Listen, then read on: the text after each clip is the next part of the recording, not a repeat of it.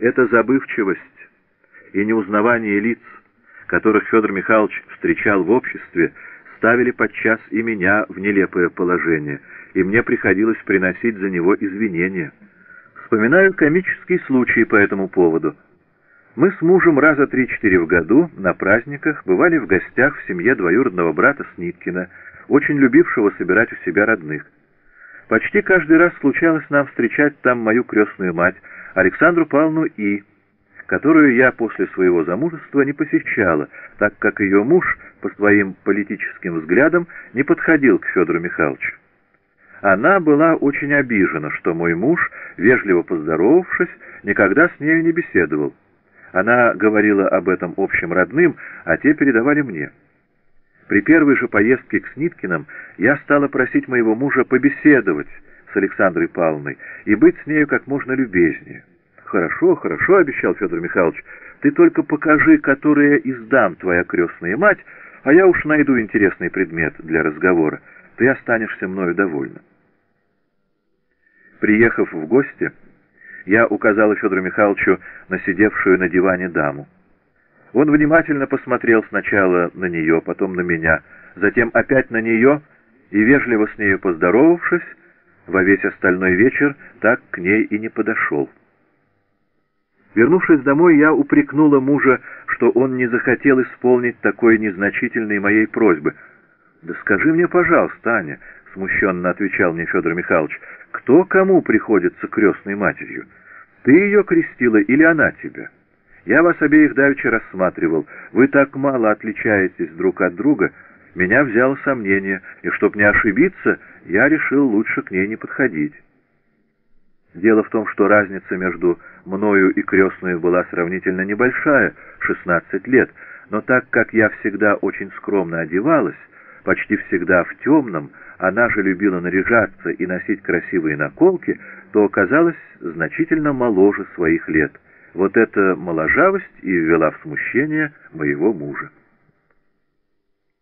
Но любопытнее всего было то, что через год, опять на Рождестве, зная, что я непременно встречусь у Сниткиных с моей крестной матерью, я обратилась к Федору Михайловичу с той же просьбой, усиленно растолковывая ему степень моей к ней близости.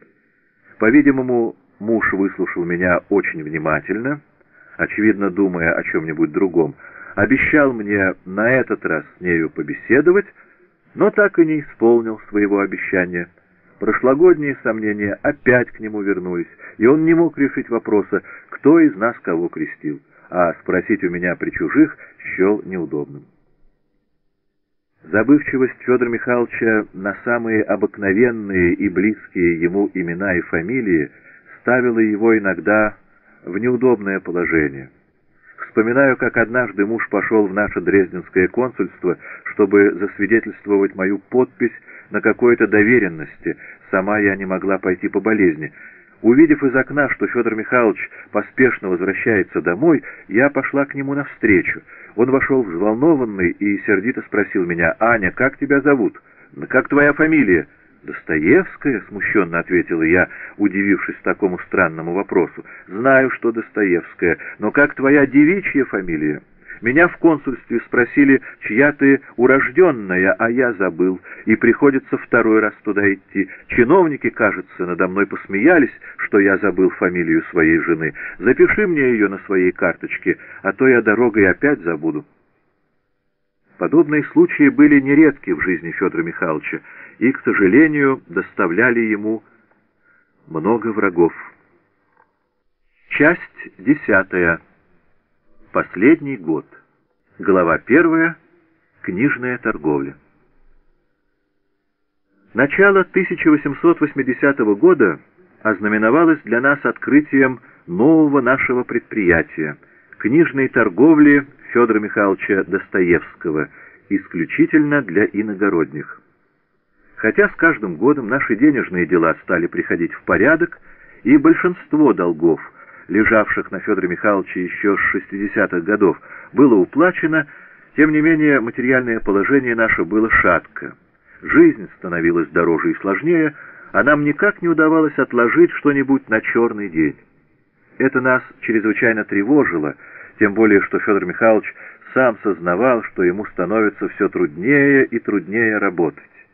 Да и болезнь его эмфизема прогрессировала, и можно было опасаться, что ввиду ухудшения здоровья наступит перерыв в литературной работе. Вот на такой-то печальный случай и желалось бы иметь некоторый запас денег или какое-нибудь побочное занятие, которое бы их приносило.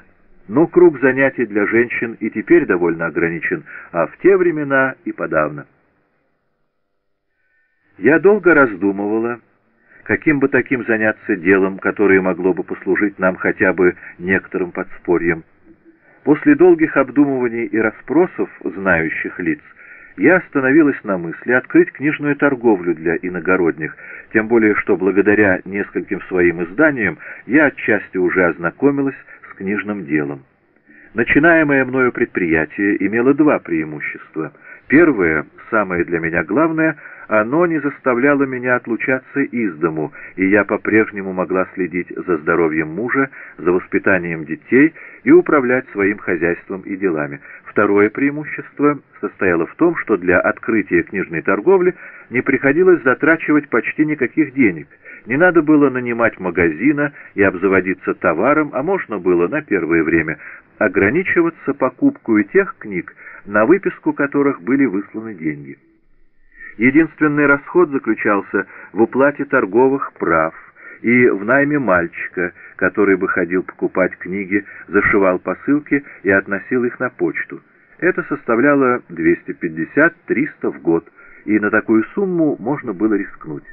Конечно, для успеха дела требовались объявления в газетах, но на первый случай я понадеялась на те гектографированные объявления, которые я разослала к бывшим подписчикам дневника писателя, а в будущем году предполагала разослать на общих издержках с издательницей семейных вечеров большое объявление во многих тысячах экземпляров. Софьи Сергеевны Кашпиревой это объявление было разослано в начале 1881 года, но уже не влияло на ход торговли. Конечно, предпринятое дело могло рассчитывать на успех в том только случае, если книжная торговля принадлежала Федору Михайловичу Достоевскому. Таким образом, взяв в казенной палате торговые права, Федору Михайловичу пришлось обратиться в купца – над чем не приминули поглумиться его газетные недруги. Эти глумления нисколько не задевали самолюбие моего мужа, так как он, вникнув в дело, одобрил мою идею и так же, как я, верил в успех нашего предприятия.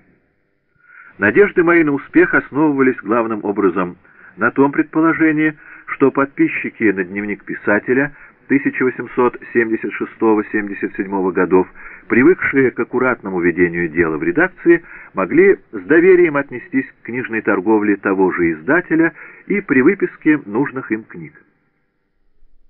Надежды эти оправдались, и не прошло двух-трех месяцев, как из бывших подписчиков дневника писателя образовался кружок лиц, человек 30, которые ежемесячно выписывали книги через нашу книжную торговлю.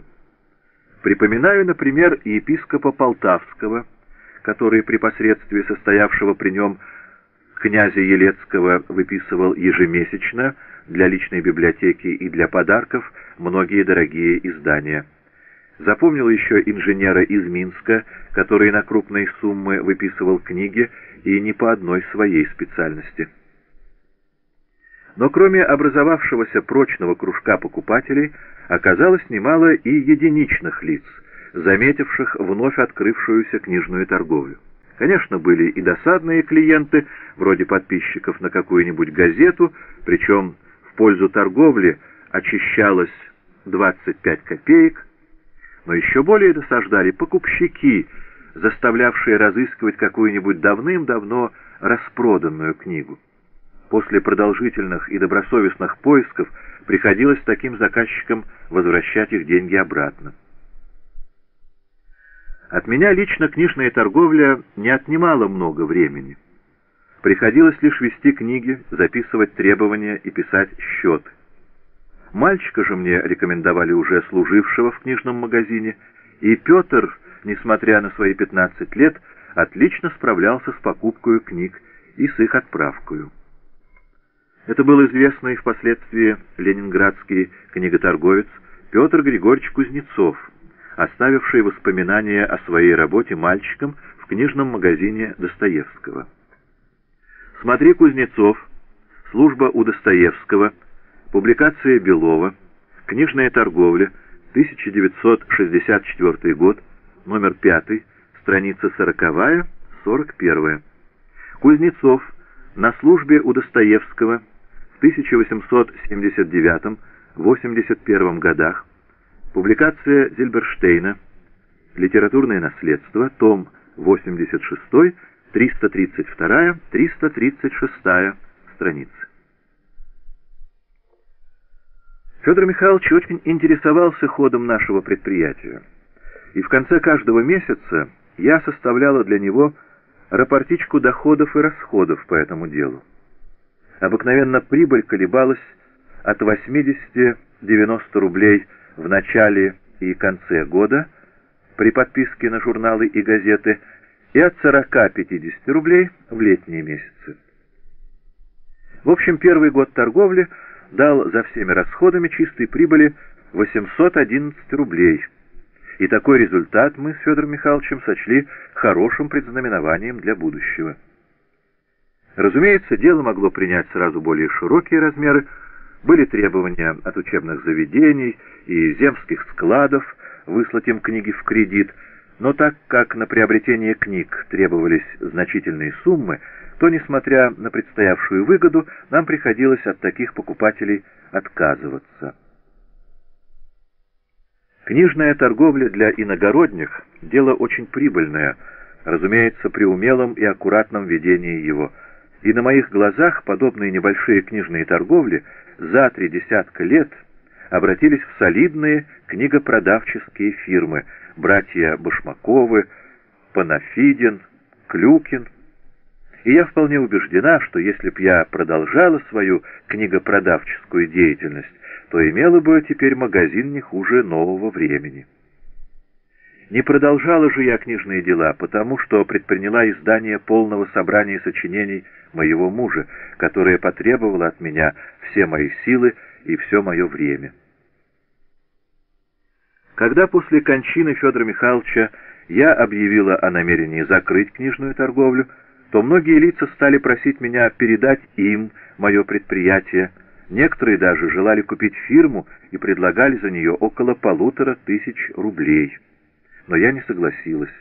Вести книжную торговлю, соединенную с именем Федора Михайловича Достоевского, могла лишь я сама, так как сознавала себя ответственную за достоинство фирмы.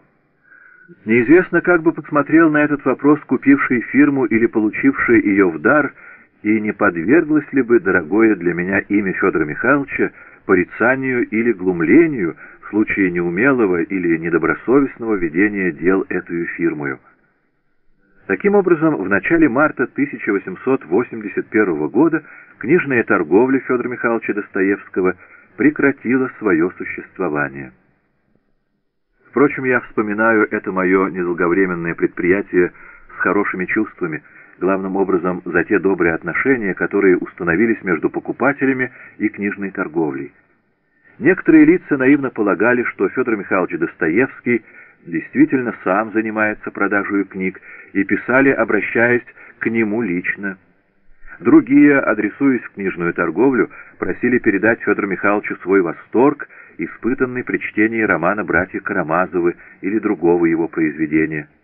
Иные просили при присылке счета сообщить на нем о здоровье великого писателя и выражали ему лучшие пожелания. Некоторыми подобными наивными и восторженными письмами Федор Михайлович был тронут до глубины души и просил меня написать корреспондентам от его имени поклоны и приветствия. Федор Михайлович, так часто встречавший недоброжелательство от своих литературных и иных друзей и критиков, очень ценил простодушные, а иногда наивные выражения восторга пред его талантом, уважения и преданности от совершенно ему незнакомых, но сочувствовавших его художественной деятельности людей. Глава 2. Начало 1880 года. Литературные вечера. Посещение знакомых. Вообще говоря, 1880 год начался для нас при благоприятных условиях. Здоровье Федора Михайловича после поездки в Эмс в прошлом году, в 1879 по-видимому, очень окрепло, и приступы эпилепсии стали значительно реже.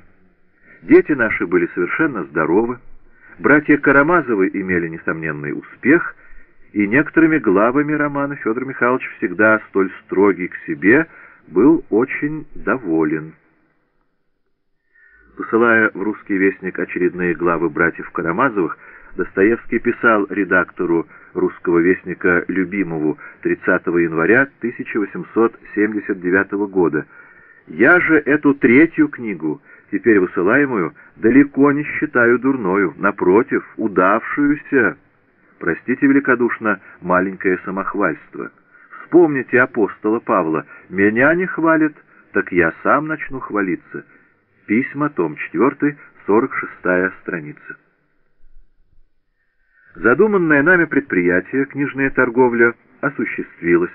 Наши издания хорошо продавались, и вообще все дела шли недурно.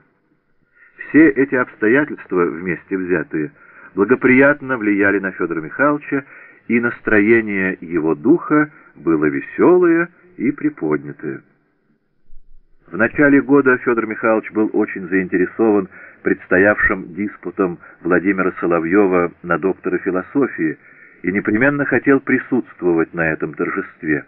Я тоже поехала с мужем, главным образом, чтобы его уберечь от возможной в толпе простуды. Диспут был блестящий, и Соловьев с успехом отразил нападки серьезных своих оппонентов. Федор Михайлович остался ждать, пока публика не разошлась, чтобы иметь возможность пожать руку виновнику торжества. Соловьев был, видимо, доволен тем, что Федор Михайлович, несмотря на свою слабость, захотел быть в университете в числе его друзей в такой знаменательный день его жизни. Докторскую диссертацию «Критика отвлеченных начал» Владимир Соловьев защитил 6 апреля 1880 года в Петербургском университете. 1880 году, несмотря на то, что Федор Михайлович усиленно работал над братьями Карамазовыми, ему пришлось много раз участвовать в литературных чтениях в пользу различных обществ. Мастерское чтение Федора Михайловича всегда привлекало публику, и если он был здоров, он никогда не отказывался от участия, как бы ни был в то время занят. В начале года я запомнила следующие его выступления. По просьбе Вейнберга Федор Михайлович читал 2 февраля в Коломенской женской гимназии, 20 марта Федор Михайлович читал в зале городской думы в пользу отделения несовершеннолетних Санкт-Петербургского дома милосердия. Он выбрал для чтения беседу старца Засимы с бабами. Не могу не сказать об одном курьезе, случившемся со мной на литературном вечере 20 марта 1880 года. Зал городской думы был переполнен нарядную публикою, среди которых преобладал мужской элемент. Когда я разглядывала публику, меня поразило одно обстоятельство, именно, что лица большинства мужчин мне показались чрезвычайно знакомыми – я сказала об этом Федору Михайловичу, и он подивился такому странному явлению, но оно разъяснилось, когда в антракте всех участвующих и их жен попросили пожаловать в соседнюю залу. Там, на больших столах, стояли вазы с шампанским, фруктами, конфетами, и распорядители вечера, городской голова Глазунов и его супруга, очень радушно угощали певцов и литераторов госпожа Глазунова была попечительницей отделения Санкт-Петербургского дома милосердия, и, конечно, все купцы и приказчики гостиного двора отозвались на ее зов посетить литературный вечер в пользу патронируемого ею учреждения.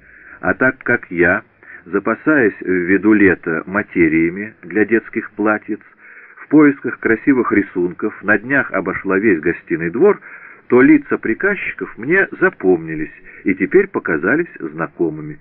Я была очень довольна, что явление, которое я готова была принять за какую-нибудь неизвестную мне болезнь, так просто объяснилось. Примечание Достоевской. Случилось так, что Федору Михайловичу пришлось и на следующий день, 21 марта, участвовать в зале благородного собрания в пользу педагогических курсов. Муж выбрал отрывок из «Преступления и наказания» сон Раскольникова о загнанной лошади. Впечатление было подавляющее, и я сама видела, как люди сидели бледные от ужаса, а иные плакали. Я сама не могла удержаться от слез. Последним весенним чтением этого года был разговор Раскольникова с Мармеладовым, прочитанный мужем в благородном собрании 28 марта в пользу общества вспомоществования студентам Санкт-Петербургского университета. Осенью 1880 года литературные чтения возобновились. Председатель литературного фонда Гаевский, слышавший на Пушкинском празднестве чтение Федора Михайловича, уговорил его участвовать в пользу литературного фонда 19 октября, в день лицейской годовщины. Федор Михайлович прочел сцену в подвале из «Скупого рыцаря», сцена вторая, затем стихотворение «Как весенний теплый порой», а когда его стали вызывать, то прочел пророка, чем вызвал необыкновенный энтузиазм публики. Казалось, стены кредитного общества сотрясались от бурных аплодисментов. Федор Михайлович раскланивался, уходил, но его вызывали вновь и вновь, и это продолжалось минут десять. О выступлении Достоевского 19 октября 1880 года. Смотри «Дневник и записки» 1854-1886, Штекеншнейдер, Москва, Ленинград, 1934 год. О выступлениях Достоевского в 1880 году смотри также письма Вейнберга к Достоевскому, публикация Степановой, материалы, том 4, 239-252 страницы. Ввиду громадного успеха этого чтения, Гаевский решил повторить его через неделю, 26 октября, с той же программой и теми же исполнителями. Благодаря городским толкам этот вечер привлек громадную толпу публики, которая не только заняла места, но густою толпою стояла в проходах. Когда вышел Федор Михайлович, публика стала аплодировать и долго не давала начать говорить. Затем прерывала на каждом стихе рукоплесканиями и не отпускала с кафедры. Особенного подъема достиг восторг толпы, когда Федор Михайлович прочел пророка происходило что-то неописуемое по выражениям восторга. 21 ноября в зале благородного собрания опять чтение в пользу литературного фонда. В первом отделении прочел стихотворение Некрасова «Когда из мрака заблуждения», а во втором — отрывки из первой части поэмы Гоголя «Мертвые души». 30 ноября в зале городского кредитного общества был устроен вечер в пользу общества вспомоществования студентам Санкт-Петербургского университета. Федор Михайлович прочел похороны Илюшечки.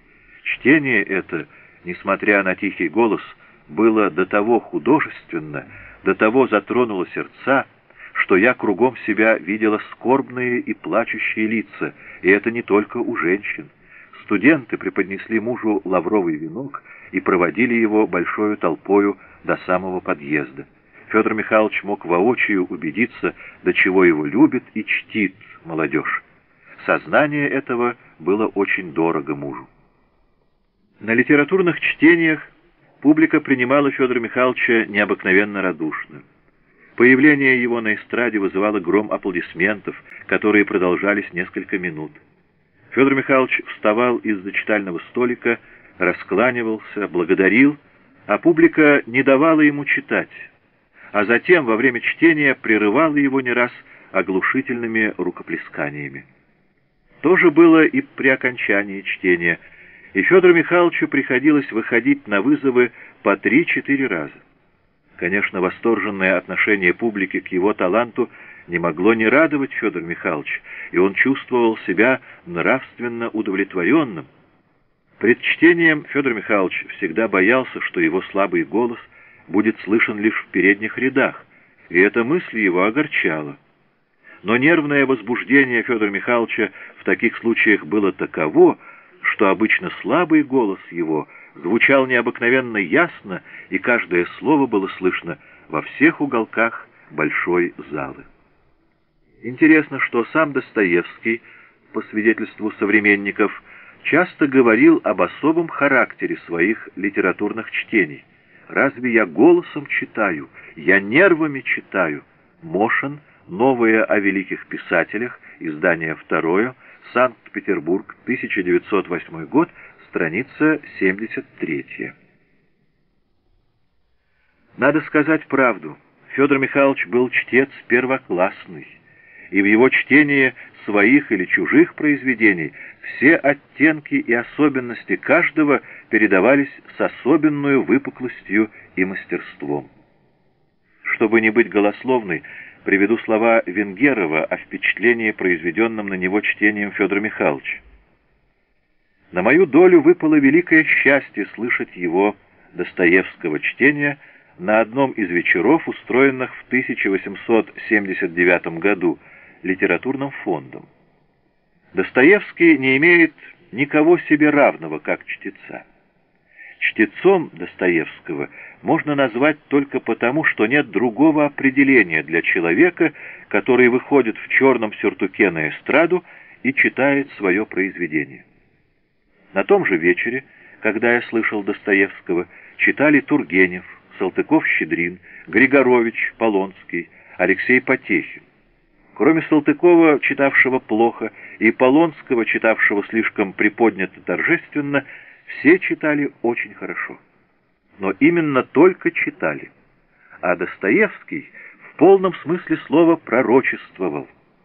Тонким, но пронзительно отчетливым голосом и невыразимо захватывающе читал он одну из удивительнейших глав братьев Карамазовых «Исповедь горячего сердца», рассказ Мити Карамазова о том, как пришла к нему Катерина Ивановна за деньгами, чтобы выручить отца. И никогда еще с тех пор не наблюдал я такой мертвой тишины в зале, такого полного поглощения душевной жизни тысячной толпы настроениями одного человека. Когда читали другие, слушатели не теряли своего «я», и так или иначе, но по-своему относились к слышанному. Даже совместное с Савиной превосходное чтение Тургенева не заставляло забываться и не уносило ввысь. А когда читал Достоевский, слушатель, как и читатель кошмарно-гениальных романов его, совершенно терял свое «я» и весь был в гипнотизирующей власти этого изможденного, невзрачного старичка пронзительным взглядом беспредметно уходивших куда-то глаз, горевших мистическим огнем, вероятно, того же блеска, который некогда горел в глазах протопопа Аввакума.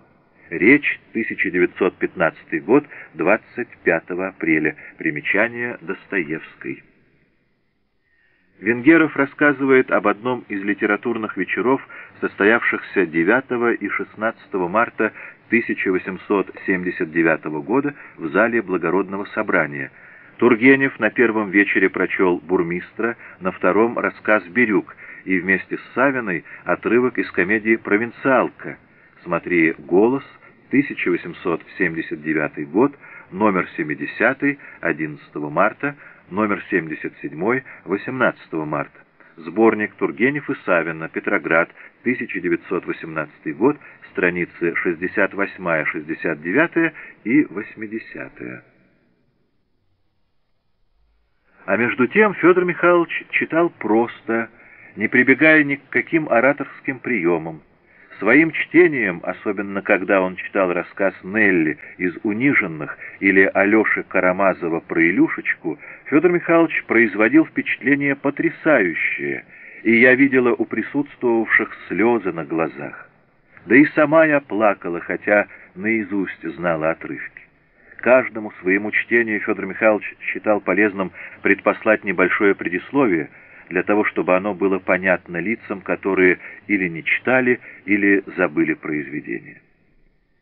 Кроме литературных вечеров, Федор Михайлович в зиму 1879-80 года часто посещал своих знакомых, бывал по субботам у достоуважаемого Ивана Петровича Корнилова, бывшего попечителя Виленского учебного округа, у которого встречал много ученых и лиц, занимавших высокое официальное положение.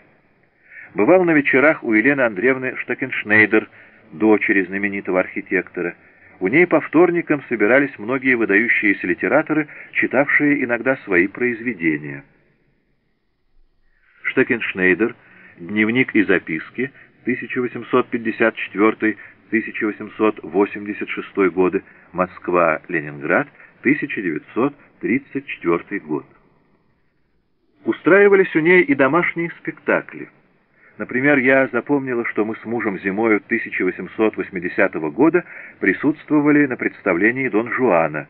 Исполнителями пьесы были Аверкиева, Донна Анна, с большим талантом исполнившая свою роль, поэт Случевский и Страхов.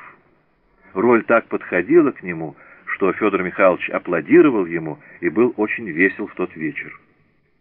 У Штакеншнейдер Федор Михайлович в эту зиму познакомился с Лидией Ивановной Веселицкой, впоследствии известной писательницей Микулич. Отмечу как чуткость и проведение Федора Михайловича. Поговорив с молодой девушкой два-три раза, Федор Михайлович, несмотря на молодость ее и понятное смущение, угадал в ней незаурядную барышню, а заключающую в себя задатки чего-то высшего, стремление ее к идеалу, и, наверное, литературный талант. В этом Федор Михайлович не ошибся, и автор «Мимочки» своими произведениями оставил заметный след в русской литературе. О знакомстве и встречах с Достоевским Веселицкая оставила воспоминания «Микулич. Встреча со знаменитостью. Москва. 1903 год». Эти воспоминания вошли в ее книгу «Встречи с писателями. Ленинград, 1929 год». Федор Михайлович очень уважал и любил Елену Андреевну Штакеншнейдер за ее неизменную доброту и кротость, с которой она переносила свои постоянные болезни, никогда на них не жалуясь, а напротив, ободряя всех своей приветливостью. В семье Штакеншнейдеров – Особенную симпатией пользовался брат Елены Андреевны, Адриан Андреевич, человек большого ума и искренний почитатель таланта Федора Михайловича. С Адрианом Андреевичем, как с талантливым юристом, Федор Михайлович советовался во всех тех случаях, когда дело касалось порядков судебного мира, и ему Федор Михайлович обязан тем, что в «Братьях Карамазовых» Все подробности процесса Мити Карамазова были до того точны, что самый злостный критик, а таких было немало, не смог бы найти каких-либо упущений или неточностей. Чрезвычайно любил Федор Михайлович посещать Победоносцева. Но всего чаще, в годы 1879-80, Федор Михайлович посещал вдову покойного поэта графа Алексея Толстого графиню Софью Андреевну Толстую. Это была женщина громадного ума, очень образованная и начитанная. Беседы с ней были чрезвычайно приятны для Федора Михайловича, который всегда удивлялся способности графини проникать и отзываться на многие тонкости философской мысли, так редко доступной кому-либо из женщин. Софья Андреевна Толстая создала в своем доме литературный салон – который посещали Гончаров, Тургенев, Владимир Соловьев, Достоевский относился к ней с большим уважением и теплотой, о чем свидетельствует его письмо Толстой от 13 июня 1880 года, письма, том 4, 174 страница. Любовь Федоровна Достоевская в своей книге воспоминаний пишет в главе «Салон графини Толстой». Среди литературных салонов Петербурга, которые посещал Достоевский в последние годы своей жизни, самым значительным был салон графини Толстой, вдовы писателя Алексея Толстого. Как свидетельствует дочь писателя, Достоевский говорил, что, по его мнению, Толстая обладала проницательным умом, острым, как сталь. После того, как графиня Толстая поселилась в Петербурге, она стала принимать в своем доме всех прежних друзей своего мужа, поэтов и писателей, и попыталась завязать новые литературные знакомства. После того, как она встретила моего отца, она поспешила пригласить его и была с ним очень любезна. Мой отец обедал у нее, ходил на ее вечера, согласился прочесть в ее салоне некоторые главы из братьев Карамазовых до их публикации. Вскоре у него вошло в привычку заходить к графине Толстой во время своей прогулки, чтобы обменяться новостями дня. Моя мать, хотя и была немного ревнива, но соглашалась с тем, что ее муж часто посещал графиню, которая в то время уже вышла из возраста соблазнительницы. Всегда одетая в черное, с вдовьей вуалью на седых волосах, совсем просто причесанная, графиня пыталась нравиться только своим умом и своим любезным обхождением. Она очень мало выходила и к четырем часам всегда была уже дома, готовая предложить Достоевскому его чашку чаю. Графиня была очень образована, много читала на всех европейских языках и часто обращала внимание моего отца на какую-нибудь интересную, появившуюся в Европе статью. Достоевский много времени тратил на создание своих романов и, естественно, не мог так много читать, как он бы этого хотел. Вежливый и любезный тон, царивший в салоне графини, был приятным разнообразием по сравнению с тривиальностью других литературных салонов. Мой отец предпочитал комфорт и сдержанную элегантность салона Толстой.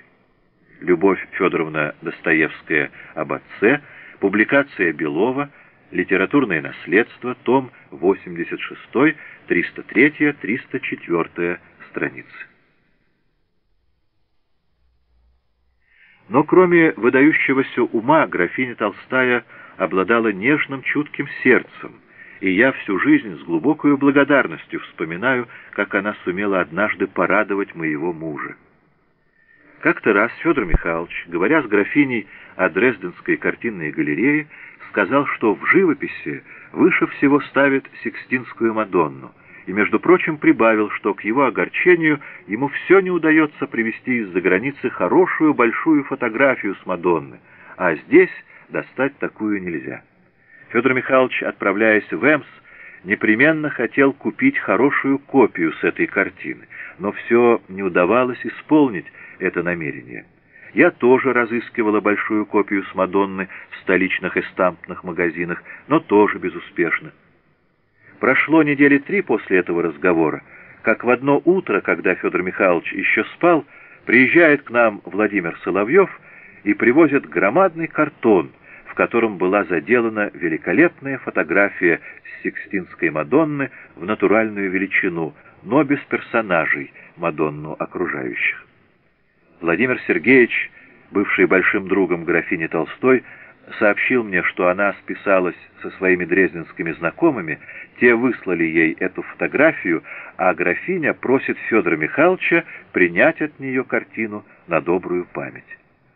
Это случилось в половине октября 1879 года, и мне пришло на мысль тотчас вставить фотографию в раму и порадовать ею Федора Михайловича в день его рождения, 30 октября. Я высказала мою мысль Соловьеву, и он ее одобрил, тем более что, оставаясь без рамы, фотография могла испортиться. Я просила Владимира Сергеевича передать графине мою сердечную благодарность за ее добрую мысль, а вместе с тем предупредить, что Федор Михайлович не увидит ее подарка ранее дня своего рождения. Так и случилось. Накануне 30-го прекрасная темного дуба резная рама со вставленную в нее фотографией была доставлена переплетчиком и вбит для нее гвоздь в стену прямо над диваном, постелью Федора Михайловича, где всего лучше выдавались на свету все особенности этого шедевра. Утром в день нашего семейного праздника, когда Федор Михайлович ушел пить чай в столовую, картина была повешена на место. После веселых поздравлений и разговоров мы вместе с детьми отправились в кабинет.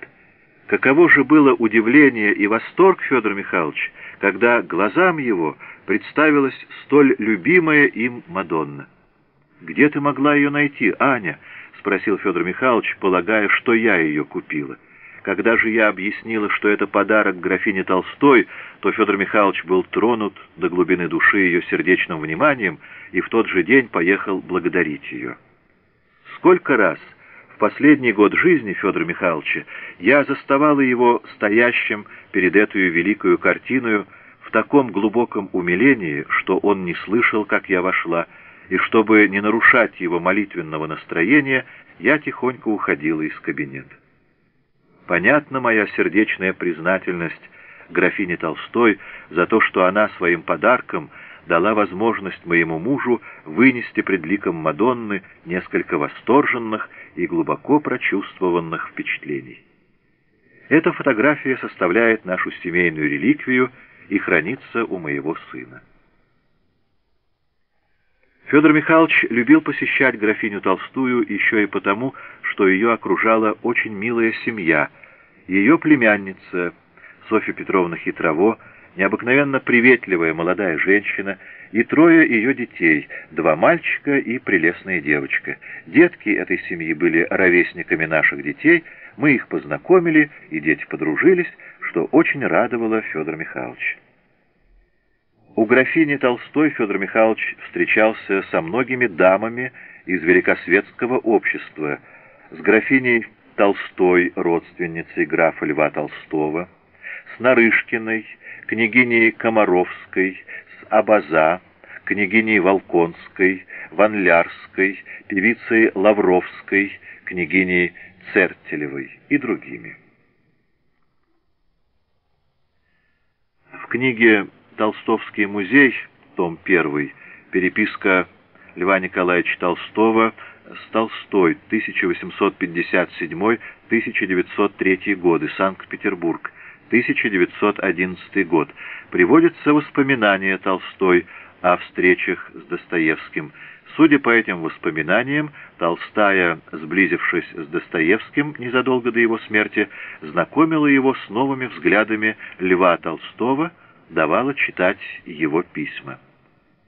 Биографы Достоевского до сих пор не обращали внимания на упоминание имени Лавровской в числе знакомых писателей в последние годы его жизни, а между тем речь идет о выдающейся русской певице Елизавете Андреевне Лавровской, пользовавшейся редкой популярностью в кругах русской художественной интеллигенции.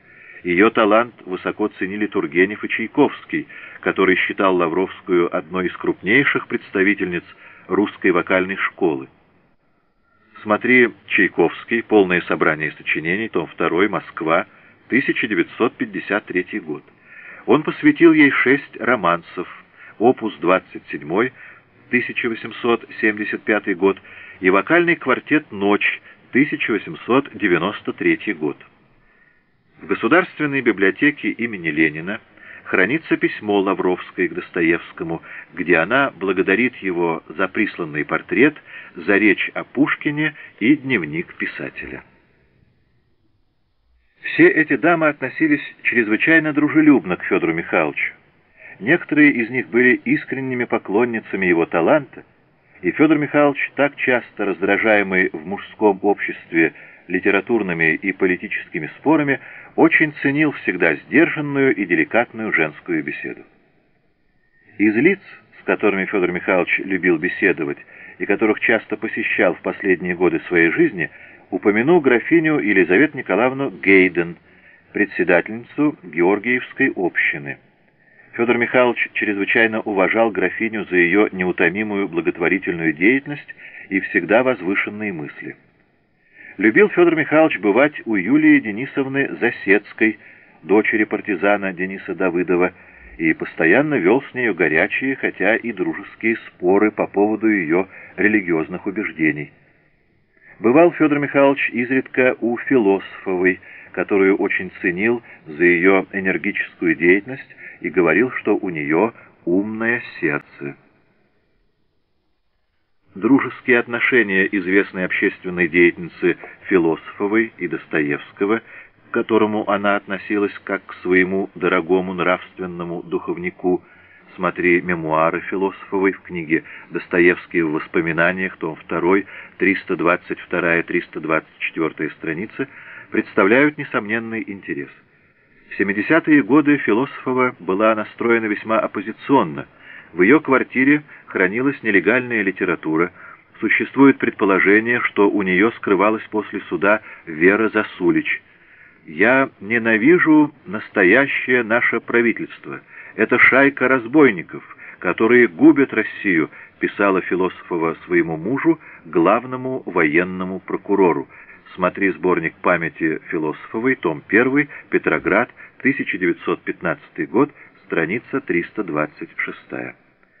Достоевский относился к Философовой с большим уважением, писал о ее прекрасном умном сердце, письма, том 4, страница 66-67, и, судя по рассказу ее дочери Каменецкой, очень волновался, узнав о возможном аресте Философовой. Смотри Достоевский в воспоминаниях, том 2, 326 страница. Смотри также Трубецкая, Достоевский и Философова, публикация Белова, «Русская литература», 1973 год, номер 3, страницы 116-118. Кстати, скажу, что Федор Михайлович имел много искренних друзей среди женщин, и они охотно поверяли ему свои тайные сомнения и просили дружеского совета, в котором никогда не получали отказа. Напротив того, Федор Михайлович с сердечной добротою входил в интересы женщин и искренно высказывал свои мнения, рискуя иногда огорчить свою собеседницу но доверявшиеся ему чутьем понимали, что редко кто понимал так глубоко женскую душу и ее страдания, как понимал и угадывал их Федор Михайлович. Глава третья. Поездка в Москву на Пушкинский праздник. В марте 1880 года в литературных кружках стали ходить слухи о том, что памятник, сооружаемый Пушкину в Москве, готов и будет открыт этой же весною, причем предполагается совершить его открытие с особенной торжественностью. Предстоявшее событие очень заинтересовало наше интеллигентное общество, и многие собирались поехать на торжество. В Москве составился комитет по открытию памятника, а Общество любителей российской словесности при Императорском Московском университете постановило праздновать открытие памятника публичными заседаниями. Председатель общества Юрьев разослал выдающимся литераторам приглашение прибыть на торжество. Из числа наиболее известных писателей, кому было прислано приглашение – на пушкинских празднествах в Москве не присутствовали Салтыков-Щедрин, Гончаров и Толстой. В письме к Юрьеву от 8 мая 1880 года Салтыков-Щедрин объяснил свой отказ приехать в Москву болезнью, однако позднейшие высказывания Салтыкова-Щедрина о пушкинском празднике свидетельствуют о том, что не только и не столько болезнь помешала ему принять участие в пушкинских торжествах, Салтыков-Щедрин был, по-видимому, недоволен тем, что демократические силы не возглавили организацию торжеств. 25 июня 1880 года он писал Островскому «Пушкинский праздник вызвал во мне некоторые недоумения. По-видимому, умный Тургенев и безумный Достоевский сумели похитить у Пушкина праздник в свою пользу. Салтыков-Щедрин, собрание сочинений, том 19, книга 1, Москва, 1976 год, страница 157. Лев Толстой, за которым специально ездил в Ясную Поляну Тургенев, также отказался принять участие в пушкинских торжествах. По словам Станюковича, этот отказ вполне последователен. Граф Толстой высказывал не раз, что наша литература служит приятным времяпрепровождением для обеспеченных людей, а народу решительно все равно, существовал ли Пушкин или нет. Дело, 1880 год, номер 7, страница 107. Такое же приглашение получил Федор Михайлович. В пригласительном письме было предложено ему, как и другим, в случае его желания произнести на торжественном заседании речь, посвященную памяти Пушкина. Разноречивые толки, ходившие в столице, по поводу тех речей, которые будут произнесены представителями двух тогдашних партий, западников и славянофилов, очень волновали Федора Михайловича, и он объявил, что если болезнь не помешает, то он непременно поедет в Москву и выскажет в своей речи о Пушкине все то, что столь многие годы лежало у него на уме и на сердце. При этом Федор Михайлович выразил желание, чтобы и я поехала с ним. Конечно, я была страшно рада поехать в Москву, не только ради того, чтобы увидеть столь необычное торжество, но и чтобы быть вблизи Федора Михайловича в эти для него тревожные, как я предвидела заранее, дни. К чрезвычайному моему горю и искреннему сожалению Федора Михайловича наша совместная поездка не могла осуществиться. Когда мы стали подсчитывать, во что может нам обойтись поездка, то пришли к убеждению, что она нам недоступна. После смерти нашего сына Алеши Федор Михайлович, всегда горячо относившийся к детям, стал еще мнительнее насчет их жизни и здоровья, и нельзя было и подумать уехать нам обоим, оставив детей на няньку. Следовало взять детей с собой. Но так как путешествие и пребывание в Москве не могло продлиться менее недели, то наше житье с детьми в хорошей гостинице – вместе с проездом в Москву и обратно, не могло нам стоить менее 300 рублей лишних. К тому же на подобное торжество надо было и мне явиться одетой в светлом, если и не роскошно, то все-таки прилично, а это увеличивало стоимость поездки. Как назло, наши счеты с русским вестником были несколько запутаны, и взять денег из редакции представлялось затруднительным. Словом, После долгих размышлений и колебаний мы с мужем пришли к заключению, что я должна отказаться от пленявшей меня мысли поехать в Москву на торжество. Скажу, что впоследствии я остальную жизнь считала для себя величайшим лишением то обстоятельство, что мне не привелось присутствовать при том необычайном триумфе, которого удостоился мой дорогой муж на Пушкинском празднике. Чтобы иметь возможность в тишине и на свободе обдумать и написать свою речь в память Пушкина, Федор Михайлович пожелал раньше переехать в Старую Руссу, и в самом начале мая мы всей семьей были уже у себя на даче.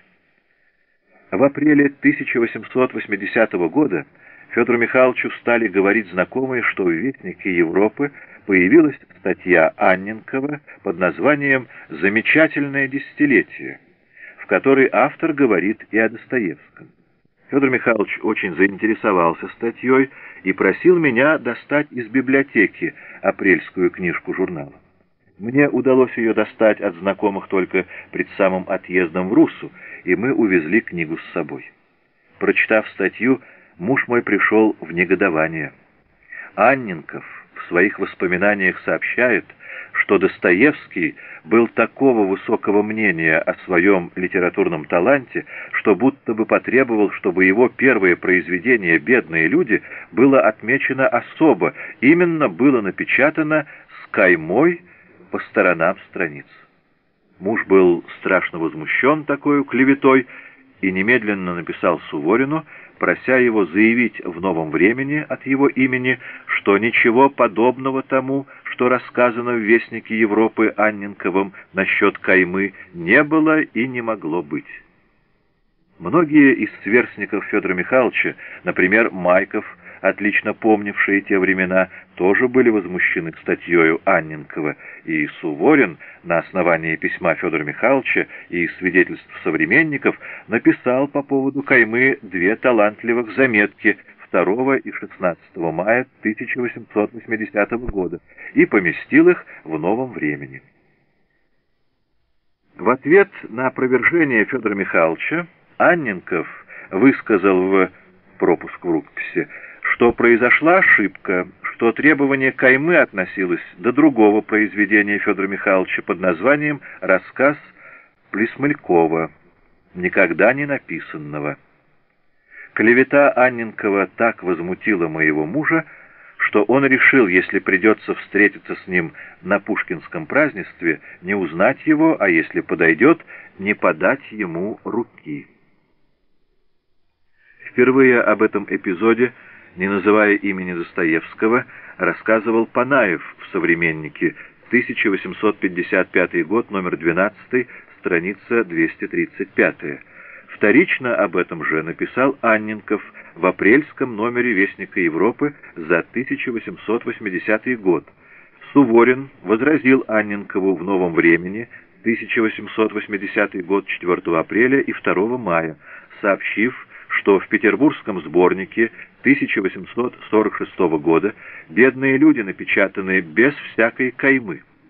В ответ на опровержение нового времени редакция «Вестника Европы», а не Анненков, как пишет Анна Григорьевна, он был за границей, в майском номере за 1880 год ответила, что речь шла не о бедных людях, а о рассказе Плесмалькова предназначавшимся Достоевским для задуманного Белинским сборника «Левиафан». Но на самом деле, как утверждало «Новое время» в заметке от 5 мая 1880 года, никакого рассказа Плесмалькова у Достоевского не было. Для «Левиафана» им были задуманы «Сбритые бакенбарды» и повесть об уничтоженных канцеляриях, письме к Суворину от 14 мая 1880 года Достоевский просит еще раз выступить с заявлением по поводу Каймы. Письма, том 4, 143 страница. 18 мая, а не 16, как указано в мемуарах, 1880 года в «Новом времени» появилось от имени Достоевского заявление «Федор Михайлович Достоевский, находясь в Старой Руси, где он лечится, просит нас заявить от его имени, что ничего подобного тому, что рассказано в Вестнике Европы Анненковым насчет Каймы, не было и не могло быть. Открытие памятника Пушкину было назначено на 25 мая, но Федор Михайлович решил поехать за несколько дней для того, чтобы, не торопясь, достать себе билеты, необходимые для присутствия на всех торжественных заседаниях, Кроме того, как товарищ председателя Славянского благотворительного общества, Федор Михайлович являлся представителем этого общества на торжестве и должен был заказать венки для возложения их на памятник. Выехал Федор Михайлович 22 мая, и я с детьми поехала провожать его на вокзал. С истинным умилением припоминаю, как мой дорогой муж говорил мне на прощание — «Бедная ты моя, Анечка, так тебе и не удалось поехать. Как это жаль, как это грустно. Я так мечтал, что ты будешь со мной». Огорченная предстоящую разлукою, а главное, страшно обеспокоенная за его здоровье и душевное настроение, я отвечала, «Значит, не судьба, но зато ты должен меня утешить, писать мне каждый день непременно и самым подробным образом, чтобы я могла знать все, что с тобой происходит, иначе я буду бесконечно беспокоиться. Обещаешь писать? «Обещаю, обещаю», — говорил Федор Михайлович, — «буду писать каждый день». И как человек, верный данному слову, Федор Михайлович исполнил его и писал мне не только один, а иногда и два раза в день. До того хотелось ему избавить меня от беспокойства о нем, а также, по обыкновению, поделиться со мною всеми своими впечатлениями. Расставаясь, мы оба полагали, что отсутствие Федора Михайловича продлится не дольше недели. Двое суток на переезд в Москву и обратно, и пять дней на те торжества, на которых Федору Михайловичу необходимо было присутствовать. И муж дал мне слово, что лишнего дня не задержится в Москве. Но случилось так, что Федор Михайлович вместо недели возвратился через 22 дня и я могу сказать, что три недели его отсутствия были для меня временем мучительного беспокойства и опасений.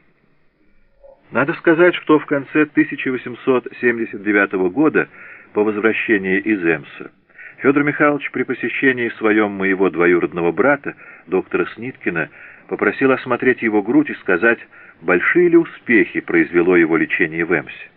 Мой родственник, хотя и был педиатром, но был знаток и по грудным болезням, и Федор Михайлович доверял ему как врачу и любил его как доброго и умного человека. Конечно, как сделал бы каждый доктор, Он успокоил Федора Михайловича и заверил, что зима пройдет для него прекрасно и что он не должен иметь никаких опасений за свое здоровье, а должен лишь принимать известные предосторожности. Мне же, на мои настойчивые вопросы, доктор должен был признаться, что болезнь сделала зловещие успехи и что в своем теперешнем состоянии эмфизема может угрожать жизни. Он объяснил мне, что мелкие сосуды легких до того стали тонкие и хрупкие, что всегда предвидится возможность разрыва их от какого-нибудь физического напряжения, а потому советовал ему не делать резких движений, не переносить и не поднимать тяжелые вещи, и вообще советовал беречь Федора Михайловича от всякого рода волнений, приятных и неприятных. Правда, доктор успокаивал меня тем, что эти разрывы артерий не всегда ведут к смерти, так как иногда образуется так называемая пробка, сгусток, который не допустит сильной потери крови. Можно представить себе, как я была испугана и как внимательно я стала наблюдать за здоровьем мужа чтобы не отпускать Федора Михайловича одного в те семьи, где он мог иметь неприятные для него встречи и беседы, я стала жаловаться мужу, что мне дома скучно, и выражать желание бывать в обществе. Федор Михайлович, всегда жалевший, что я мало бываю в свете, был рад моему решению, и зиму 1879 года, и весь 1880 год я часто сопровождала Федора Михайловича на собрания у знакомых и на литературные вечера. Я заказала себе для выезда элегантное черное шелковое платье и приобрела две цветные наколки, которые, по уверению мужа, очень ко мне шли. На вечерах и собраниях мне иногда приходилось прибегать к хитростям, чтобы уберечь Федора Михайловича от неприятных для него встреч и разговоров. Так, например, просила хозяйку дома посадить Федора Михайловича за вечерним столом подальше от такого-то господина или госпожи, или под благовидным предлогом отзывала Федора Михайловича, если видела, что он начинает горячиться и сильно спорить. Словом, я была постоянно на стороже, и вследствие этого выезды в свет доставляли мне мало удовольствия. И вот когда я находилась в таком страшном беспокойстве насчет здоровья Федора Михайловича, нам пришлось разлучиться не на неделю, как я рассчитывала, а на 22 дня. Боже, что я перенесла за это время, особенно видя по письмам, что возвращение Федора Михайловича все более и более отдаляется, а между тем столь опасные для него волнения и беспокойство увеличиваются. Мне представлялось, что волнения эти должны завершиться припадком, если не двумя, тем более что приступов эпилепсии давно уже не было, и можно было ожидать их скорого наступления. Самые мрачные предположения приходили мне в голову. Мысли о том, что с Федором Михайловичем случится припадок, что он, еще не придя в себя, пойдет по гостинице отыскивать меня, что там его примут за помешанного и ославят по Москве как сумасшедшего, что некому будет оберегать его спокойствие после припадка, что его могут раздражить, довести его до какого-нибудь безумного поступка, все эти мысли бесконечно меня мучили, и я не раз приходила к решению поехать в Москву и жить там, никому не показываясь, а лишь наблюдая за Федором Михайловичем. Еще не вполне придя в себя от приступа эпилепсии, всегда шел ко мне, так как в эти минуты испытывал мистический ужас, и присутствие близкого лица приносило ему успокоение. Примечание Достоевской. Но зная, что он будет бесконечно тревожиться за оставленных на няньку детей, не могла решиться на поездку. Я просила моих московских друзей в случае, если с Федором Михайловичем произойдет припадок, тотчас мне телеграфировать, и я тогда бы выехала с первым поездом. Дни шли за днями, открытие памятника откладывалось, неприятные для Федора Михайловича обстоятельства, судя по письмам, нарастали, а вместе возрастали и мои душевные страдания. Смотри письма, том 4, 152-162 страницы. В письме к Достоевской от 25-26 мая 1880 года Достоевский, решив выехать в Петербург 27 мая, пишет «Сижу теперь в страшном затруднении и беспокойстве. С одной стороны, упрочение влияния моего не в одном Петербурге, а и в Москве, что многое значит. С другой — разлука с вами, затруднения по Карамазовым, расходы и прочее. Письма, том 4, 151 страница. Даже теперь, после такого долгого промежутка, я не могу вспомнить об этом времени без тягостного чувства. К этому времени относится один эпизод, который не стоило бы записывать, если по нем не упоминал Федор Михайлович в своем письме, написанном тотчас по возвращении с заседания, на котором московская публика так восторженно оценила речь Федора Михайловича в память Пушкина. Я говорю о покупке жеребеночка. Наш старший сын Федя с младенческих лет чрезвычайно любил лошадей, и, проживая по летам в Старой Руси, мы с Федором Михайловичем всегда опасались, как бы не зашибли его лошади. Двух-трех лет от роду он иногда вырывался от старушки-няньки, бежал к чужой лошади и обнимал ее за ногу. К счастью, лошади были деревенские, привыкшие к тому, что около них вертятся ребятишки, а потому все сходило благополучно. Когда мальчик подрос, то стал просить, чтобы ему подарили живую лошадку. Федор Михайлович обещал купить, но как-то это не удавалось сделать. Я купила же ребенка в мае 1880 года совершенно случайно, и горько потом в этом раскаивалась. Случилось это вот каким образом. Однажды рано утром я с детьми пошла на городской базар. Когда мы шли по набережной нашей реки Перерытицы, мимо нас промчалась телега, на которой сидел бывший несколько навеселе мужик. За телегой бежал жеребенок, чрезвычайно статный, то обгоняя лошадь, то отставая от нее. Мы залюбовались жеребенком, и мой сын сказал, что вот такого жеребеночка он хотел бы иметь. Подойдя к площади четверть часа спустя, мы заметили, что около лошади и жеребенка столпилось несколько мужиков и о чем-то спорят. Мы подошли и услышали, что подвыпивший мужик продает жеребенка на кожу и просит за него 4 рубля. Уже нашлись покупщики, но ввиду просьбы сына и жалея, что жеребенка убьют, я предложила 6 рублей, и лошадка осталась за мной. Ничего не понимая ни в лошадях, ни в поведении сельского хозяйства, я, пока хозяин бегал подкрепиться, стала расспрашивать мужиков, выживет ли у меня же ребенок без матери. Мнения разделились. Одни уверяли, что нет, другие давали советы, чем именно кормить, и говорили, что при хорошем присмотре из него вырастет недурная лошадка.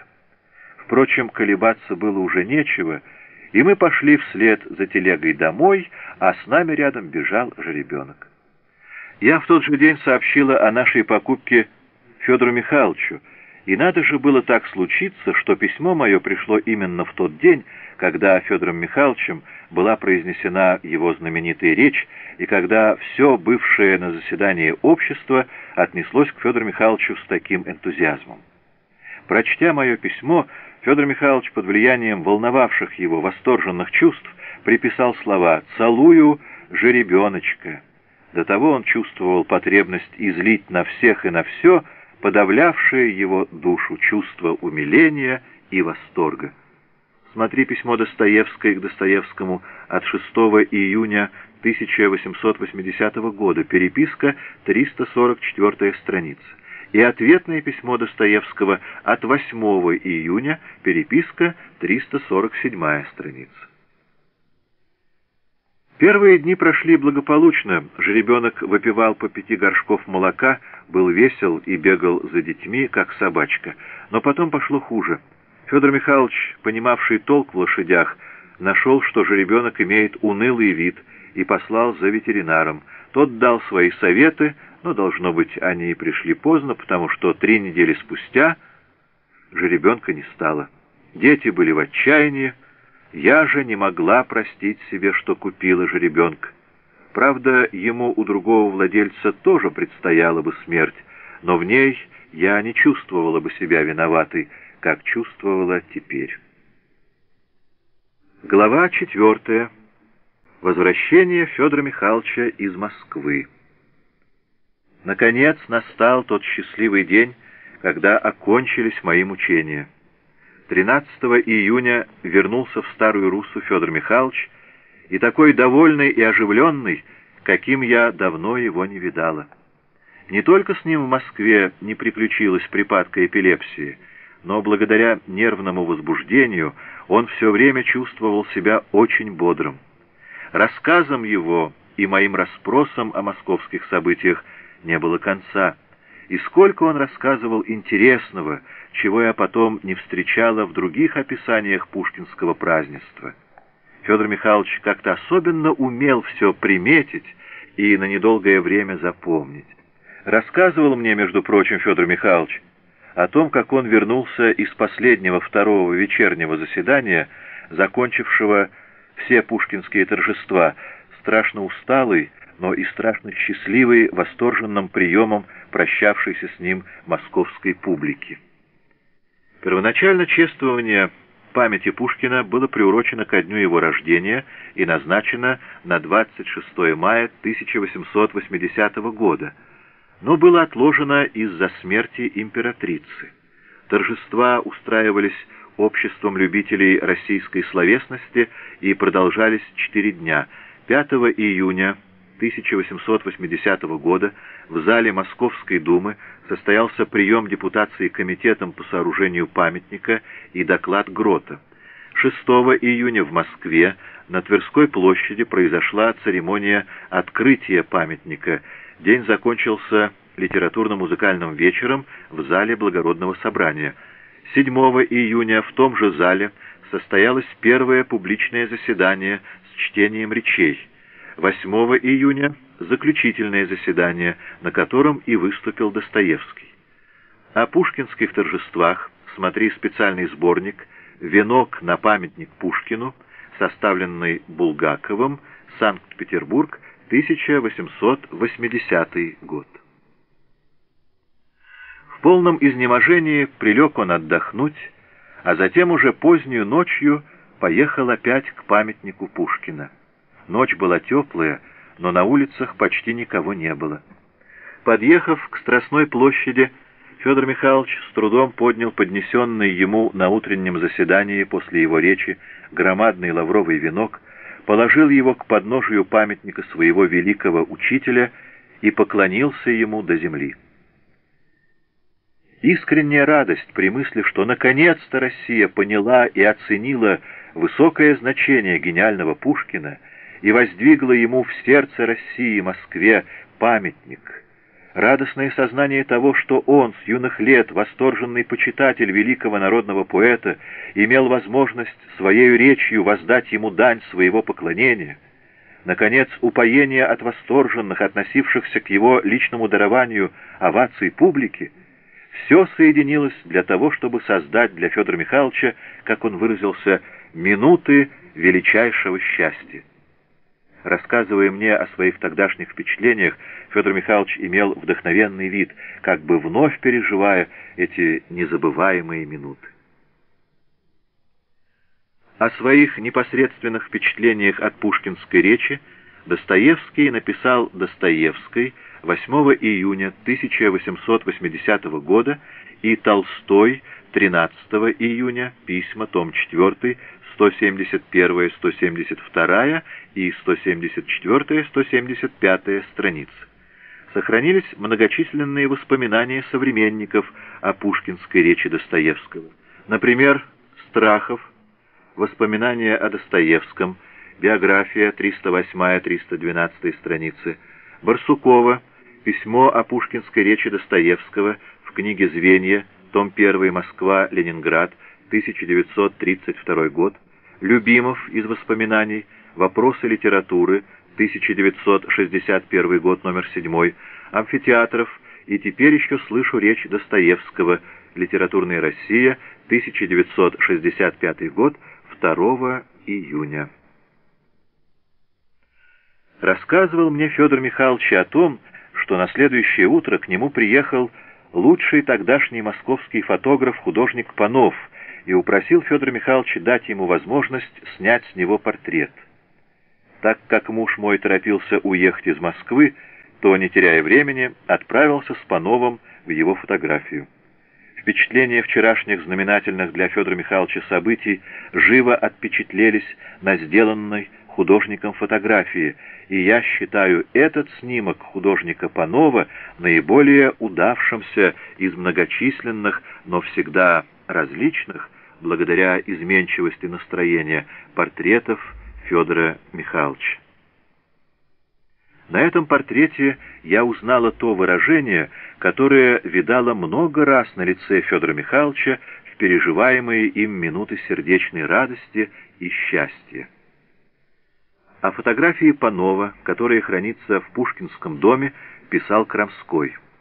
В последние годы его, Достоевского, лицо сделалось еще знаменательнее, еще глубже и трагичнее, и очень жаль, что нет портрета последнего времени, равного Перовскому по художественным достоинствам. Недостаток этот, к счастью, совершенно случайно восполнен фотографией. Московский фотограф Панов – сделал именно эту фотографию. Портрет в смысле фотографической техники, быть может, неважный. У Панова есть портреты в этом отношении гораздо лучше Достоевского, но что в нем примечательно, это выражение. По этой фотографии можно судить, насколько прибавилось в лице Достоевского значения и глубины мысли. Фотографии редко дают сумму всего, что лицо человеческое в себе заключает фотографии Панова явилось счастливое и редкое исключение. Можно догадываться, что в данном случае в помощь фотографии явился такой момент в жизни Достоевского, как Пушкинский праздник в Москве. Портрет этот снят после его знаменитой речи о значении Пушкина. Крамской – его жизнь, переписка и художественно-критические статьи 1837-1887 годы, Санкт-Петербург, 1888 год, страница 669. Но прошло дней десять, и настроение Федора Михайловича резко изменилось. Виною этого были отзывы газет – которые он ежедневно просматривал в читальне минеральных вод. На Федора Михайловича обрушилась целая лавина газетных и журнальных обвинений, опровержений, клевет и даже ругательств. Те представители литературы, которые с таким восторгом прослушали его пушкинскую речь и были ею поражены до того, что горячо аплодировали чтецу и шли пожать ему руку, вдруг как бы опомнились пришли в себя от постигшего их гипноза и начали бронить речь и унижать ее автора. Когда читаешь тогдашние рецензии на пушкинскую речь, то приходишь в негодование от той бесцеремонности и наглости, с которой относились к Федору Михайловичу писавшие, забывая, что в своих статьях они унижают человека, обладающего громадным талантом, работающего на избранном поприще 35 лет и заслужившего уважение и любовь многих десятков тысяч русских читателей. Пушкинская речь Достоевского – по единодушному свидетельству современников, произвела на слушателей неизгладимое впечатление, чему в немалой степени способствовало великолепное чтение этой речи самим Достоевским и его излюбленные мысли о том, что для успокоения метущегося ищущего русского скитальца нужно всемирное, всечеловеческое счастье. Всеобщее внимание было поражено и поглощено стройно выраженную мыслью о врожденной русскому человеку скорби о чужом горе, писал Глеб Успенский в статье «Праздник Пушкина». Успенский. Полное собрание сочинений. Том 6. Москва. 1953 год. Страница 425.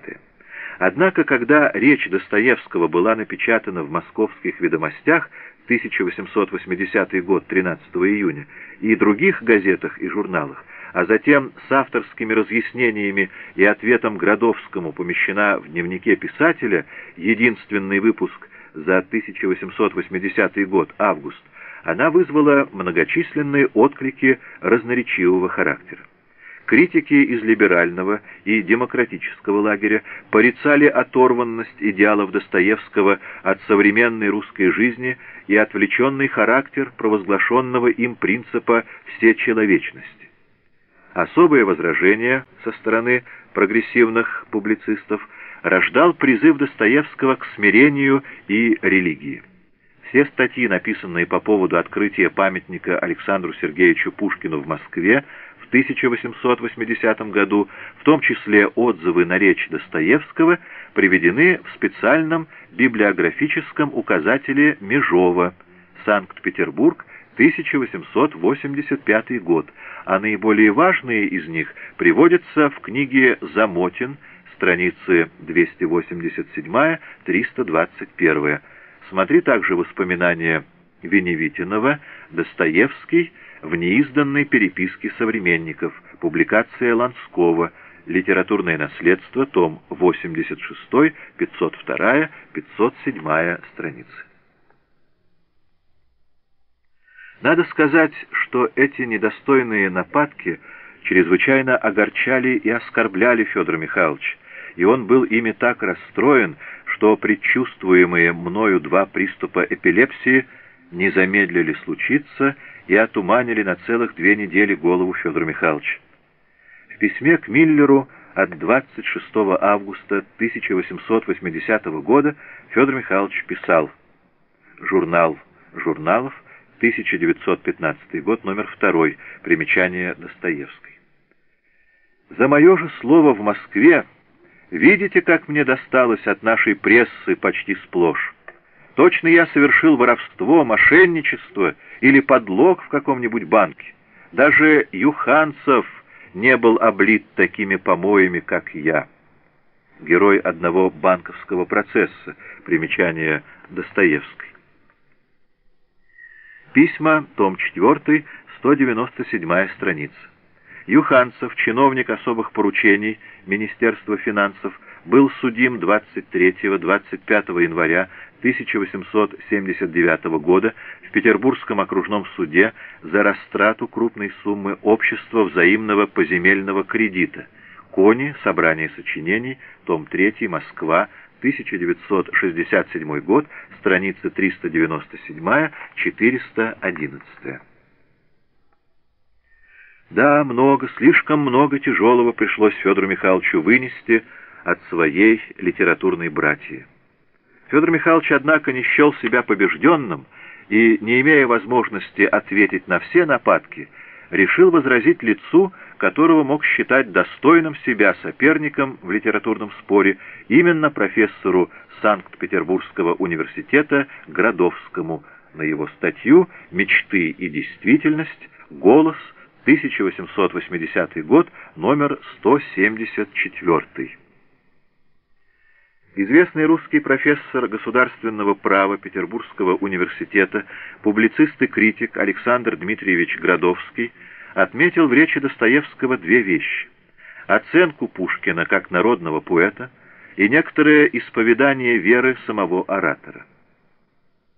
Признавая за Достоевским глубокое проникновение в суть пушкинской поэзии, Критик вместе с тем утверждал, что Достоевский не дал разбираемым им в речи пушкинским типам полного объяснения, именно потому что связал их не со всем последующим движением нашей литературы, а исключительно со своим миросозерцанием, представляющим много слабых сторон. Обращаясь к основному положению Достоевского, то есть к его пониманию народных идеалов, Городовский касается самого важного пункта в своем разномыслии с Достоевским. Требуя смирения пред народной правдой, перед народным идеалом, он принимает эту правду и этот идеал как нечто готовое, незыблемое и вековечное. Мы позволим себе сказать ему «нет». Общественные идеалы нашего народа находятся еще в процессе образования, развития. Ему еще много надо работать над собою, чтобы сделаться достойным имени великого народа. Еще слишком много остатков векового рабства засело в нем, чтобы он мог требовать себе поклонения и сверх того претендовать еще на обращение всей Европы на путь истинный, как это предсказывает господин Достоевский. Вместо мессианского возвеличения русского народа до роли творца окончательной гармонии возражал Достоевскому критик, правильнее было бы сказать и своевременным скитальцам и народу одинаково.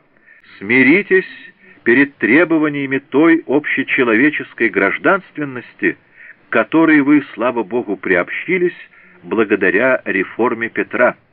Голос, 1880 год, номер 174. Достоевский в ответе Градовскому в дневнике писателя, единственный выпуск на 1880 год август, резко отверг либеральную программу профессора, высмеяв его западнические представления о народе, который, по мнению Достоевского, просветился уже давно, приняв в свою суть Христа и учение его. Достоевский, 1926-30 годы, том 12, 392 страница. Полемические выпады Достоевского против Градовского – и православные идеи, проповедуемые писателем, были осуждены демократической критикой. Смотри Михайловский, литературные заметки 1880 года, отечественные записки, 1880 год, номер 9. Ответ свой Федор Михайлович поместил в единственном номере дневника писателя за 1880 год, вместе с своей пушкинской речью, которая первоначально была помещена в московских ведомостях и усиленно спрашивалась публикою. Для издания этого номера мне пришлось поехать на три дня в столицу. Дневник со статьей «Пушкин» и отповедью Градовскому имел колоссальный успех, и шесть тысяч экземпляров были распроданы еще при мне, так что мне пришлось заказать второе издание того номера уже в большем количестве, и оно тоже все было раскуплено осенью. Написав ответ своим критикам, Федор Михайлович несколько успокоился и принялся за окончание романа «Братья Карамазовы». Оставалось написать всю четвертую часть романа, около 20 печатных листов, и необходимо было закончить его до октября, так как мы предполагали напечатать роман в отдельном издании. Ради удобства работы мы остались в Старой Руссе до конца сентября, о чем, впрочем, и не пришлось сожалеть, так как осень была прекрасная. По возвращении нашим в Петербург Федору Михайловичу пришлось читать на нескольких литературных вечерах. Далее Достоевская частично повторяет сказанное на странице 353 настоящего издания. Тогдашний председатель литературного фонда Гаевский, бывший на Пушкинском празднестве и слышавший, как на одном вечернем чтении Федор Михайлович читал стихотворение Пушкина «Пророк», уговорил Федора Михайловича прочесть его на литературном вечере в пользу фонда в день лицейского праздника, 19 октября. Чтение это было настоящим триумфом для Федора Михайловича. Казалось, стены городского кредитного общества дрожали от рукоплесканий, когда Федор Михайлович окончил пророка. Надо признать, что это было поистине высокохудожественное чтение, оставившее в слушателях неизгладимое впечатление. Мне случалось встречать людей, которые по прошествии двух десятков лет помнили, как поразительно хорошо удавалось прочесть Федору Михайловичу это талантливое стихотворение.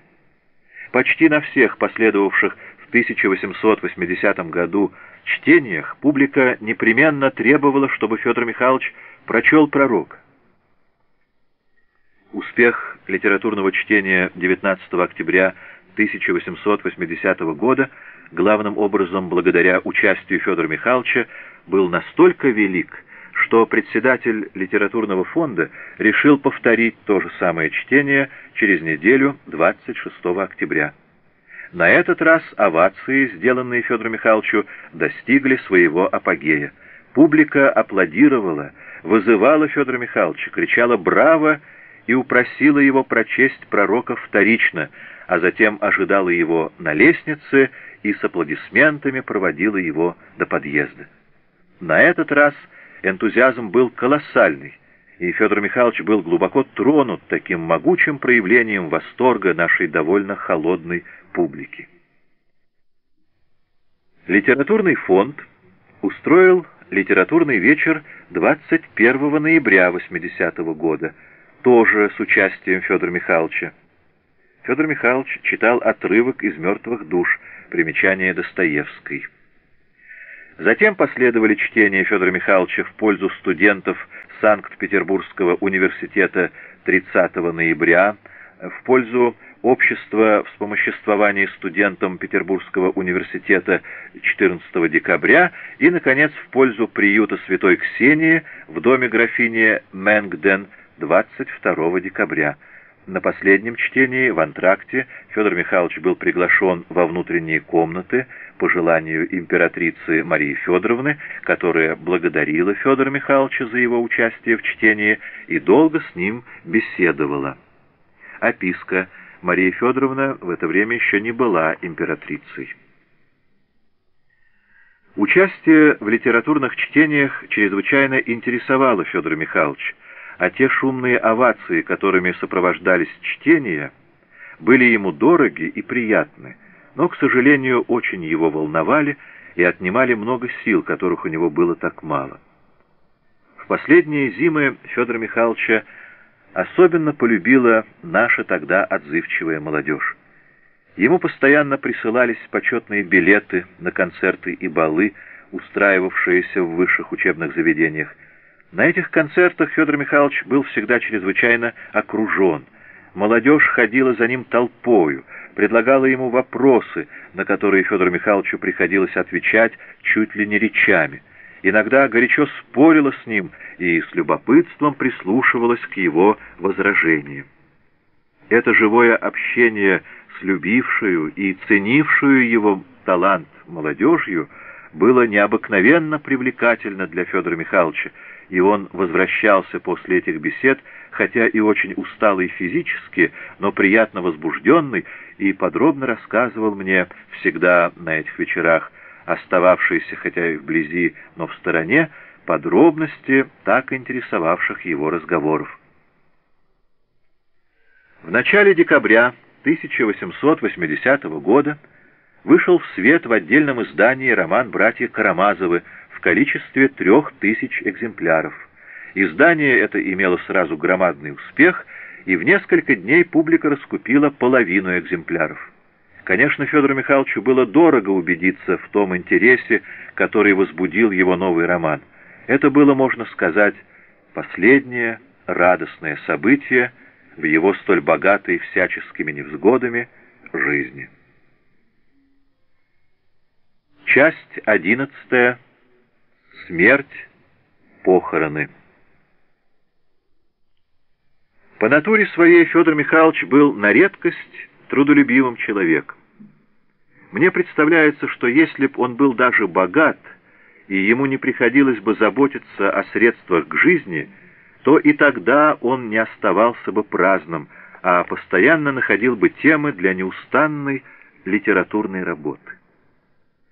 К началу 1881 года со всеми долгами, так долго нас мучившими, было покончено, и даже в редакции «Русского вестника» имелись заработанные деньги около пяти тысяч. Казалось, не было настоятельной надобности тотчас приниматься за работу, но Федор Михайлович не хотел отдыхать. Он решил вновь взяться за издание дневника писателя – так как за последние смутные годы у него накопилось много тревоживших его мыслей о политическом положении России, а высказать их свободно он мог только в своем журнале. К тому же шумный успех единственного номера дневника писателя за 1880 год дал нам надежду, что новое издание найдет большой круг читателей, а распространением своих задушевных идей Федор Михайлович очень дорожил.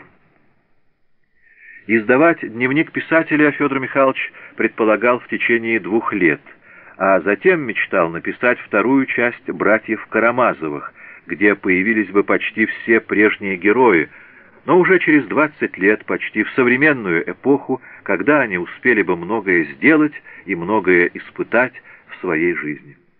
Намеченный Федором Михайловичем план будущего романа, по его рассказам и заметкам, был необыкновенно интересен, и истинно жаль, что роману не суждено было осуществиться. По воспоминаниям Суворина, героем еще одного романа Достоевского о Карамазовых будет Алеша Карамазов. Он хотел его провести через монастырь и сделать революционером. Он совершил бы политическое преступление, его бы казнили. Он искал бы правду и в этих поисках, естественно, стал бы революционером. Суворин, дневник, Москва-Петроград, 1923 год, страница 16. По воспоминаниям детского писателя Сливицкого, роман «Дети» по замыслу Достоевского составил бы продолжение «Братьев Карамазовых». В нем должны были выступить главными героями дети предыдущего романа. Достоевский в воспоминаниях, том 2, 355 страница. Некоторые сведения о продолжении братьев Карамазовых имеются также в книге о Достоевском немецкой исследовательницы Гофман, приезжавшей в Петербург и собравшей ряд материалов у самой Достоевской. Исследовательница так записала рассказ жены Достоевского о том, как развивались бы события в предполагавшемся продолжении романа. Алеша должен был, таков план писателя, по завещанию старца Засимы идти в мир, принять на себя его страдания и вину. Он женится на Лизе, потом покидает ее ради прекрасной грешницы Грушеньки, которая пробуждает в нем карамазовщину. После бурного периода заблуждений, сомнений и отрицаний, оставшись одиноким, Алеша возвращается опять в монастырь. Он окружает себя детьми. Им герой Достоевского посвящает всю свою жизнь искренне любит их, учит, руководит ими. Кому не придет здесь в голову связь с рассказом Мышкина о детях? Кто не вспомнит маленького героя, все те восхитительные детские черты, которые открываются только любви? Сравни Белов, еще одна версия о продолжении братьев Карамазовых, «Вопросы литературы», 1971 год, номер 10, страницы 274-275. Объявленная на дневник писателя подписка пошла успешно, и к 20 числам января у нас было около, пропуск в рукописи, подписчиков. Федор Михайлович всегда имел хорошую привычку не считать подписные деньги своими собственными до той поры, пока не удовлетворит подписчиков – а потому завел в Государственном банке книжку на свое имя, по которой я и вносила получавшиеся от подписки деньги. Благодаря этому обстоятельству я имела возможность немедленно вернуть подписчикам подписные деньги. Первую половину января Федор Михайлович чувствовал себя превосходно, бывал у знакомых и даже согласился участвовать в домашнем спектакле, который предполагали устроить у графини Толстой в начале следующего месяца. Шла речь о постановке двух-трех сцен из трилогии графа Толстого, и Федор Михайлович брал на себя роль схимника в смерти Иоанна Грозного. Припадки эпилепсии уже три месяца не мучили его, и его бодрый оживленный вид давал всем нам надежду, что зима пройдет благополучно. Со середины января Федор Михайлович сел за работу январского дневника, в котором ему хотелось высказать свои мысли и пожелания по поводу Земского собора. Тема статьи была такого свойства, что ее могла бы не пропустить цензура, и это очень озабочивало Федора Михайловича.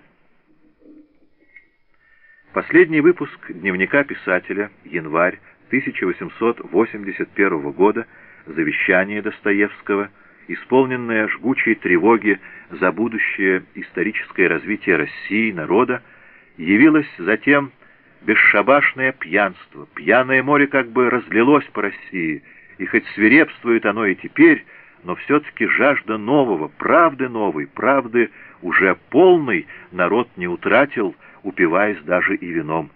И никогда, может быть, не был он более склонен к иным влияниям и веяниям, и более беззащитен от них, как теперь. И вот что главное, народ у нас один, то есть в уединении, весь только на свои лишь силы оставлен, духовно его никто не поддерживает.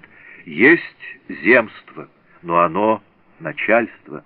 Достоевский, 1926-30 годы, том 12, 433-434 страницы. Высказал здесь Достоевский и свою утопическую мечту о депутации серых зипунов, призванных преобразить в демократическом духе институт земства и спасти Россию.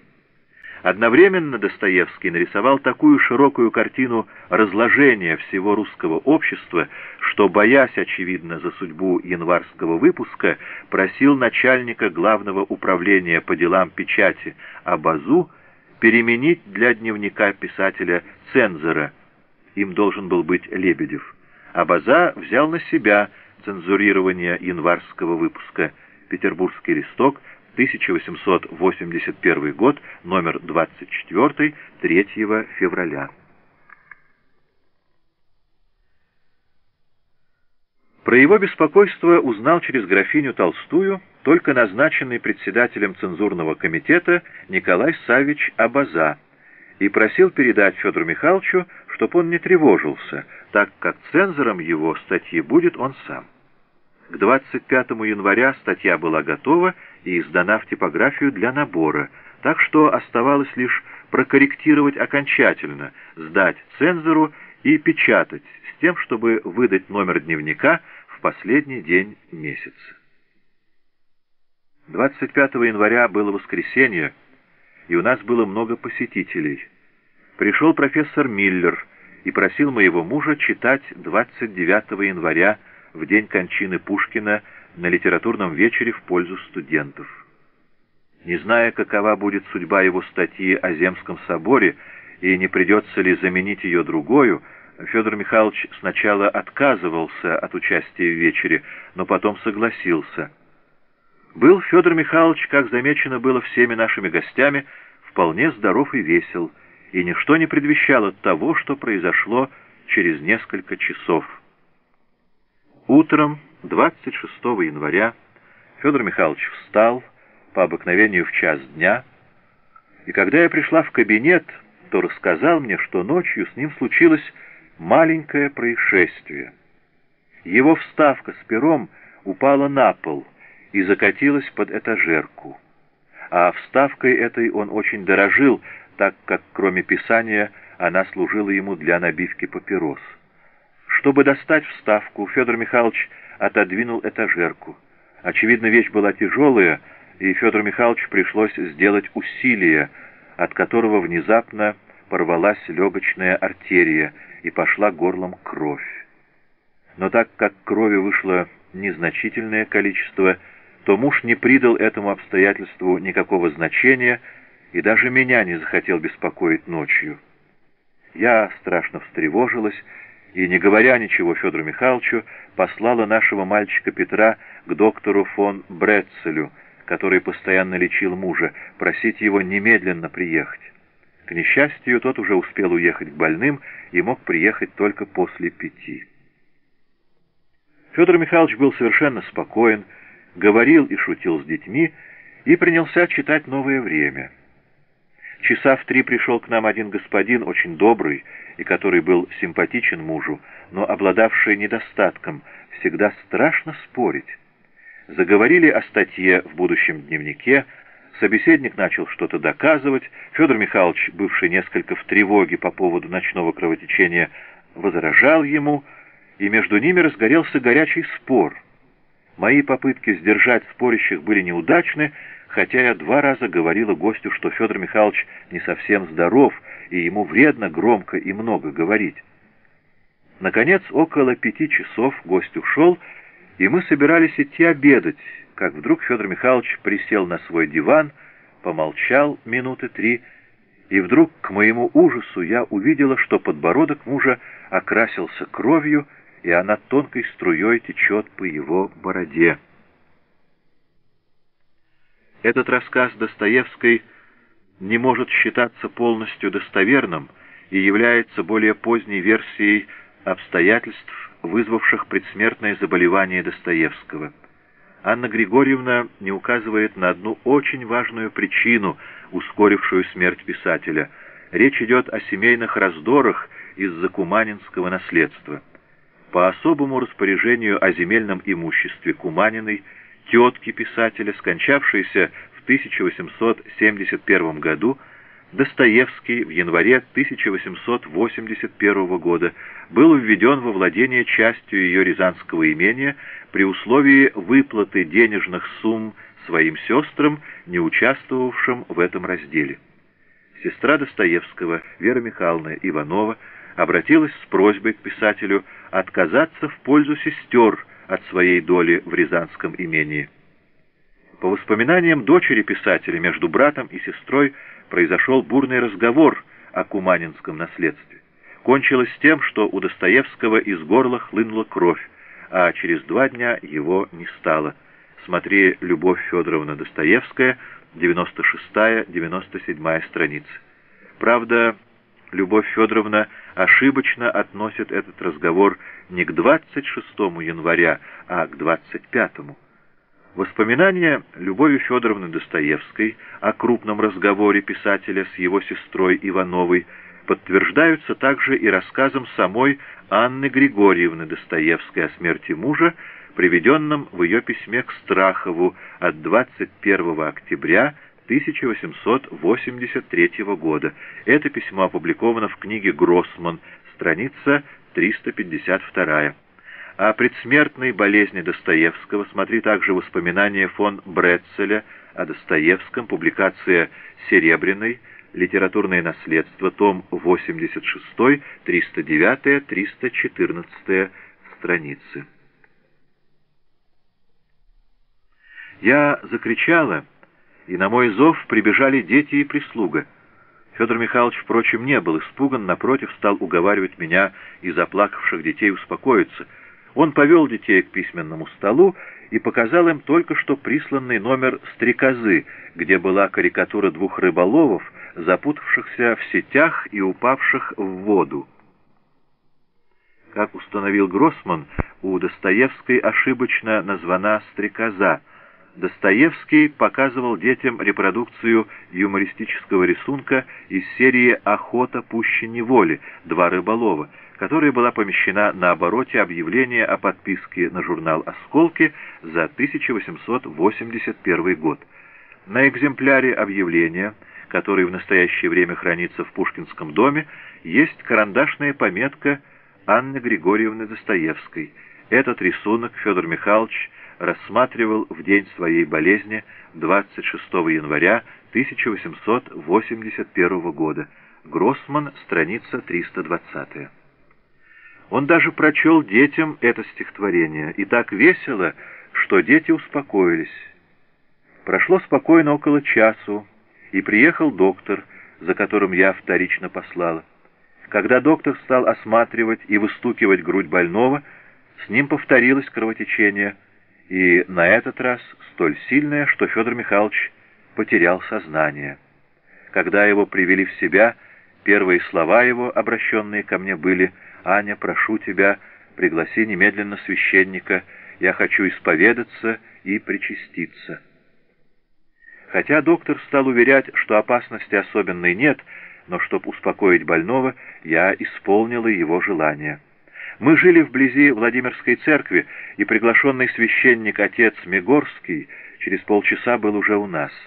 Федор Михайлович спокойно и добродушно встретил батюшку, долго исповедовался и причастился. Когда священник ушел, я с детьми вошла в кабинет, чтобы поздравить Федора Михайловича с принятием святых тайн.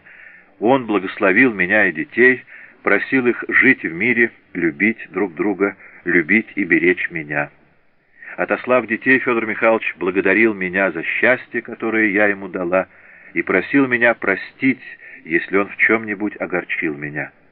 Я стояла ни жива, ни мертва, не имея силы сказать что-нибудь в ответ.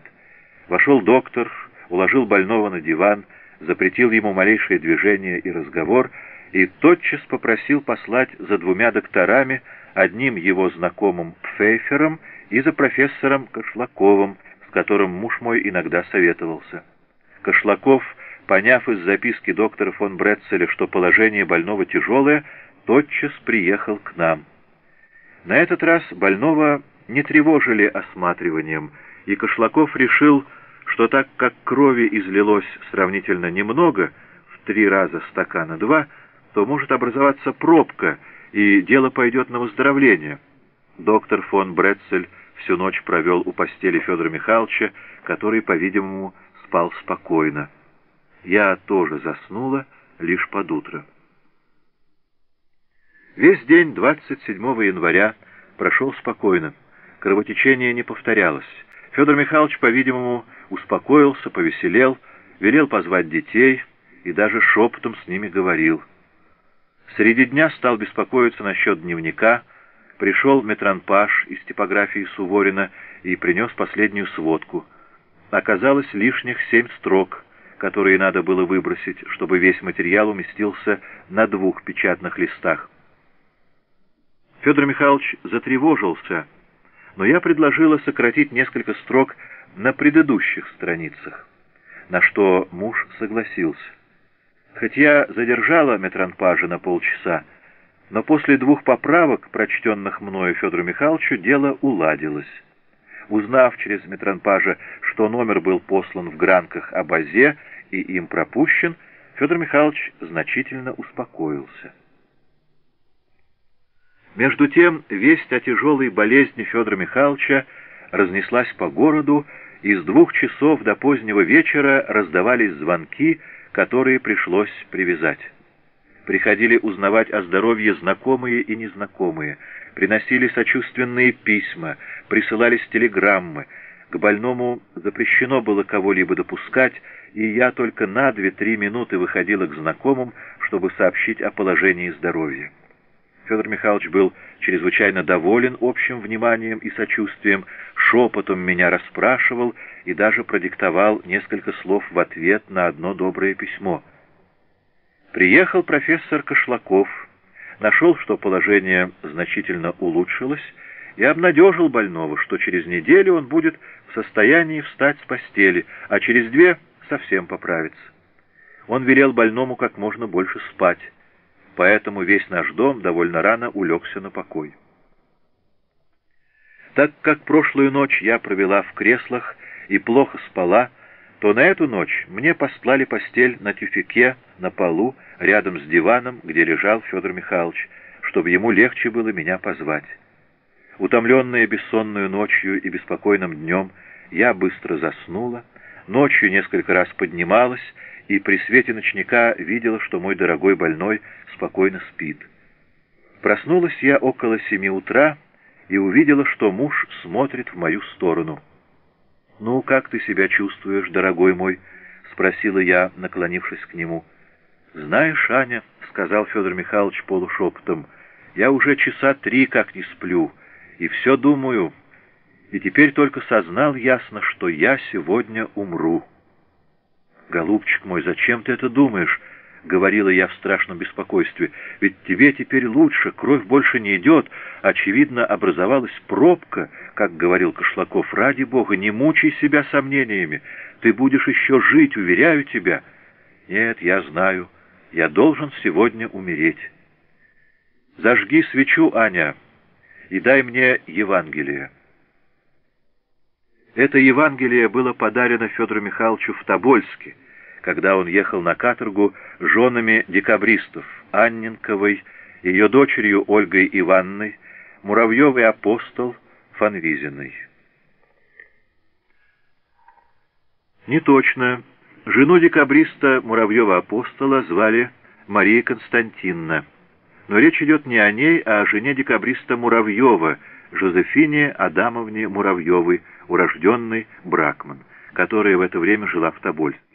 Смотри Францева, воспоминания, исторический вестник, 1886 год, номер 6. О встрече Достоевского в Тобольске с женами декабристов смотри также воспоминания Естержемского, биография, страница 127, и статью Евсеева и Лейфера «Сибирские встречи.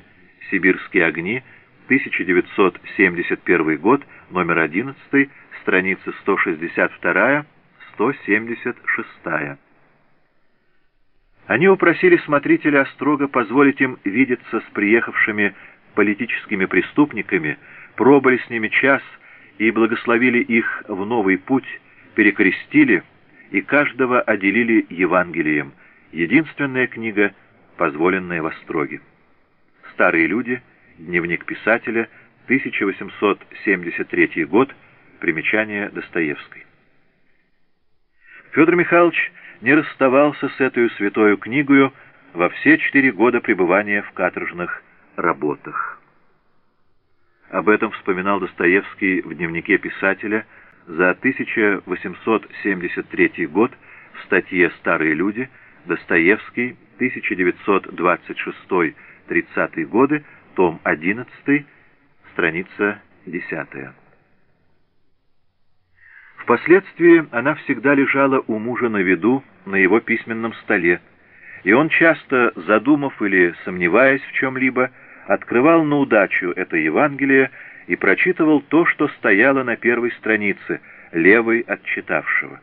И теперь Федор Михайлович пожелал проверить свои сомнения по Евангелию.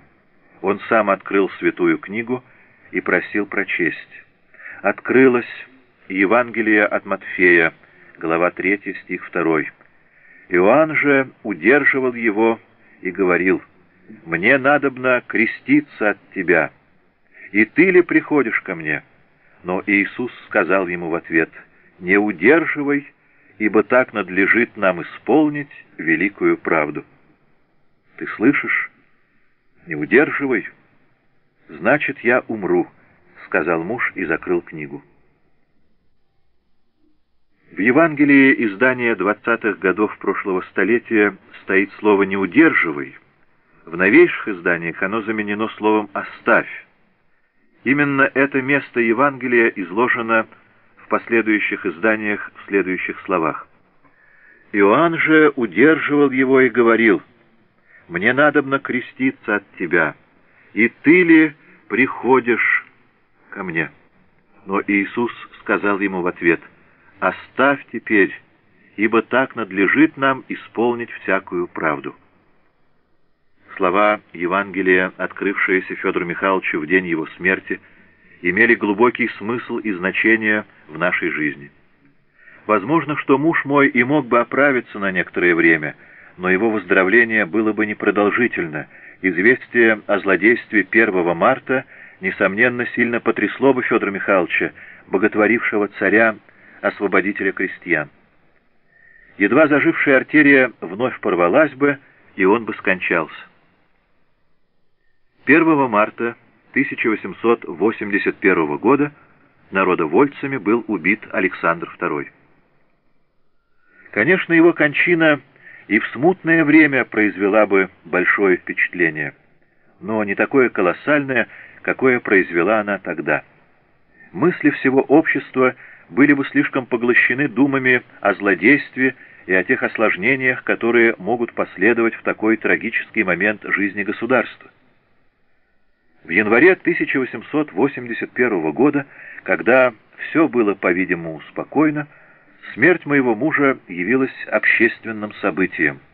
Ее оплакивали самые различные по своим политическим воззрениям люди, самые различные круги общества – Необычайная торжественность погребального шествия и похорон Федора Михайловича привлекла массу читателей и почитателей из среды лиц, относившихся равнодушно к русской литературе, и таким образом возвышенные идеи моего мужа получили значительно большее распространение и надлежащую, достойную его таланта оценку. После кончины великодушного царя-освободителя возможно, что и семье нашей не было бы оказано царской милости, а ею была исполнена всегдашняя мечта моего мужа о том, чтобы наши дети получили образование и могли впоследствии стать полезными слугами царя и Отечества. Примечание Достоевской. Я не могла удержаться от слез. Федор Михайлович стал меня утешать, говорил мне милые ласковые слова — благодарил за счастливую жизнь, которую он прожил со мной. Поручал мне детей, говорил, что верит мне и надеется, что я буду их всегда любить и беречь. Затем сказал мне слова, которые редкий из мужей мог бы сказать своей жене после 14 лет брачной жизни. «Помни, Аня, я тебя всегда горячо любил и не изменял тебе никогда даже мысленно». Я была до глубины души растрогана его задушевными словами, но и страшно встревожена, опасаясь, как бы волнение не принесло ему вреда. Я умоляла его не думать о смерти, не огорчать всех нас своими сомнениями, просила отдохнуть, уснуть. Муж послушался меня, перестал говорить, но по умиротворенному лицу его ясно видно, что мысли о смерти не покидают его и что переход в иной мир ему не страшен. Около девяти утра Федор Михайлович спокойно уснул, не выпуская моей руки из своей. Я сидела, не шевелясь, боясь каким-нибудь движением нарушить его сон. Но в одиннадцать часов муж внезапно проснулся, привстал с подушки, и кровотечение возобновилось. Я была в полном отчаянии, хотя изо всех сил старалась иметь бодрый вид и уверяла мужа, что крови вышло немного, и что, наверное, как и третьего дня, опять образуется пробка.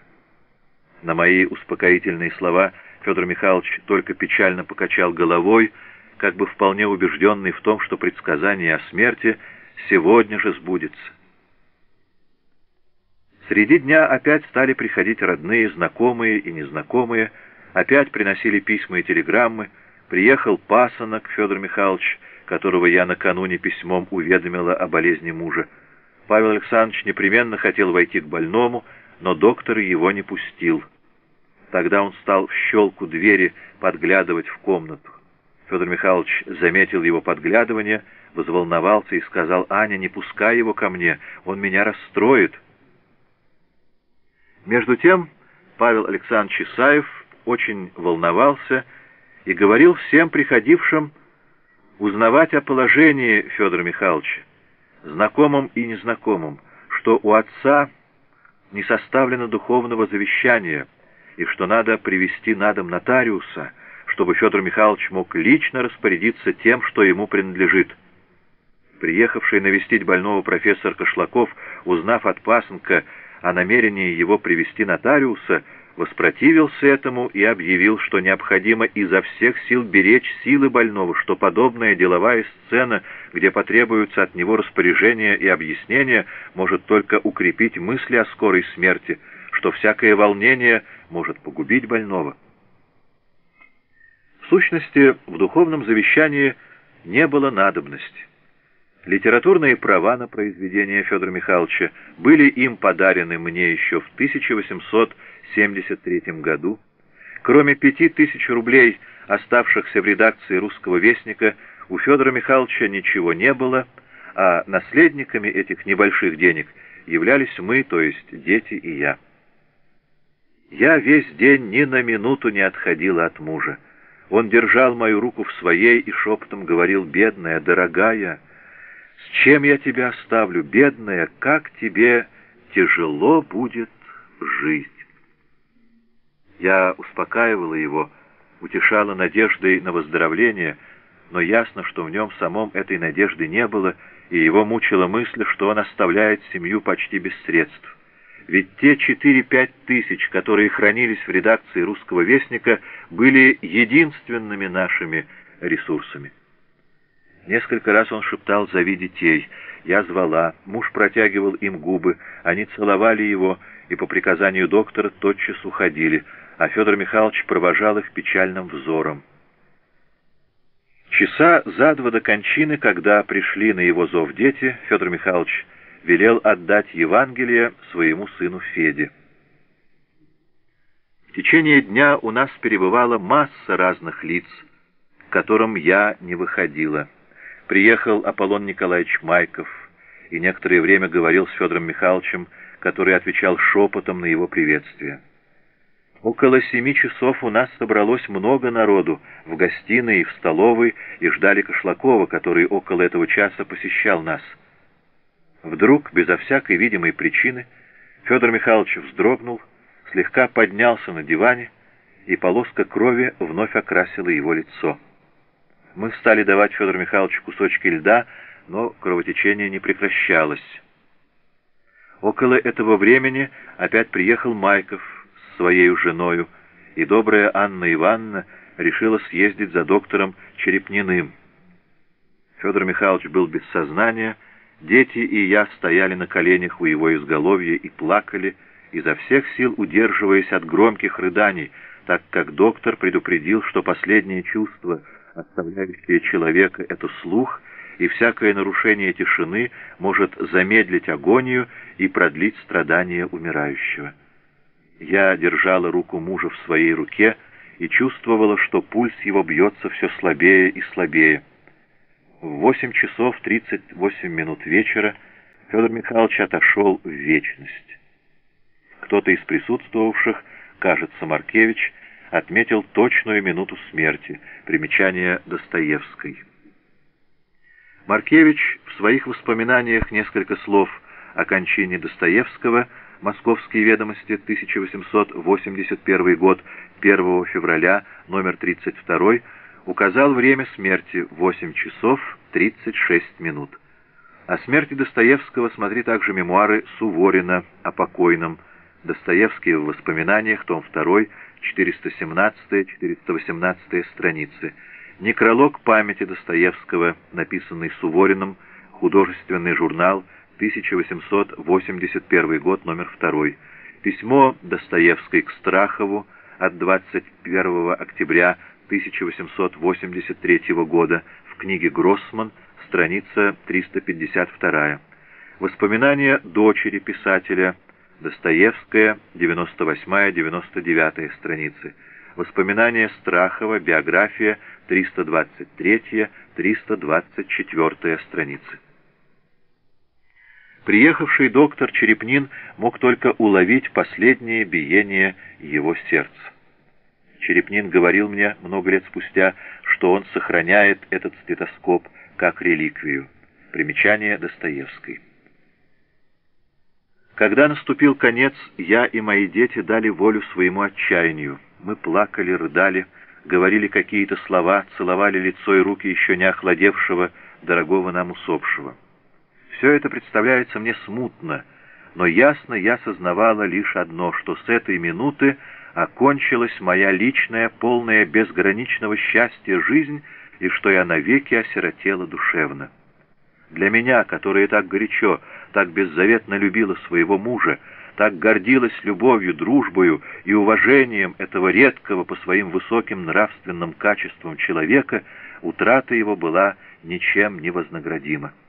В те поистине страшные минуты расставания мне казалось, что я не переживу кончины мужа, что у меня вот-вот разорвется сердце, так оно усиленно билось в моей груди, или что я сойду теперь же с ума. Конечно, почти каждый из людей испытал в своей жизни потерю близких и любимых существ, и каждому знакомо и понятно глубокое горе разлуки с ними. Но в большинстве случаев люди переживали свою душевную скорбь в эти незабываемые минуты в своей семье, среди близких и родных, и имели возможность выражать волновавшие их чувства, как могли и хотели, не стесняясь и не сдерживаясь. Такого великого счастья не досталось мне на долю.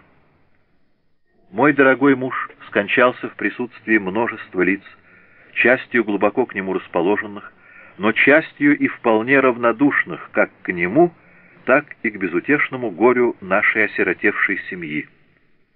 Как бы для усиления моего горя в числе присутствовавших оказался литератор Маркевич, никогда нас не посещавший, а теперь приехавший по просьбе графини Толстой узнать, в каком состоянии нашел доктор Федор Михайлович.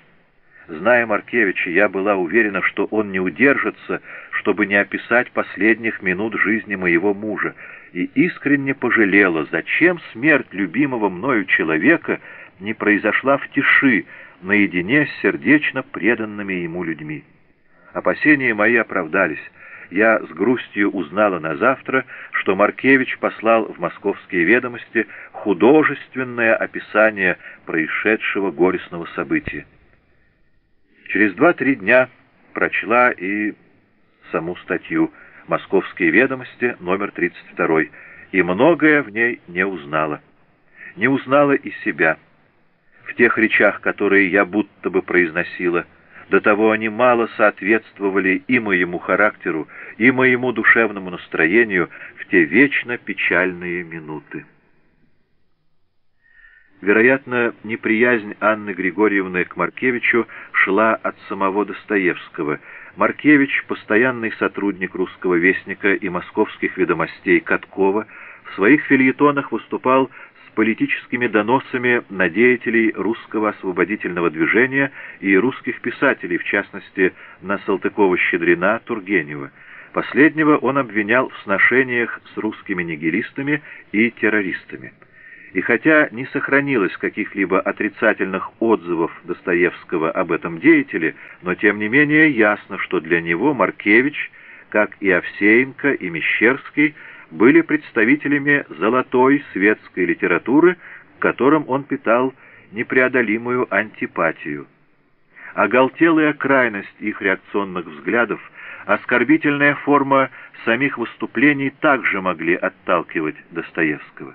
Например, «Московские ведомости» постоянно печатали грубые статьи Маркевича о близкой к радикально-демократическим кругам видной общественной деятельнице Философовой. К ней же Достоевский всегда относился с искренним уважением. О пасквильных статьях Маркевича против Философовой могла знать и Анна Григорьевна Достоевская. Но милосердный Господь послал мне и утешение. В этот скорбный вечер, около десяти часов, приехал мой родной брат Иван Григорьевич Сниткин. Он из деревни прибыл по делам в Москву, и уже собравшись домой, сам не зная почему, вдруг надумал поехать в Петербург повидать нас. Правда, он прочел в какой-то газете о болезни Федора Михайловича, но не придал известию большого значения, предполагая, что случился иногда бывавший с мужем двойной припадок эпилепсии. Поезд его опоздал, и он, остановившись в гостинице, решил пойти к нам вечером. Подъехав к подъезду, он с удивлением заметил, что все окна нашей квартиры ярко освещены, а около входа стоят два-три подозрительных лица в чуйках. Одно из этих лиц побежало за братом по лестнице и стало шептать ему — «Господин, будьте милостивы, похлопочите, чтоб заказ дали мне, пожалуйста». «Что такое? Какой заказ?» — спросил ничего не понимавший брат. «Да мы гробовщики, от такого-то. Так вот, насчет гроба». «Кто ж тут умер?» — машинально спросил Иван Григорьевич. «Да какой-то сочинитель, не упомнил фамилии, дворник сказывал». У брата, по его словам, замерло сердце. Он бросился наверх и вбежал в незапертую переднюю, которой толпилось несколько человек. Сбросив шубу, брат поспешил в кабинет, где на диване продолжало еще покоиться медленно остывавшее тело Федора Михайловича. Я стояла на коленях около дивана и, увидев вошедшего брата, с плачем бросилась к нему навстречу. Мы крепко обнялись, и я спросила, «От кого же ты, Ваня, узнал, что Федор Михайлович скончался?» Совершенно забыв о том, что брат живет не в Петербурге и теперь находился в Москве и не мог узнать и приехать так быстро. Очевидно, я была так поражена и горем, и неожиданностью кончины, ведь еще вчера профессор Кошлаков подавал мне твердую надежду на выздоровление мужа, что я потеряла способность что-либо ясно соображать. Приезд брата в столь горестное время я считаю истинную для меня Божию милостью — не говорю уже о том, что присутствие любимого брата и искреннего моего друга было для меня некоторым утешением, но теперь около меня оказался близкий и преданный мне человек, у которого я могла просить совета и которому могла поручить все мелкие, но многосложные заботы по погребению тела Федора Михайловича. Благодаря брату от меня были отстранены все деловые вопросы, и я была избавлена от многого неприятного и тяжелого в эти печальные дни. Весь вечер 28 января, равно как и последующие четыре дня, 29 января, 1 февраля, представляются в моих воспоминаниях каким-то угнетающим душу кошмаром. Многое из происходившего ярко рисуется предо мною, Многое совершенно ускользнуло из моей памяти, и я многое знаю по рассказам других лиц. Помню, например, как в тот же вечер часов в двенадцать приехал к нам Суворин, чрезвычайно огорченный смертью моего мужа, которого он очень почитал и любил. Свое вечернее посещение Суворин описал в новом времени. Смотри «Незнакомец», Суворин, о покойном, новое время, 1881 год, 1 февраля, номер 1771. К часу ночи все необходимые приготовления были окончены, и дорогой наш усопший уже возлежал на погребальном возвышении посредине своего кабинета. Пред изголовьем стояла этажерка с образом и горящей лампадой. Лицо усопшего было спокойно, и казалось, что он не умер, а спит и улыбается во сне какой-то узнанной им теперь великой правде. К полуночи все посторонние разошлись. Я уложила спать моих сильно огорченных смертью папы и плакавших весь вечер детей, и мы трое, моя мать, брат и я, могли без помехи побыть около тела почившего. С глубокой благодарностью судьбе вспоминаю я эту последнюю ночь, когда мой дорогой муж еще всецело принадлежал своей семье, и я имела возможность без свидетелей, не стесняясь и не сдерживаясь, выражать свою скорбь, вдоволь наплакаться, усердно помолиться за упокоение души новоприставленного и попросить у дорогого усопшего прощения в тех мелких обидах, неизбежных в домашнем быту, которые я, может быть, бессознательно или по непониманию могла когда-нибудь нанести моему всегда горячо любимому мужу. Мы с братом простояли и просидели у гроба почившего до четырех часов утра, и брат на силу уговорил меня пойти уснуть, представляя, что мне необходимо набраться сил для неизбежных волнений завтрашнего дня. 29 января часов в 11 явился ко мне очень почтенного вида господин от тогдашнего министра внутренних дел графа Лорис Меликова. Высказав мне от имени графа его соболезнования по поводу моей утраты, чиновник сказал, что имеет для передачи мне сумму на похороны моего почившего мужа. Не знаю, в каком размере была эта сумма, но я не захотела ее взять. Я, конечно, знала, что во всех министерствах существует обыкновение оказывать осиротевшей семье помощь на погребение почившего члена ее, и что такая помощь никем не признается обидную, но я почти обиделась на предложение мне этой помощи. Я просила чиновника очень благодарить графа Лорис Меликова за предложенную помощь, но объявила, что не могу принять ее, так как считаю своей нравственную обязанностью похоронить мужа на заработанные им деньги. Кроме того, чиновник объявил мне от имени графа, что дети мои будут приняты на казенный счет в те учебные заведения, в которые я пожелаю их поместить. Я просила чиновника передать графу мою искреннюю признательность за его доброе предложение, но тогда же в душе решила, что дети мои должны быть воспитаны не на счет государства, а на труды их отца, а затем труды матери. К моей большой радости мне удалось выполнить взятую на себя обязанность, и дети мои были воспитаны впоследствии на средства, получаемые от изданий полного собрания сочинений их отца. Я глубоко убеждена, что, отказавшись от помощи на погребение и от помощи на воспитание детей, я поступила так, как поступил бы мой незабвенный муж. С одиннадцати часов начали, узнав из газет о смерти Федора Михайловича, приходить знакомые и незнакомые, чтобы помолиться у его гроба. И их было такое множество, что скоро все пять жилых комнат заполнились густою толпою, и ко времени панихиды мне с детьми приходилось с трудом проталкиваться, чтобы стать поближе к гробу. Совершать панихиды был приглашен мною духовник мужа, отец, пропуск в рукописи. А певчие были в первый день из Владимирской церкви. В последние два дня на главные панихиды, о которых печаталось в объявлениях, в час дня и восемь вечера, являлся по собственному желанию с согласия Ктитора полный хор соборных певчих Исаакиевского собора Богдановича.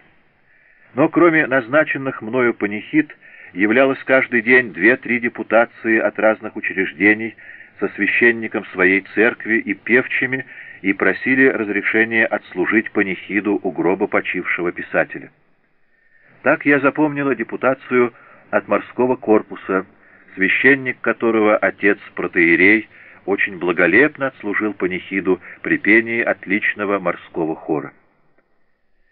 Я не стану перечислять имена тех лиц, которые были на панихидах у гроба моего мужа. Тут были все выдающиеся представители нашей литературы, сочувствовавшие Федору Михайловичу и ценившие его талант.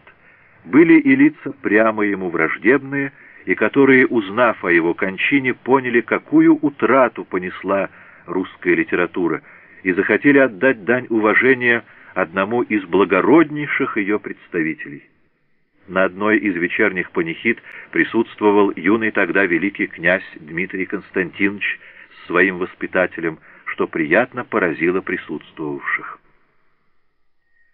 В течение дня 29 января многие спрашивали меня, где будет похоронен Федор Михайлович. Помня, что при погребении Некрасова Федору Михайловичу понравилось кладбище Новодевичьего монастыря, я решила похоронить его там — Условиться о могиле я просила моего зятя Сватковского, а выбрать место поручила моей дочери Лили и отправила ее вместе с зятем в Новодевичий, главным образом с целью, чтобы дочь могла проехаться по городу и подышать чистым воздухом. Бедные мои детки, все три дня до похорон они сидели дома, в комнатах, битком наполненных публикой, присутствовали на всех панихидах, а дочь моя Лиля — раздавала поклонницам таланта ее отца на память цветы из венков, лежавших на груди усопшего. Во время поездки в Новодевичий приехал Комаров, редактор Санкт-Петербургских ведомостей. Он объявил, что является от имени Александра Невской лавры предложить на ее кладбищах любое место для вечного упокоения моего мужа.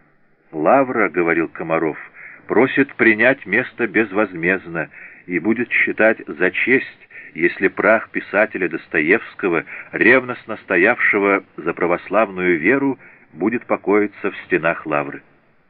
Предложение, сделанное Александрой Невскую лаврою, было столь почетно, что было истинно жаль его отклонить.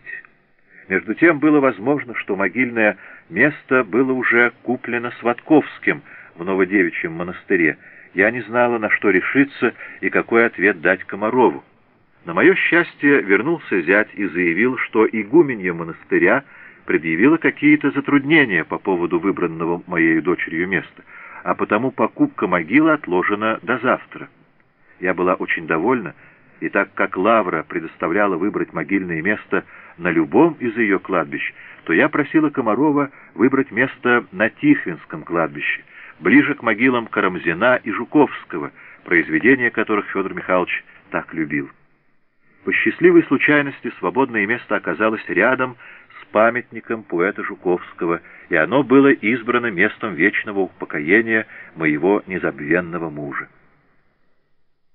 30 января на дневную панихиду приехал гофмейстер Абаза и передал мне от министра финансов письмо, в котором в благодарность за услуги, оказанные моим покойным мужем русской литературе, мне нераздельно с детьми назначалась государем-императором ежегодная пенсия в две тысячи рублей.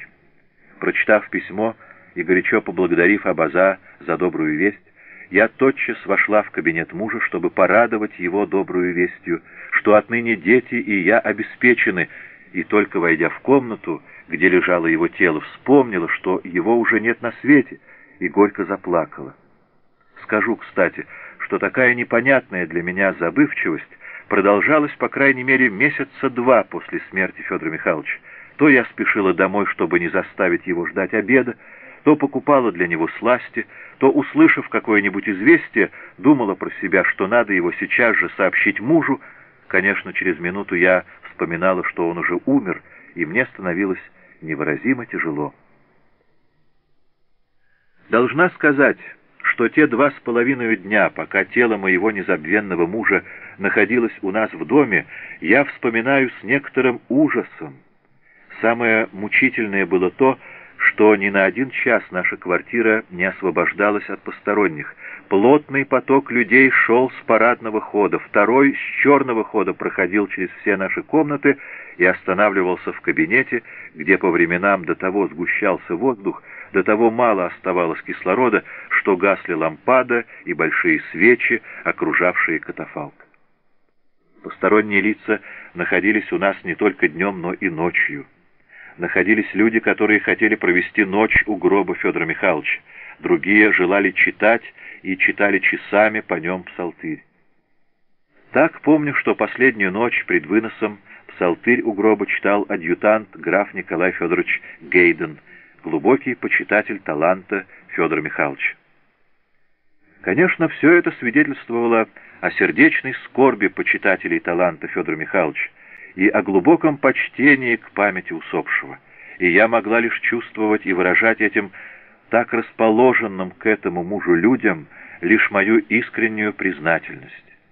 Но при самой сердечной благодарности я в душе ощущала некоторую обиду за то, что общество отняло от меня моего дорогого мужа, что вокруг него хоть и любящие его люди, но что я, самое близкое к нему существо, не могу быть с ним наедине, не могу еще и еще раз поцеловать его дорогое лицо и руки, приникнуть головой к его груди, как это было в первую по его кончине ночь. Присутствие посторонних заставляло меня сдерживать все проявления моих чувств, из боязни, что досужий репортер на завтра в нелепых выражениях опишет мою горесть.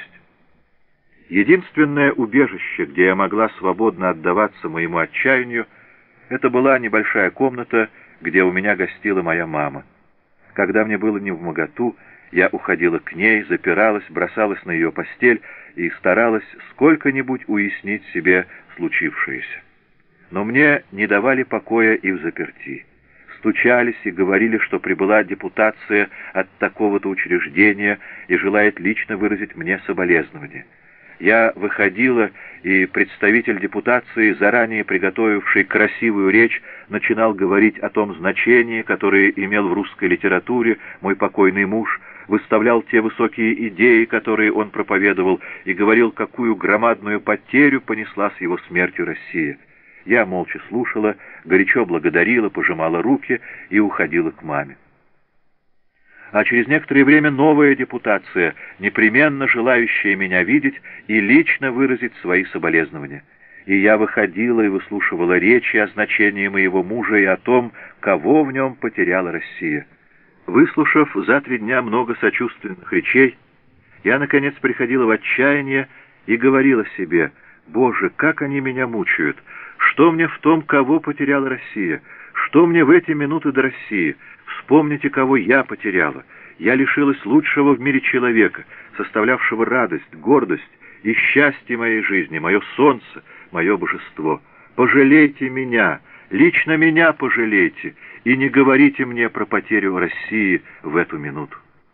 Когда одно лицо из членов многочисленных депутаций захотело, кроме России, пожалеть и меня, то я была так глубоко тронута, что схватила руку незнакомца и поцеловала ее. Я вполне убеждена, что в те дни мысли мои были беспорядочны и ненормальны, чему, между прочим, содействовало и то, что я вела самую негигиеничную жизнь. Пять дней, 26-31 января, не выходила из душных комнат и питалась только булками и чаем. Детей моих добрые знакомые уводили гулять и к себе обедать, потому что при той толпе, которая шла в квартиру с черного хода, немыслимо было кухарке готовить, и все питались в сухомятку. В последний день, 30 января, со мной начались истерики. Во время одной из них произошел случай, который мог послужить причиной моей смерти. После одной из панихид, чувствуя нервный клубок в горле, я попросила кого-то из близких принести мне валерьяновых капель. Стоявшие около меня в гостиной в попыхах начали звать прислугу и говорить «Дайте скорей Валерьяну, Валерьяну! Где Валерьяна?» Так как существует имя Валерьян, то моему расстроенному уму пришла смешная мысль. Плачет вдова, и все, чтобы ее утешить, зовут на помощь какого-то валерьяна. От этой нелепой мысли я стала неистово хохотать и восклицать «Валерьян! Валерьян!», как и меня окружающие, и забилась в сильной истерике. Как на грех прислуга валерьяновых капель не нашла, ее тотчас послали за ними в аптеку, приказав зараз купить и нашатырного спирта на случай, если меня придется приводить в чувство. Минут через десять оба лекарства были принесены, я же продолжала хохотать и биться на руках окружавших меня дам. Одна из дам, добрая Софья Викторовна Аверкиева, дама характера решительного, отлила в одну рюмку 30 или более капель какой-то жидкости и, несмотря на мое сопротивление, заставила меня выпить. Но я почувствовала страшный ожог языка, выхватила носовой платок и выбросила в него все выпитое. Оказалось, что Софья Викторовна в попыхах перемешала склянки и дала мне вместо валерьяновых капель 30 или более капель нашатырного спирта. За ночь у меня слезла вся кожица во рту и с языка, и сходила потом почти целую неделю. Потом мне говорили, что если бы я проглотила жидкость, то такой же ожог произошел бы в пищеводе и в желудке, и возможно, что это грозило бы мне, если не смертью, то серьезную болезнью. Я забыла упомянуть, что на другой день после кончины мужа в числе множества лиц, нас посетивших, был знаменитый художник Крамской. Он по собственному желанию захотел нарисовать портрет с усопшего в натуральную величину и исполнил свою работу с громадным талантом. На этом портрете Федор Михайлович кажется не умершим, а лишь заснувшим, почти с улыбающимся и просветленным лицом, как бы уже узнавшим неведомую никому тайну загробной жизни. В историческом вестнике 1881 год, номер 3, страницы 487-488, опубликована заметка о работе Крамского над этим портретом, который в настоящее время хранится в Пушкинском доме.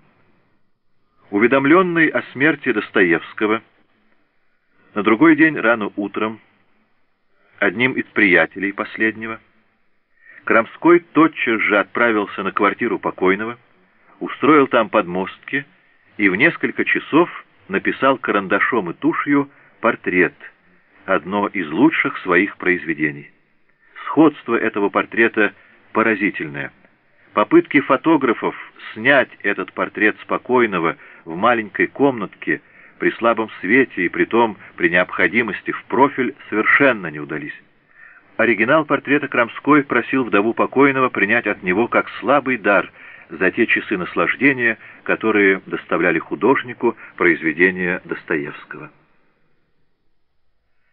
Кроме Крамского было несколько художников, фотографов и рисовавших и снимавших с усопшего портреты для иллюстрированных изданий. Посетил нас знаменитый ныне скульптор Леопольд Бернштам, тогда еще никому неизвестный, и снял с лица моего мужа маску, благодаря которой имел потом возможность сделать поразительно похожий его бюст. Бернштам собирался вылепить бюст Достоевского еще при жизни Достоевского. Григорович просил Достоевского дать свое согласие в письме к нему от 6 ноября 1880 года и в письме к Достоевской от 20 января 1881 года. Смотри из архива Достоевского «Письма русских писателей. Петроград. 1923 год. Страницы 26-27».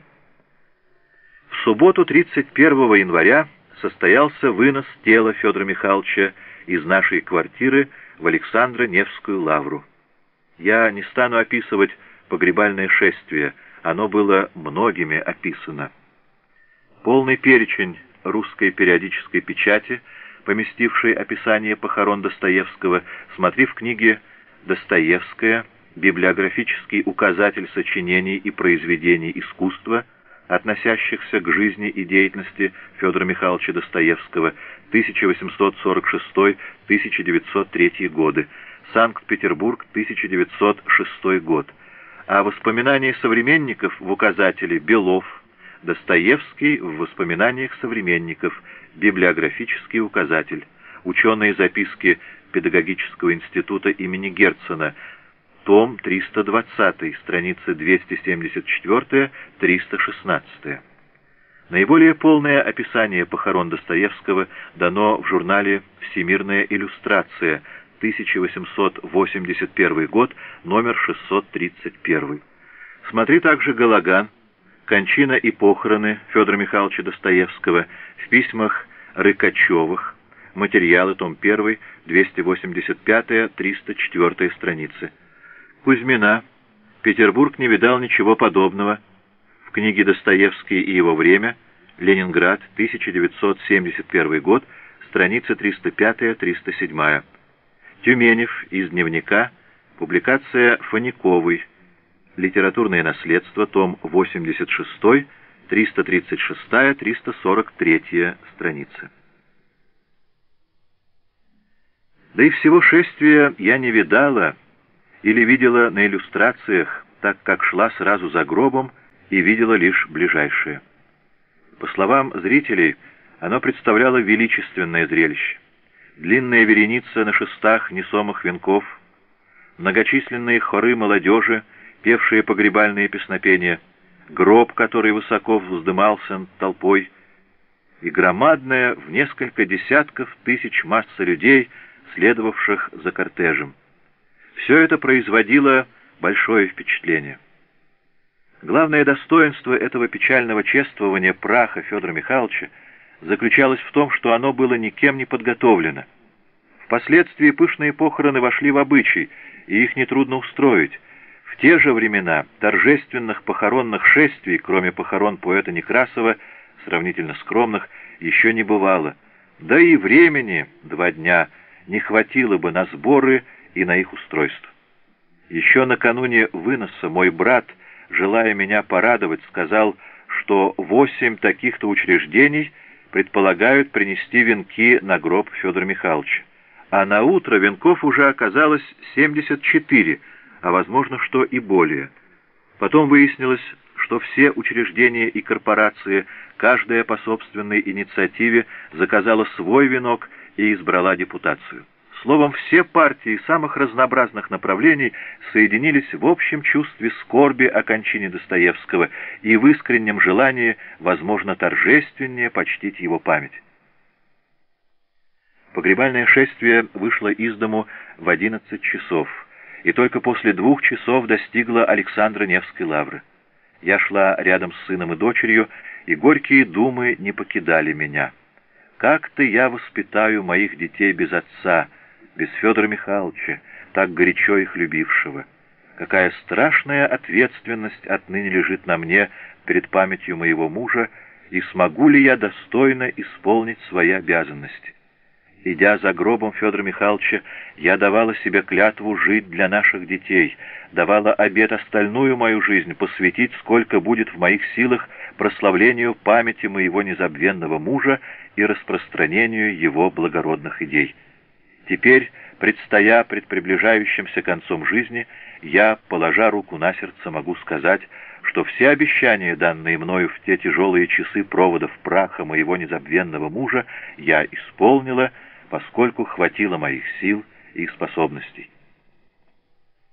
В тот же вечер, 30 января, в Духовской церкви Александра Невской лавры, где стоял гроб Федора Михайловича, был совершен парастас, торжественная всеночная. Я приехала ко всеночной с моими детьми. Церковь была полна молящихся.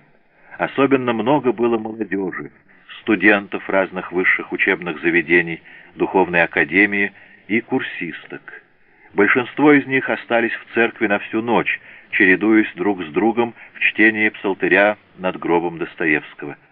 Потом мне передали одно характерное замечание, именно, что когда сторож пришел убирать церковь, то не нашлось в ней ни одного окурка папирос, что чрезвычайно удивило монахов, так как обычно за долгими службами почти всегда в церкви кто-нибудь втихомолку покурит и бросит окурок. Тут же никто из присутствовавших не решился курить из уважения к памяти почившего. 1 февраля 1881 года состоялось отпевание тела Федора Михайловича в церкви Святого Духа Александра Невской лавры. Церковь имела величественный вид. Гроб усопшего, возвышавшийся среди храма, был покрыт множеством венков. Остальные венки с широкими лентами, на которых виднелись отпечатанные серебром и золотом надписи, стояли вдоль стен храма на высоких шестах, что придавало храму своеобразную красоту. В день отпевания брат мой повез моего сына и мою мать в Невскую лавру. Меня же с дочерью обещала доставить туда в своей карете Засецкая, дочь партизана Давыдова, горячая поклонница таланта моего мужа. Мы выехали в десять часов. Не доезжая сотни сажений до лавры, карета Засецкой поравнялась с извозчиком, на котором ехал какой-то полковник. Он раскланялся, и Засецкая помахала ему рукой. На площади стояла громадная в несколько тысяч толпа, и подъехать к вратам было невозможно. Пришлось остановиться среди площади. Мы с дочкой вышли и направились к вратам. Засецкая осталась в карете поджидать полковника и сказала, что он проводит ее в собор. Мы с трудом протискались сквозь толпу, но нас остановили и потребовали билеты. Конечно, в горе и суете мне не пришло в голову взять с собой билеты, предполагая, что нас пропустят и без них. Я ответила, что я вдова покойного, а это его дочь. Тут много вдов покойного. Прошли и одни, с детьми, получила я в ответ. Но вы видите, что я в глубоком трауре, но и те были с вуалями. Пожалуйте вашу визитную карточку. Конечно, и визитной карточки со мной не оказалось. Я пробовала настаивать, стала просить вызвать какого-нибудь распорядителя похорон, назвала Григоровича, Рыкачева, Аверкиева, но мне ответили, где мы будем их разыскивать, в тысячной толпе разве скоро найдешь? Я пришла в отчаяние. Не говоря о том, какое мнение могли получить обо мне люди, меня мало знавшие, не видя меня на отпевании мужа, но мне самой до мучения хотелось в последний раз проститься с мужем, помолиться и поплакать у его гроба. Я не знала, что предпринять, так как думала, что Засецкая уже успела пройти и не может меня выручить. К счастью, этого не случилось. Спутник Засецкой властно удостоверил мою личность, нас пропустили, и мы с дочкой бегом побежали к церкви. К счастью, богослужение только началось. Заупокойную литургию совершал архиерей, преосвященный Нестор, епископ Выборгский, в сослужении архимандритов и иеромонахов, а на отпевание вышли ректор Духовной Академии Янышев и наместник Лавры архимандрит Симеон, лично знавший моего мужа. 24 февраля 1879 года Победоносцев в письме к Достоевскому сообщил, что сейчас у меня был отец архимандрит Симеон и привез для передачи вам выписанные им из книг подробности монашеского погребения, о которых он при свидании запамятовал объяснить вам. Литературное наследство, том 15, 135 страница. Выписки эти, очевидно, послужили Достоевскому для описания погребения старца Засимы в главе «Тлетворный дух». И Карамазовы, часть 3, книга 7, глава 1. Умилительно пел увеличенный хор Александра Невской лавры и хор Иисакиевского собора. Пред отпеванием протеерей Янышев сказал превосходную речь, в которой ярко выставил все достоинства Федора Михайловича как писателя и христианина. Речь Янышева во время отпевания Достоевского напечатана в «Церковном вестнике» 1881 год, номер 6, 7 февраля.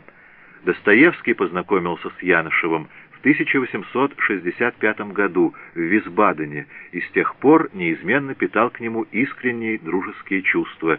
Смотри первый том писем Достоевского, где напечатаны два его письма к Янышеву.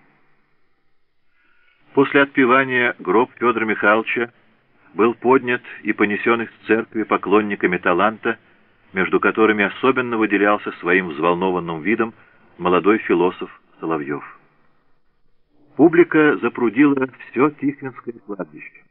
Люди забрались на памятники, сидели на деревьях, цеплялись за решетки, и шествие медленно подвигалось, проходя под склонившимися с двух сторон венками разных депутаций.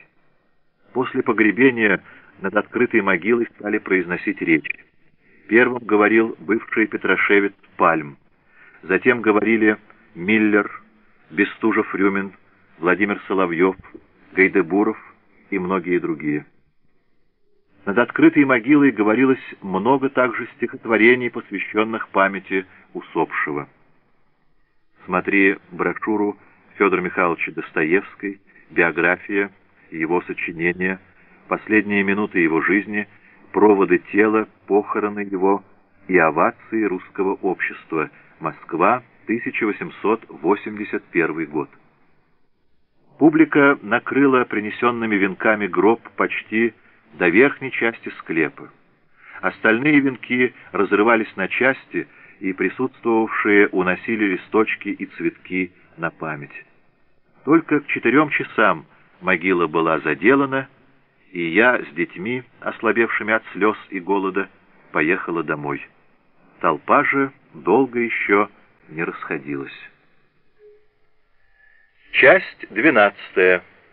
После смерти Федора Михайловича. Глава первая. Разговор с Толстым. Всего один раз в жизни имела я счастье видеть и беседовать с графом Львом Николаевичем Толстым.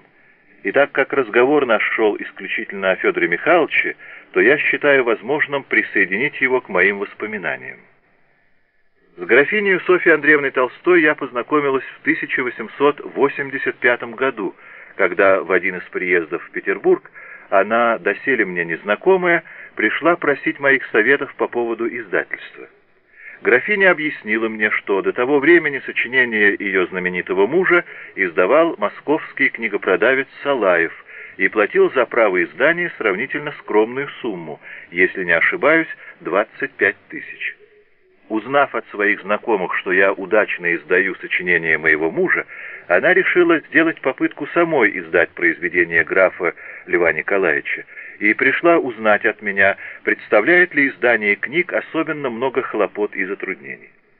Графиня произвела на меня чрезвычайно хорошее впечатление, и я с искренним удовольствием посвятила ее во все тайны моего издательства, дала ей образцы подписных книг, объявлений, мною рассылаемых, предостерегла ее от некоторых сделанных мною ошибок и так далее. Так как подробностей было много, то мне пришлось посетить графиню у ее сестры Кузьминской, и графиня побывала у меня два-три раза, чтобы выяснить то, что казалось для нее туманным. К моей большой радости мои издательские советы пригодились графине Софье Андреевне. Ее издание удалось превосходно и дало большую прибыль. С тех пор более двух десятков лет графиня сама с большим успехом издавала сочинения графа Льва Николаевича. Частые встречи и беседы с графиней дали нам возможность узнать друг друга, и мы дружески сошлись, и я убедилась, что графиня Софья Андреевна была истинным ангелом-хранителем своего гениального мужа. Бывая в Петербурге, графиня посещала меня. Я тоже, бывая в Москве, непременно заезжала к графине и впоследствии предоставила ей и ее семье возможность видеть из окон Музея памяти Федора Михайловича Достоевского перевезение тела почившего императора Александра III в Архангельский собор. Я бывала в Москве большую частью или весною, ради посещения моего музея, или осенью, возвращаясь из Крыма, и, навещая графиню, никогда не заставала графа Льва Николаевича. Или уехал раннюю весной в Ясную Поляну, или проводил там осень. Но однажды зимой, приехав к графине вечером, узнала, что граф Лев Николаевич в Москве, но болен и никого не принимает. Поговорив со мною, графиня ушла к мужу, а я осталась беседовать с ее семьей. Минут через десять графиня вернулась и объявила, что ее муж, узнав о моем приходе, непременно хочет меня видеть и просит к нему прийти. Она предупредила меня, что у графа сегодня был приступ болезни печени, он чувствовал себя весь день слабым, а потому она просит недолго с ним разговаривать. Мы пошли с графиней по каким-то чисто московским переходам из дома в дом, И пока я шла, то была даже не совсем довольна, что к нему иду. Несмотря на все желание увидеть гениального писателя, поэтическими произведениями которого я всегда восхищалась, мною овладел какой-то страх перед ним, и мне заранее казалось, что я произведу на него неприятное впечатление, чего мне вовсе не желалось бы. Мы вошли в большую, но низенькую комнату, где на диване сидел граф Лев Николаевич, одетый в известную по фотографиям серую блузу. Страх мой мигом исчез при том радушном восклицании, которым он меня приветствовал. Как это удивительно, что жены наших писателей так на мужей своих похожи. «Разве я похожа на Федора Михайловича?» — радостно спросила я. «Чрезвычайно. Я именно такую, как вы, и представлял себе жену Достоевского». Конечно, между моим мужем и мною не было никакого сходства, но ничем Толстой не мог бы доставить мне большей радости, как сказав сущую неправду, что я похожа на моего незабвенного мужа. Граф как-то сразу сделался для меня близким и родным. Лев Николаевич посадил меня в кресло рядом с собой и, указывая на обложенную какими-то подушечками грудь с горячей золою или овсом, пожаловался на свое нездоровье. Помолчали с минуту. «Я давно мечтала увидеть вас, дорогой Лев Николаевич», — сказала я, «чтобы благодарить вас от всего сердца за то прекрасное письмо, которое вы написали Страхову по поводу смерти моего мужа. Страхов дал мне это письмо, и я его храню как драгоценность. «Я писал искренно то, что чувствовал», — сказал граф Лев Николаевич. «Я всегда жалею, что никогда не встречался с вашим мужем». «А как он об этом жалел? А ведь была возможность встретиться. Это когда вы были на лекции Владимира Соловьева в соляном городке». Помню, Федор Михайлович даже упрекал Страхова, зачем тот не сказал ему, что вы на лекции. «Хоть бы я посмотрел на него», — говорил тогда мой муж, — «если уж не пришлось бы побеседовать». «Неужели? И ваш муж был на той лекции? Зачем же Николай Николаевич мне об этом не сказал?» Эта лекция Соловьева, на которой присутствовали Толстой и Достоевский, состоялась 10 марта 1878 года. Ранее Анна Григорьевна приводила слова Страхова о том, что Толстой сам просил его ни с кем не знакомить. Возможно, это противоречие объясняется тем, что Страхов ревниво по собственной инициативе не хотел знакомить Толстого с писателем, ибо уже тогда он испытывал неприязнь к своему другу, пытаясь в то же время сохранить видимость искренних приятельских отношений с Достоевским. Вся неприглядность и двойственность поведения Страхова окончательно прояснилась в известном его письме к Толстому от 28 ноября 1883 года.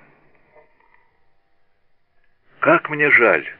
Достоевский был для меня дорогой человек» и, может быть, единственный, которого я мог бы спросить о многом, и который бы мне на многое мог ответить.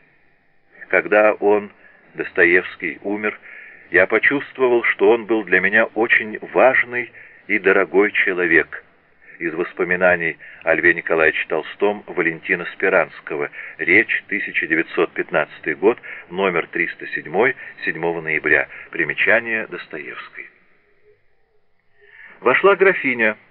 Помня ее предупреждение, я поднялась уходить, но граф удержал меня, сказав, «Нет-нет, останьтесь еще. Скажите мне, какой человек был ваш муж?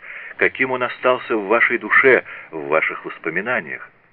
Я была глубоко тронута тем задушевным тоном, которым он говорил о Федоре Михайловиче. «Мой дорогой муж», — сказала я восторженно, — представлял собою идеал человека. Все высшие нравственные и духовные качества, которые украшают человека, проявлялись в нем в самой высокой степени. Он был добр, великодушен, милосерд, справедлив, бескорыстен, деликатен, сострадателен, как никто. А его прямодушие, неподкупная искренность, которая доставила ему столько врагов. Был ли хоть один человек, который ушел от моего мужа, не получив совета, утешения, помощи той или другой форме. Правда, если его заставали больным после припадка или во время серьезной работы, то он был суров. Но эта суровость мигом сменялась добротою, если он видел, что человек нуждается в его помощи. И сколько сердечной нежности выказывал он, чтобы загладить свою резкость или суровость. Знаете, Лев Николаевич, нигде так ярко не выражается характер человека, как в обыденной жизни, в своей семье. И вот я скажу, что, прожив с ним 14 лет, я могла только приходить в удивление и умиление, видя его поступки, и вполне сознавая иногда всю их непрактичность и даже вред для нас лично – должна была признавать, что мой муж в известном случае поступил именно так, как должен был поступить человек, высоко ставящий благородство и справедливость.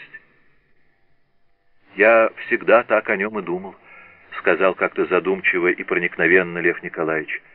Достоевский всегда представлялся мне человеком, в котором было много истинно христианского чувства.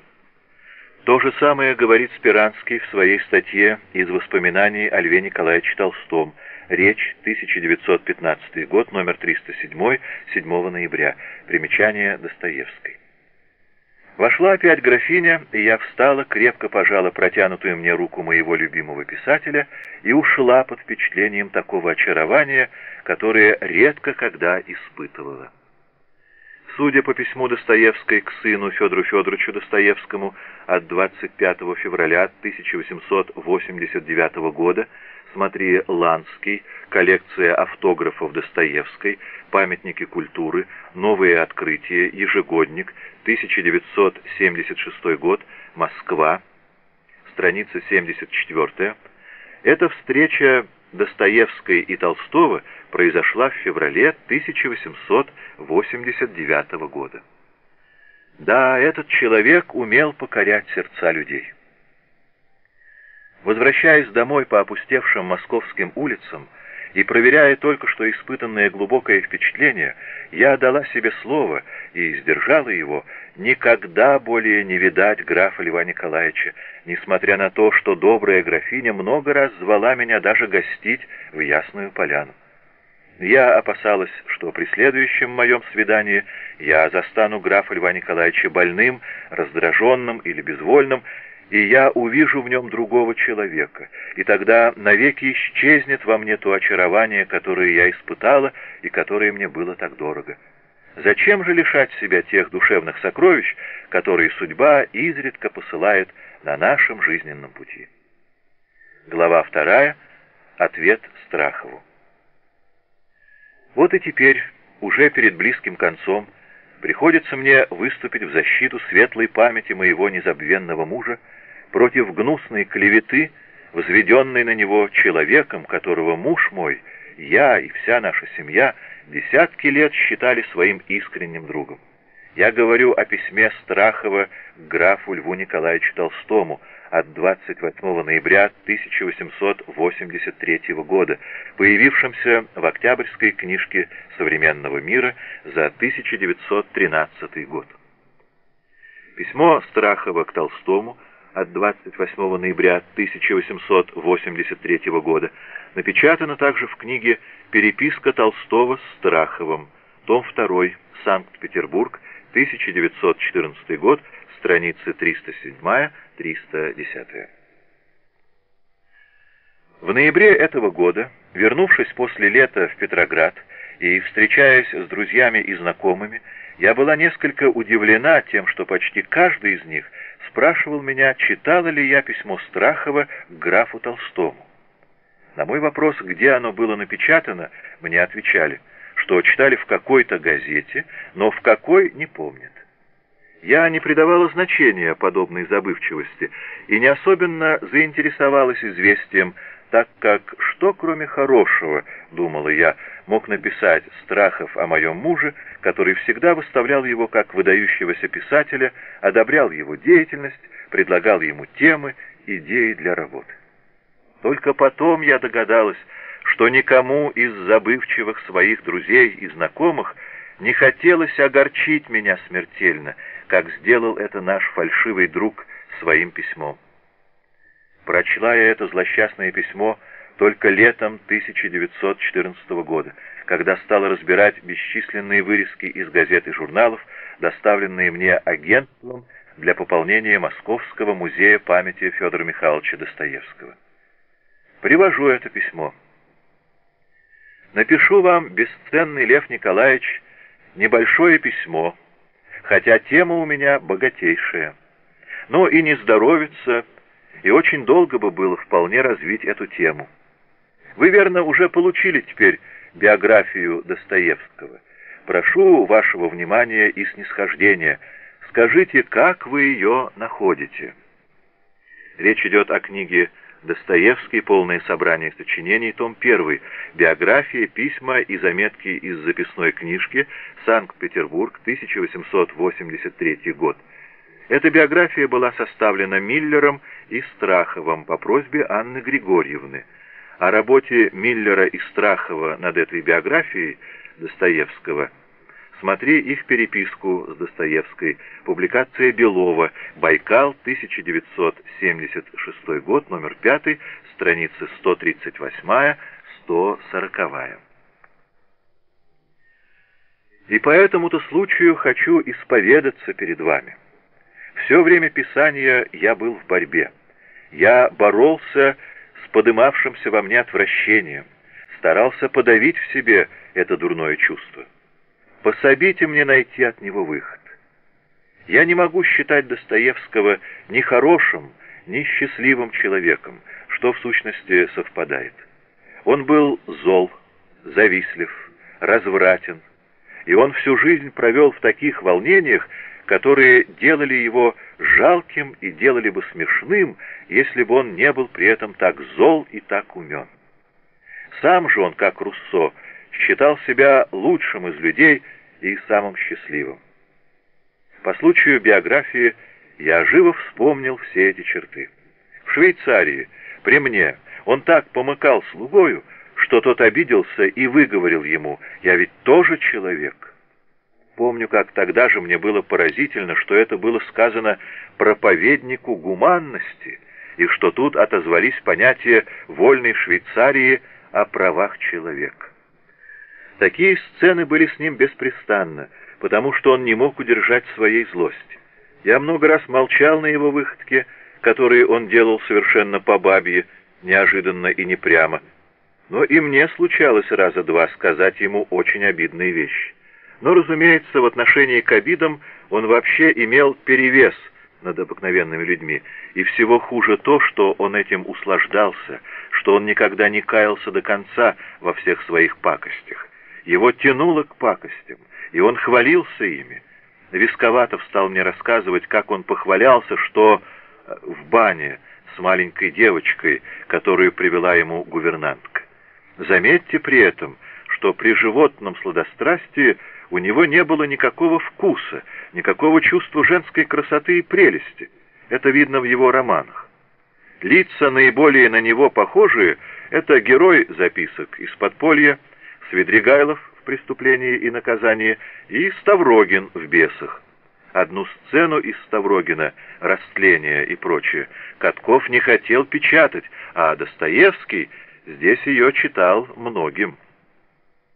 Имеется в виду глава у Тихона, в которой рассказывается об исповеди Ставрогина и о его неудачной попытке искреннего покаяния, самоочищения. По первоначальному замыслу Достоевского эта глава должна была следовать за главой Иван Царевич и была уже набрана, но редактор «Русского вестника» Катков воспротивился напечатанию ее. При такой натуре он был очень расположен к сладкой сентиментальности, к высоким и гуманным мечтаниям, и эти мечтания — его направление, его литературная музыка и дорога. В сущности, впрочем, все его романы составляют самооправдание, доказывают, что в человеке могут ужиться с благородством всякие мерзости. Как мне тяжело, что я не могу отделаться от этих мыслей, что я не умею найти точки примирения. Разве я злюсь, завидую, желаю ему зла? Нисколько. Я только готов плакать, что это воспоминание, которое могло бы быть светлым, только давит меня. Припоминаю ваши слова, что люди, которые слишком хорошо нас знают, естественно, не любят нас. Но это бывает и иначе. Можно при близком знакомстве узнать в человеке черту, за которую ему потом будешь все прощать. Движение истинной доброты, искра настоящей сердечной теплоты, даже одна минута настоящего раскаяния может все загладить.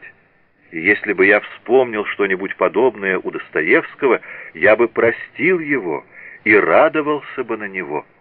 Но одно возведение себя в прекрасного человека, одна головная и литературная гуманность, боже, как это противно!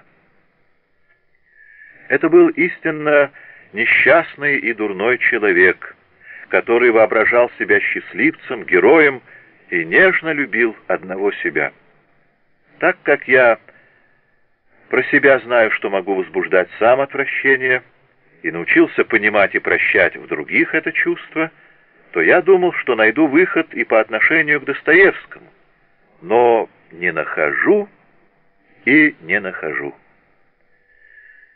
Вот маленький комментарий к моей биографии. Я бы мог записать и рассказать и эту сторону в Достоевском, много случаев рисуется мне гораздо живее, чем то, что мной описано, и рассказ вышел бы гораздо правдивее, но пусть эта правда погибнет. Будем щеголять одной лицевой стороной жизни, как мы это делаем везде и во всем. Я послал вам еще два сочинения, дублеты, которые очень сам люблю и которыми, как я заметил, бывший у вас, вы интересуетесь. Прессанс — прелестная книга, перворазрядной учености.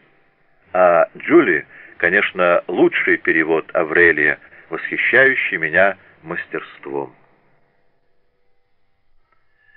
О какой книге протестантского богослова Прессанса идет речь, точно сказать нельзя. Известно, что Толстой пользовался его книгами. Имеется в виду парижское издание известного философского произведения Марка Аврелия «Наедине с собою». Приведу ответ графа Льва Николаевича Толстого. Книгу про Санса я тоже прочитал, но вся ученость пропадает от загвоздки. Бывают лошади-красавицы. Рысак, цена тысячу рублей — и вдруг заминка, и лошади-красавицы, и силачу цена грош. Чем я больше живу, тем больше ценю людей без заминки. Вы говорите, что помирились с Тургеневым, а я очень полюбил. И забавно, за то, что он был без заминки и свезет. А то рысак, да никуда на нем не уедешь, если еще не завезет в канаву. И Присанцы, и Достоевский, оба с заминкой. И у одного вся ученость, у другого ум и сердце пропали ни за что. Ведь Тургенев и переживет Достоевского, и не за художественность, а за то, что без заминки – Письмо Толстого Страхову от 5 декабря 1883 года. Лев Николаевич Толстой. Полное собрание сочинений. Том 63. Москва. 1934 год. Страница 142. Точный текст письма впервые приводится в книге Гусева «Лев Николаевич Толстой. Материалы к биографии» с 1881 по 1885 год. Москва, 1970 год, страница 221. Приведу и ответное письмо Страхова от 12 декабря 1883 года. Если так, то напишите же, бесценный Лев Николаевич, о Тургеневе. Как я жажду прочесть что-нибудь с такой глубокою подкладкою, как ваша. А то наше писание какое-то баловство для себя или комедия, которую мы играем для других. В своих воспоминаниях я все налегал на литературную сторону дела, хотел написать страничку из истории литературы, но не мог вполне победить своего равнодушия. Лично о Достоевском я старался только выставить его достоинства, но качеств, которых у него не было, я ему не приписывал.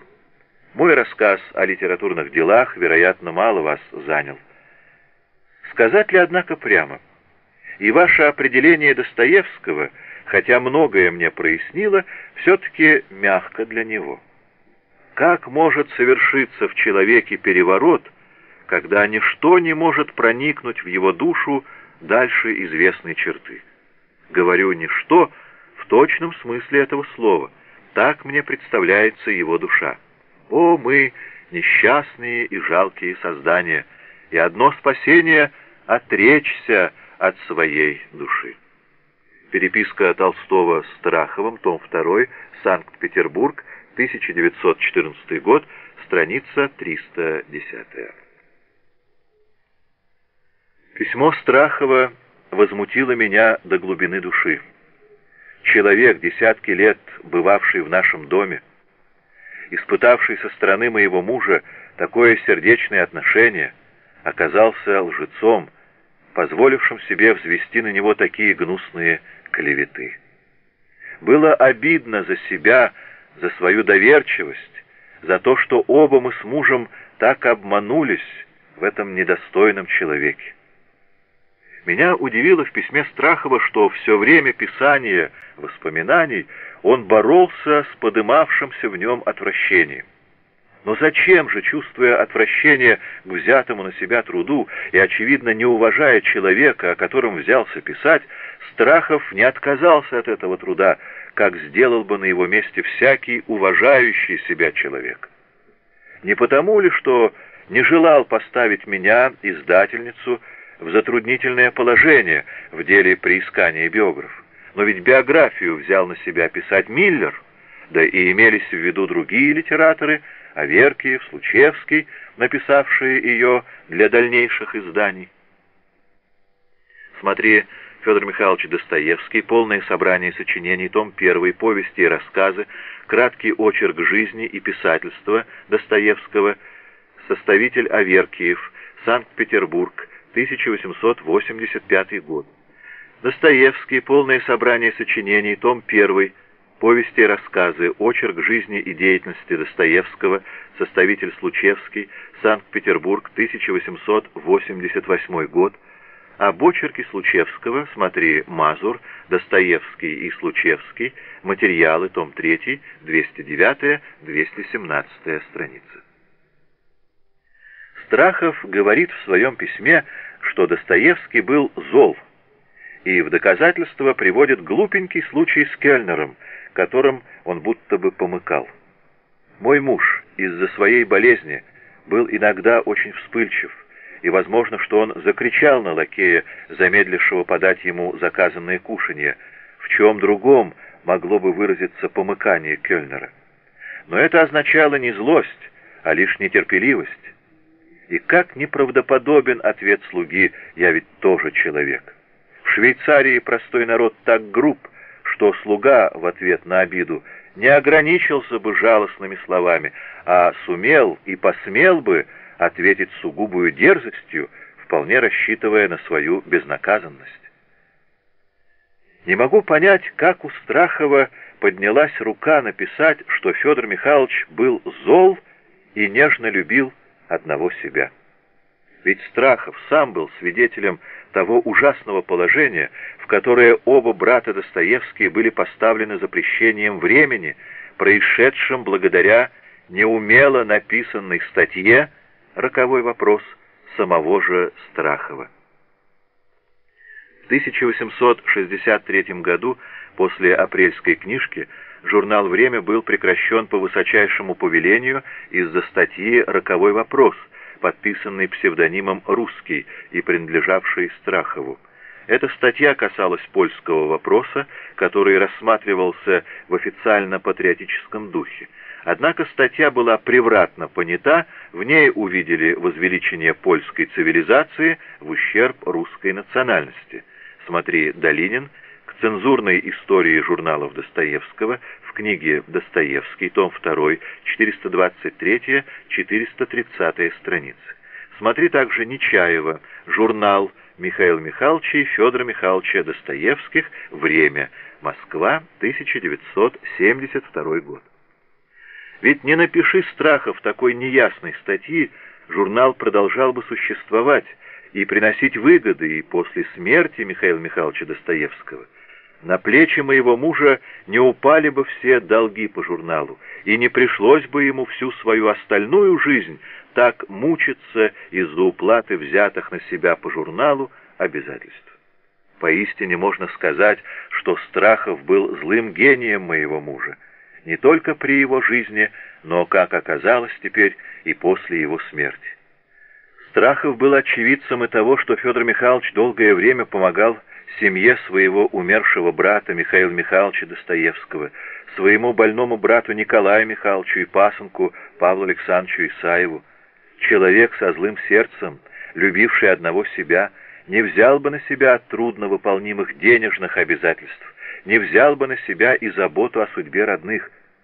И вот, зная мельчайшие подробности жизни Федора Михайловича, сказать про него, что он был зол и нежно любил одного себя, было со стороны Страхова полную недобросовестностью. Со своей стороны, я, прожившая с мужем 14 лет, считаю своим долгом засвидетельствовать, что Федор Михайлович был человеком беспредельной доброты. Он проявлял ее в отношении не одних лишь близких ему лиц, но и всех, о несчастье, неудаче или беде которых ему приходилось слышать. Его не надо было просить, он сам шел со своей помощью. Имея влиятельных друзей Победоносцева, Филиппова, Вышнеградского, муж пользовался их влиянием, чтобы помочь чужой беде. Скольких стариков и старух поместил он в богадельне, скольких детей устроил в приют, скольких неудачников определил на места. А сколько приходилось ему читать и исправлять чужих рукописей, сколько выслушивать откровенных признаний и давать советы в самых интимных делах. Он не жалел ни своего времени, ни своих сил, если мог оказать ближнему какую-либо услугу. Помогал он и деньгами, а если их не было, ставил свою подпись на векселях и, случалось, платился за это. Доброта Федора Михайловича шла иногда вразрез с интересами нашей семьи, и я подчас досадовала, зачем он так бесконечно добр, но я не могла не приходить в восхищение, видя, какое счастье для него представляет возможность сделать какое-либо доброе дело. Страхов пишет, что Достоевский был завистлив. Но кому же он завидовал? Все интересующиеся русской литературой знают, что Федор Михайлович всю жизнь благоговел пред гением Пушкина, и лучшую статьею, возвеличившую великого поэта, была пушкинская речь, произнесенная им в Москве при открытии ему памятника. Трудно допустить в Федоре Михайловиче зависть к таланту графа Льва Толстого, если припомнить, что говорил о нем мой муж в своих статьях «Дневник писателя». Возьму для примера дневник за 1877 год. В январском номере, говоря о герое детства и отрочества, Федор Михайлович выразился, что это чрезвычайно серьезный психологический этюд над детской душой, удивительно написанный. Дневник писателя, 1877 год, издание 1883 года, страница 34, примечание Достоевской. Дневник писателя 1877 года, который Анна Григорьевна цитирует в этой главе, смотри также по изданию Достоевский, 1926-30 годы, том 12. В февральском выпуске муж называет Толстого необыкновенной высоты художником. Там же страница 55 примечание Достоевской. В дневнике за июль-август Федор Михайлович выставил Анну Каренину как факт особого значения, который бы мог отвечать за нас Европе, на который мы могли бы указать Европе. Страница 230, примечание Достоевской. Далее там же говорит, он гениально намечен поэтом в гениальной сцене романа, в сцене смертельной болезни героини романа. Там же страница 234, примечание Достоевской. В заключение статьи муж говорит, такие люди, как автор Анны Карениной, суть учители общества, наши учители, а мы лишь ученики их. Там же страница 258, примечание Достоевской. В знаменитом романисте Гончарове Федор Михайлович не только ценил его большой ум, но высоко ставил его талант, искренне любил его и называл своим любимейшим писателем. Биография и письма, страница 318, примечание Достоевской. Дневник писателя, 1877 год, издание 1883 года, страницы 229-230, примечание Достоевской. Из письма Достоевского Колчевской от 9 апреля 1876 года. Письма, том 3, 206 страница. Отношения моего мужа к Тургеневу в юности были восторженные. В письме к брату от 16 ноября 1845 года он пишет про Тургенева. «Но, брат, что это за человек? Я тоже едва ли не влюбился в него. Поэт, талант, аристократ, красавец, богач, умен, образован, 25 лет. Я не знаю, в чем природа отказала ему. Наконец, характер — неистощимо прямой, прекрасный, выработанный в доброй школе. Биография и письма, страница 42, примечание Достоевской. Письма, том 1, 84 страница. Впоследствии Федор Михайлович разошелся с ним в убеждениях, но Тургенев в письме своем от 28 марта 9 апреля 1877 года писал «Я решился написать вам это письмо, несмотря на возникшие между нами недоразумения, вследствие которых наши личные отношения прекратились. Вы, я уверен, не сомневаетесь в том, что недоразумения эти не могли иметь никакого влияния на мое мнение о вашем первоклассном таланте и о том высоком месте, которое вы по праву занимаете в нашей литературе. Первое собрание писем Тургенева, 1885 год, страница 315. Примечание Достоевской. В рукописи этой цитаты нет, однако, судя по ссылке Анны Григорьевны на первое собрание писем Тургенева, правда, год издания не точно указан, вместо 1884-85. И прежде всего, исходя из смысла цитаты, Анна Григорьевна не дописала именно этот отрывок из письма Тургенева к Достоевскому от 28 марта 9 апреля 1877 года. В 1880 году на московском празднестве, говоря о пушкинской Татьяне, Федор Михайлович сказал, «Такой красоты положительный тип русской женщины – почти уже не повторялся в нашей художественной литературе, кроме разве образа Лизы в «Дворянском гнезде» Тургенева. Биография, воспоминания, страница 310, примечание Достоевской. Смотри Достоевский, 1956-58 годы, том 10, 447 страница. Говорит ли об отношении Федора Михайловича к поэту Некрасову, который всегда был дорог ему по воспоминаниям юности и которого он называл великим поэтом, создавшим великого Власа? Дневник писателя, 1877 год, издание 1883 года, страница 390, примечание Достоевской. Статья по поводу смерти Некрасова, в которой Федор Михайлович сказал, что он в ряду поэтов, то есть приходивших с новым словом, должен прямо стоять вслед за Пушкиным и Лермонтовым, эта статья, по признанию знатоков русской литературы, могла считаться лучшую из статей, написанных по поводу кончины поэта. Там же страница 387. Вот каковы были отношения моего мужа к талантам и произведениям наших выдающихся писателей.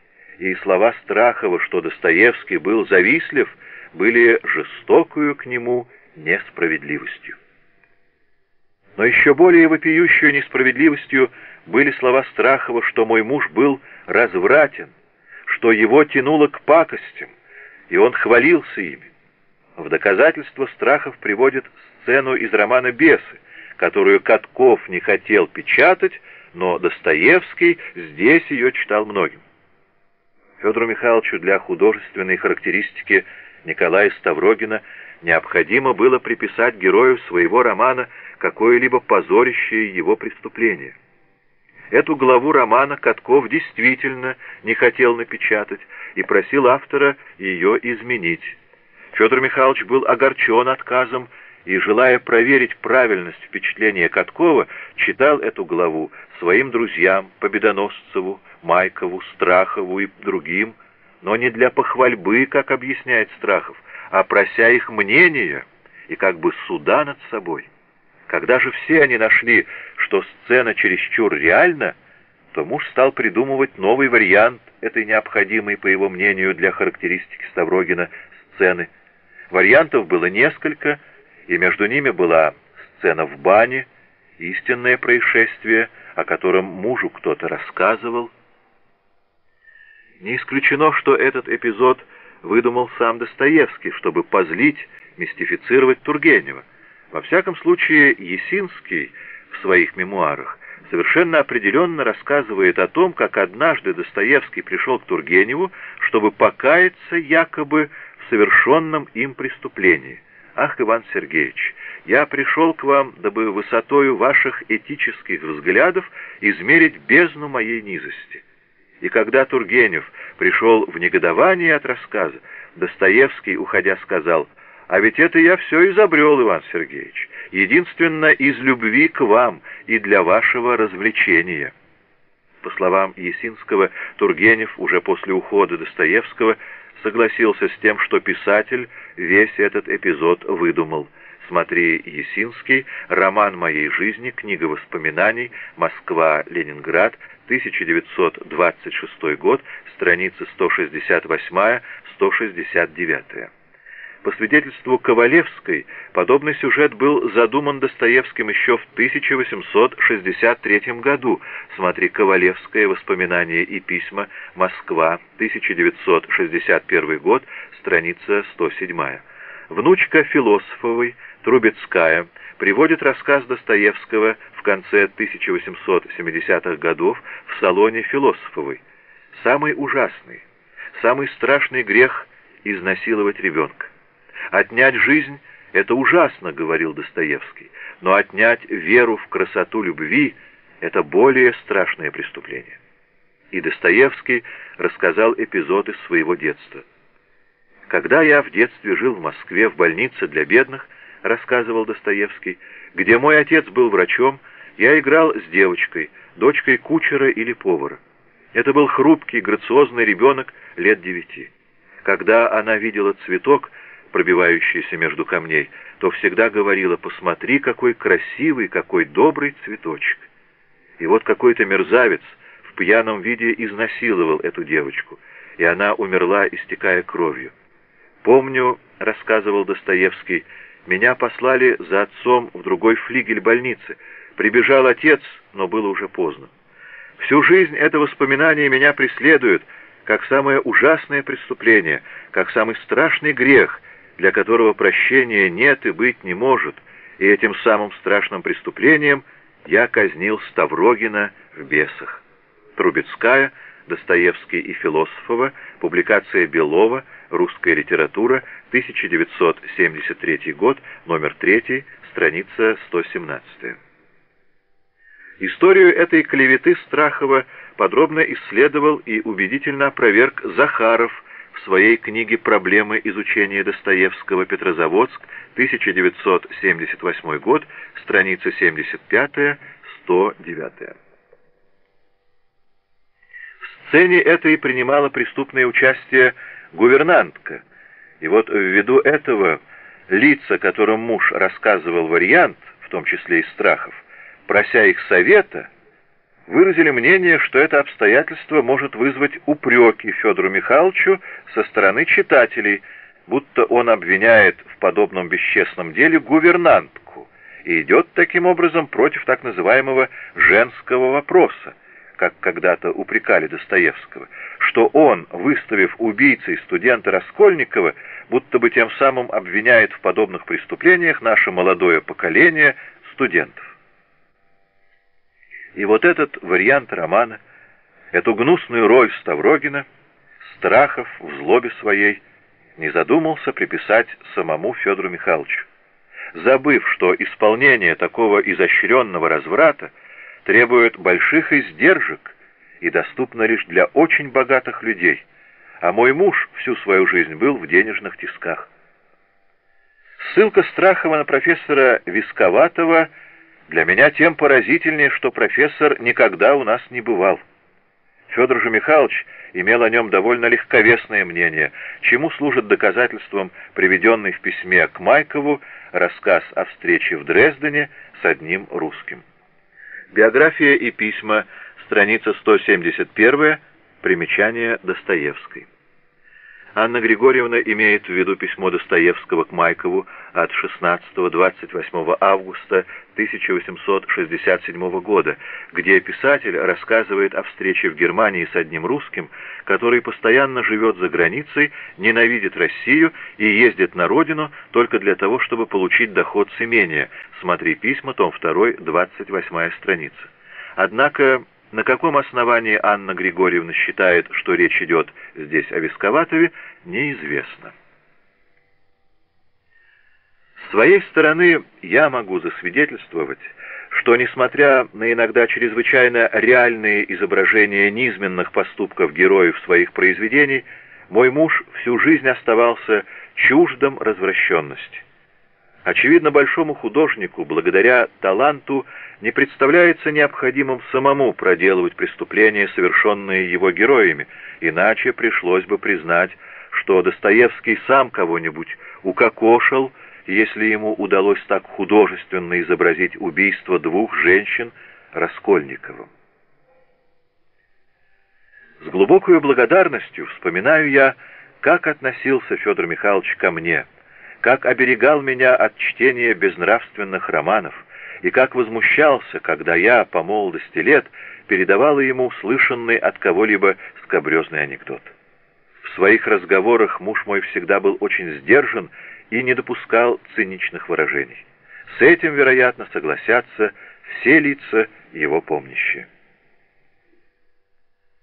Прочитав клеветническое письмо Страхова, я решила протестовать. Но как это сделать? Для возражения против письма было упущено время. Появилось оно в октябре 1913 года, я же узнала о нем почти через год. Да и что такое значит возражение, помещенное в газетах? Оно затеряется в текущих новостях, забудется. Да и многими ли будет прочтено? Я стала советоваться с моими друзьями и знакомыми, из которых некоторые знавали моего покойного мужа. Мнения их разделились. Одни говорили, что к этим гнусным клеветам надо отнестись с презрением, которое они заслуживают. Говорили, что значение Федора Михайловича в русской и всемирной литературе настолько высоко, что клеветы не повредят его светлой памяти. Указывали и на то, что появление письма не вызвало даже никаких толков в текущей литературе. До того большинству пишущих была ясна клевета и понятен клеветник. Другие говорили, что, напротив, мне необходимо протестовать, помня пословицу «клевещите, клевещите, что-нибудь да останется». Говорили, что из того обстоятельства, что я, посвятившая всю свою жизнь служению мужу и его памяти, не нашла возможным опровергнуть клевету, могут вывести, что в ней заключалось что-нибудь верное. Мое молчание явилось бы как бы подтверждением клеветы. Многие, возмущенные письмом Страхова, находили, однако, что одно мое опровержение недостаточно, что следует друзьям и лицам с добрым чувством, помнящим Федора Михайловича, написать протест против возведенных на него Страховым клевет. Некоторые лица взяли на себя труд составления протеста и собирания подписей. Другие лица захотели выразить свое возмущение отдельными письмами. Многие из друзей моих высказали мнение, что в противовес клевете следовало бы приложить к протесту статьи, воспоминания, которые разновременно были напечатаны в журналах и рисуют Федор Михайлович как необычайно доброго и отзывчивого человека. Следуя совету друзей, присоединяю как протест, так и статьи к моим воспоминаниям. Говоря со многими лицами по поводу этого злосчастного, так омрачившего последние мои годы письма, я спрашивала, как они представляют себе, что побудило Страхова написать его письмо. Большинство склонялось к тому, что это была профессиональная зависть, столь обычная в литературном мире, что, вероятно, Федор Михайлович по своей искренности, а может быть и резкости, обидел Страхова, последний и сам говорит об этом, и вот явилось желание отомстить хотя бы и умершему. Высказать свое мнение печатно Страхов не посмел, так как знал, что вызовет против себя слишком много защитников в памяти Достоевского, а ссориться с людьми было не в характере Страхова. Одно из лиц, близко знавшее Страхова, высказало мне мысль, что своим письмом он хотел очернить, принизить Достоевского в глазах Толстого. Когда я усомнилась в этом предположении, мой собеседник высказал свое мнение о Страхове, довольно оригинальное. Кто в сущности был Страхов? Это исчезнувший в настоящее время тип благородного приживальщика, каких было много в старину. Вспомните, он месяцами гостит у Толстого, у Фета, у Данилевского, а по зимам ходит по определенным дням обедать к знакомым и переносит слухи и сплетни из дома в дом. Как писатель-философ он был мало кому интересен, но он был всюду желанный гость, так как всегда мог рассказать что-нибудь новое о Толстом, другом которого он считался. Дружбою эту он очень дорожил, и, будучи высокого о себе мнения, возможно, что считал себя опорою Толстого.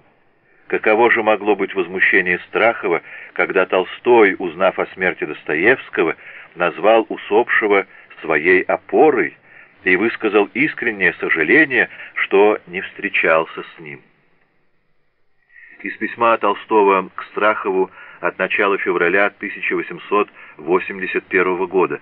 «Я никогда не видел этого человека, Достоевского, и никогда не имел прямых отношений с ним, и вдруг, когда он умер, я понял, что он был самый-самый близкий, дорогой, нужный мне человек. Опора какая-то отскочила от меня. Я растерялся, а потом стало ясно, как он мне был дорог, и я плакал, и теперь плачу. Толстой. Полное собрание сочинений. Том 63. Москва. 1934 год. Страница 43. Возможно, что Толстой часто восхищался талантом Достоевского и говорил о нем, и это коробило Страхова, и чтобы пресечь это восхищение, он решил взвести на Достоевского ряд клевет, чтобы его светлый образ потускнел в глазах Толстого.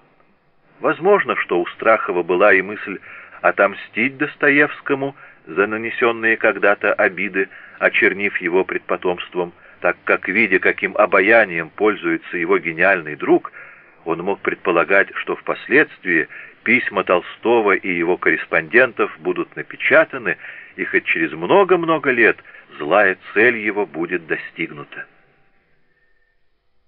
Не разделяя исключительное мнение моего собеседника, я закончу этот тяжелый эпизод моей жизни словами письма Страхова. В человеке могут ужиться с благородством всякие мерзости. С философом и критиком Страховым Достоевский познакомился в декабре 1859 года, сразу же после возвращения в Петербург из ссылки. В 1861 году Страхов был ближайшим сотрудником журнала братьев Достоевских «Время», а затем «Эпохи», полностью разделяя ту систему общественно-политических взглядов Достоевского, которую обычно называют почвенничеством. Из философских работ Страхова, в которых он является последователем Гегеля, наибольшую известность получили книги «Мир как целое», издание второе, 1892 год, «Философские очерки», 1895, «Об основных понятиях психологии и физиологии», издание второе, 1864 год, из литературно-критических работ Страхова важнейшими являются критические статьи о Тургеневе и Толстом, издание второе, 1895 год, и «Борьба с Западом в нашей литературе», издание третье, 1898 год, а также первая большая биография Достоевского в первом томе полного собрания сочинений писателя, 1883 год. О жизни и деятельности Страхова смотри книги «Никольский», «Страхов», критика «Биографический очерк», Петербург, 1896 год, Белов, Белодубровский, Библиотека Страхова, Памятники культуры, Новые открытия, Ежегодник, 1976, Москва, 1977 годы, страницы 134-140. Несмотря на всю идейную близость Достоевского и Страхова, на их принадлежность к лагерю почвенников, они все же никогда по-настоящему не были близки друг другу. Это особенно ярко вскрылось в известном письме Страхова к Льву Толстому от 28 ноября 1883 года. Смотри переписка Толстого и Страхова, том 2, Санкт-Петербург, 1914 год, страницы 307-310, перед которым Страхов кается в том, так односторонне обрисовал фигуру Достоевского в своих воспоминаниях о нем. Смотри биография 177-329 страницы. Хотя и в воспоминаниях Страхова о Достоевском уже намечалась, правда, очень осторожно, обличительная тенденция, так полно развившаяся в письме к Толстому. Но и Достоевский далеко не идеализировал Страхова. Вот что он, например, говорил в одном из своих писем. «Это скверный семинарист и больше ничего». Он уже раз оставлял меня именно с падением эпохи и прибежал только после успеха преступления. Письма, том 3, 155 страница. В 83-м томе литературного наследства впервые приводится запись Достоевского о Страхове, датируемая 1877 годом. Чистейшая семинарская черта. Происхождение никуда не спрячешь никакого гражданского чувства и долга, никакого негодования какой-нибудь гадости, а напротив, он и сам делает гадость. Несмотря на свой строго нравственный вид, втайне сладострастен и за какую-нибудь жирную, грубо сладострастную пакость готов продать всех и все, и гражданский долг, которого не ощущает, и работу, до которой ему все равно, и идеал — которого у него не бывает, и не потому, что он не верит в идеал, а из-за грубой коры жира, из-за которой не может ничего чувствовать. Я еще больше потом поговорю об этих литературных типах наших. Их надо обличать и обнаруживать неустанно. Литературное наследство, том 83, 620 страница. Комментируя эту антистраховскую запись Достоевского, Розенблюм справедливо предполагает, что Страхов видел эту запись, когда Достоевская предоставила ему и Миллеру возможность ознакомиться с архивом Достоевского для подготовки первого тома посмертного собрания сочинений писателя. Было решено издать также большую часть последней тетради Достоевского. Совершенно очевидно, замечает Розенблюм, что Достоевская – не заметила этой антистраховской записи, иначе она упомянула бы о ней в заявлении по поводу письма Страхова к Толстому. Страхов, конечно, понимал, пишет Розенблюм, что со временем не только последняя тетрадь Достоевского, но и все остальные будут опубликованы. Знал он также, что когда-нибудь будет издана и переписка Льва Толстого. Быть может, и эту мысль отчасти имел он в виду, направляя письмо Толстому, своеобразный ответ Достоевскому. Литературное наследство, том 83, 23 страница. Достоевская обратилась к целому ряду лиц, хорошо знавших Достоевского, с просьбой подписать протест против этого письма Страхова. Смотри, например, письмо Достоевской к писательнице Пешковой-Таливеровой от 16 июля 1916 года, публикация Белова, Байкал, 1976 год, номер 5, страница 144. Этот протест подписали Круглов, Аверкиева, Полонская, Алчевская, Штекеншнейдер, Кашперева, академик Рыкачев и другие. «С чувством искреннего негодования», — гласил протест, — «мы, лично знавшие покойного писателя Федора Михайловича Достоевского, прочли письмо Страхова к графу Льву Толстому от 28 ноября 1883 года» напечатанное в журнале «Современный мир», октябрь 1913 года. В письме этом Страхов говорит, что Достоевский был зол, завистлив и развратен. Не говоря уже об известном всему литературному миру факте, что Федор Михайлович взял на себя после смерти своего брата Михаила Михайловича Достоевского все долги по журналу «Время» в количестве более 20 тысяч рублей и выплачивал их до самой своей смерти – Существует свидетельство многих лиц, что он, сам больной и необеспеченный, помогал своему пасынку, Павлу Александровичу Исаеву, больному брату Николаю и семье умершего Михаила Михайловича Достоевского. Но не одни только близкие пользовались добротой Федора Михайловича. Существуют многочисленные свидетельства, печатные и устные, что никто из обращавшихся к нему незнакомых ему людей не уходил от него без дружеского совета, указания, помощи в той или другой форме. Мог ли поступать подобным образом человек, нежно любивший одного себя, как о нем пишет Страхов? Федор Михайлович, по словам Страхова, был завистлив но лица, интересующиеся русской литературой, помнят и знаменитую его пушкинскую речь, и восторженные и защитительные статьи и отзывы его в дневнике писателя о Некрасове, графе Толстом, Викторе Гюго, Бальзаке, Диккенсе, Жорж Занде, которым он, очевидно, не завидовал. Подозревать Федора Михайловича в зависти к чинам, карьере или богатству других людей было бы странно, когда он сам – во всю свою жизнь ничего для себя не искал и добровольно раздавал нуждающимся все, что имел. Но еще поразительнее для нас в письме Страхова это обвинение Федора Михайловича в разврате. Лица, близко знавшие его в молодости, в Петербурге и в Сибири, Милюков, Яновский, Резенкамп, барон Врангель и другие – в своих воспоминаниях о Федоре Михайловиче ни единым намеком не обмолвились о развращенности его в те отдаленные времена. Мы же, знавшие Федора Михайловича в последние два десятилетия его жизни, можем засвидетельствовать, что знали его как человека, больного тяжкую болезнью, эпилепсией, и вследствие ее иногда раздражительного и неприветливого, всегда поглощенного в свои литературные труды, и часто удрученного житейскими невзгодами, но всегда доброго, серьезного и сдержанного в выражении своих мнений. Многие из нас знают Федора Михайловича и как прекрасного семьянина, нежно любившего свою жену и детей, о чем свидетельствуют и его напечатанные письма.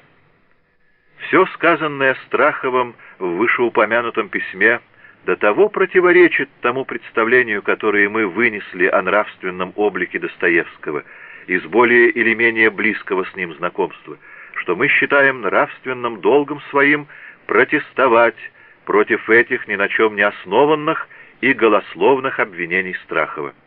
Переписка Достоевской с современниками, публикация Белова, Байкал, 1976 год, номер 5, страница 144.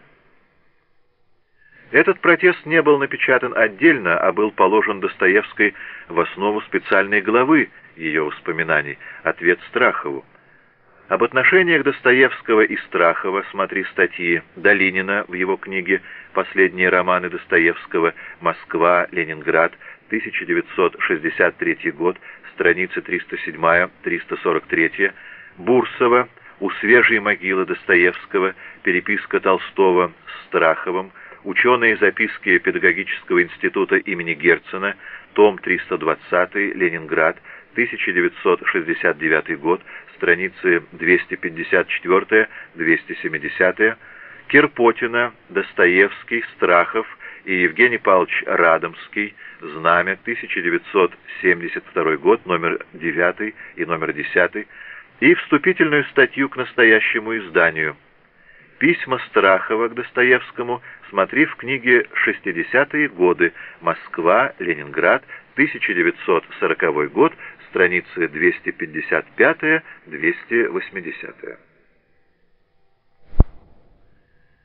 Глава третья. Воспоминатели. Много горя принесли мне на моем долгом веку воспоминатели, то есть лица, которые знавали или будто бы знавали лично моего покойного мужа и написали о нем свои воспоминания. Каждый раз, когда я читала, что в таком-то журнале такое-то лицо в своих воспоминаниях говорит и о моем муже, у меня сердце сжималось от тоскливого предчувствия, и я думала, ну опять какое-нибудь преувеличение, какой-нибудь вымысел или сплетня. И я редко ошибалась. Не ошиблась я и в том, что даже добросовестными воспоминателями не всегда были поняты истинный характер и поступки Федора Михайловича и верно оценены его нравственные качества. Конечно, я говорю лишь о личных воспоминаниях. Разборы художественной деятельности сюда не относятся. Напротив, иные из них близко подходили к тому, как Федор Михайлович сам понимал и оценивал свои произведения. Меня всегда поражал общий тон, сделавшийся почти шаблонным воспоминаний о Федоре Михайловиче. Все воспоминатели, точно по уговору, представляли, вероятно, судя по его произведениям, Федора Михайловича человеком мрачным, тяжелым в обществе, нетерпимым к чужим мнениям, непременно со всеми спорящим и желающим нанести своему собеседнику какую-нибудь обиду. Кроме того, чрезвычайно гордым, и преисполненным своим величием. Только немногие лица, Микулич, московские родственники Федора Михайловича, господин, помнящий его на даче близ Москвы, фон Фохт, нашли возможным вынести и высказать о Федоре Михайловиче совсем иное впечатление, которое и соответствовало действительности. Микулич – встреча со знаменитостью – Микулич. Примечание Достоевской. Фон Фохт. Исторический вестник. 1901 год. Декабрь. К биографии Федора Михайловича Достоевского. Примечание Достоевской. Сколько раз приходилось мне и слышать, и читать, что Федор Михайлович входил в гостиную с мрачным видом, молча пожимал руки, не удостаивая никого словесным приветствием, усаживался в кресло и угрюмо молчал, чем тотчас же вносил холодную струю в общество, до его прихода веселое и оживленное.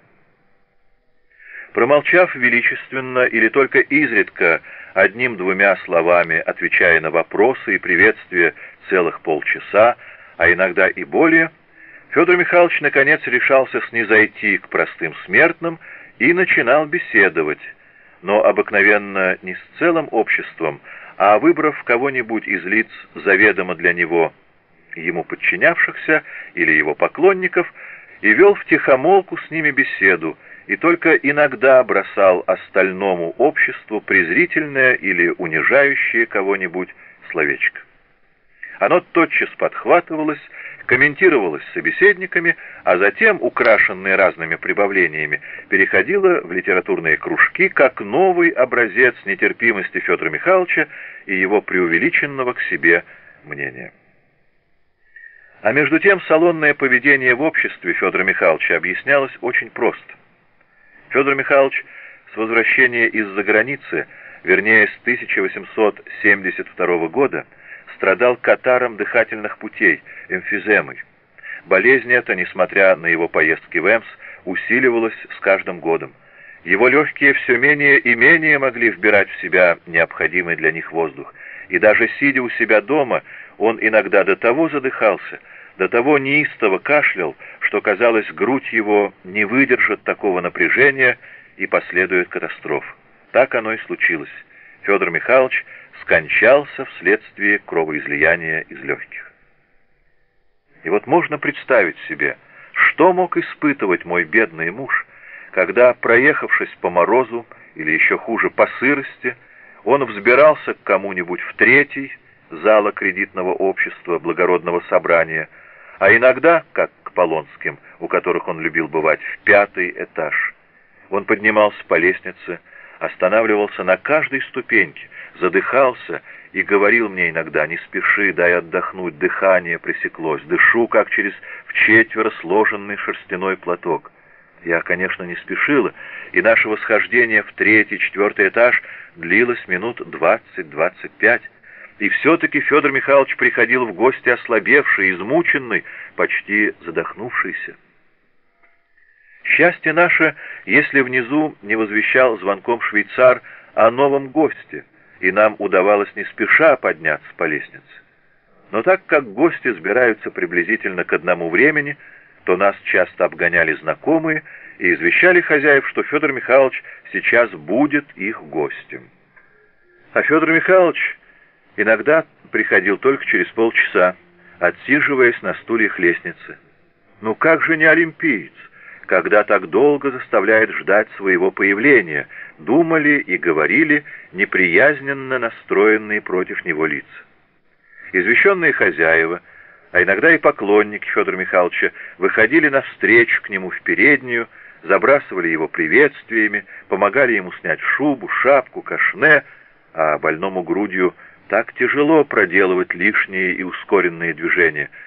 И Федор Михайлович входил в гостиную окончательно обессилевший и не могущий произнести ни единого слова, а только старающийся хоть немного отдышаться и прийти в себя. Вот истинная причина его мрачной внешности в тех случаях, когда ему приходилось бывать в обществе.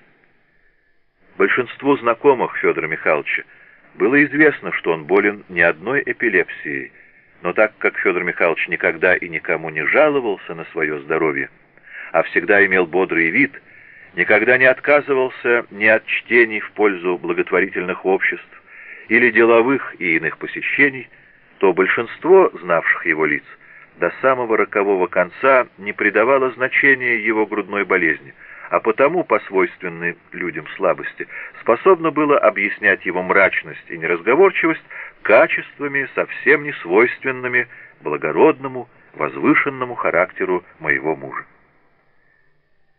Бывая на вечерах в семейных домах, графиня Толстой, Штекеншнейдер, Полонских, Гайдебуровых и других – Федор Михайлович искал отдохновения от своей работы, возможности с кем-нибудь побеседовать, отвести душу, а потому, вовсе не из гордости или олимпийства, любил втихомолку беседовать с лицами ему симпатичными, а иногда, особенно после припадка, даже неприязненно относился к знакомству с новыми лицами. Воспоминания о Федоре Михайловиче Достоевском Всеволода Соловьева – 1881 год, типографии Суворина, примечание Достоевской. Воспоминания Всеволода Соловьева были первоначально опубликованы в историческом вестнике 1881 год, номера 3 и 4, а затем в 1881 году вышли отдельным изданием в Петербурге в типографии Суворина. О встречах с Достоевским – Смотри также дневник Соловьева. Достоевский в неизданной переписке современников. Публикация Ланского. Литературное наследство. Том 86, страницы 423-426. Могу засвидетельствовать, напротив, что Федор Михайлович особенно не любил в обществе ораторствовать, начинать споры и говорить кому-нибудь в пику или в насмешку. Помню, как неприятно и болезненно поразило меня в воспоминаниях Янжула упоминание о встречах его с Федором Михайловичем у Гайдебуровых на одном из их воскресных собраний. Янжул. Воспоминания о пережитом и виденном в 1864-1909 годах. Выпуск 2. Санкт-Петербург, 1911 год. Достоевская оставила здесь место для ссылки на воспоминания Янжела, но забыла их указать. Крайне недоброжелательный тон воспоминаний о Достоевском профессора Московского университета Янжела объясняется тем, что Янжел, как и большинство профессоров Московского университета, принадлежал к либералам-западникам, резко осуждающим религиозные идеи Достоевского. В письме к Анне Григорьевне Достоевской из Москвы от 28-29 мая 1880 года, за несколько дней до открытия памятника Пушкину, Достоевский писал «Дело главное в том, что во мне нуждаются не одни любители российской словесности, а вся наша партия, вся наша идея, за которую мы боремся уже 30 лет, ибо враждебная партия, Тургенев, Ковалевский и почти весь университет, решительно хочет умолить значение Пушкина как выразителя русской народности, отрицая самую народность. Переписка 328 страница. Под враждебной партией из Московского университета Достоевский мог иметь в виду не только социолога и историка профессора университета Ковалевского 1851-1916 годы, оставившего, кстати, также отрицательные отзывы о пушкинской речи Достоевского, смотрите Мирязев, избранные сочинения, том 2 Москва, 1957 год, страницы 538-558, но и Янжула. Господин Янжул описал целую сцену, будто бы возмутившую всех присутствовавших, когда Федор Михайлович говорил о науке и ее представителях.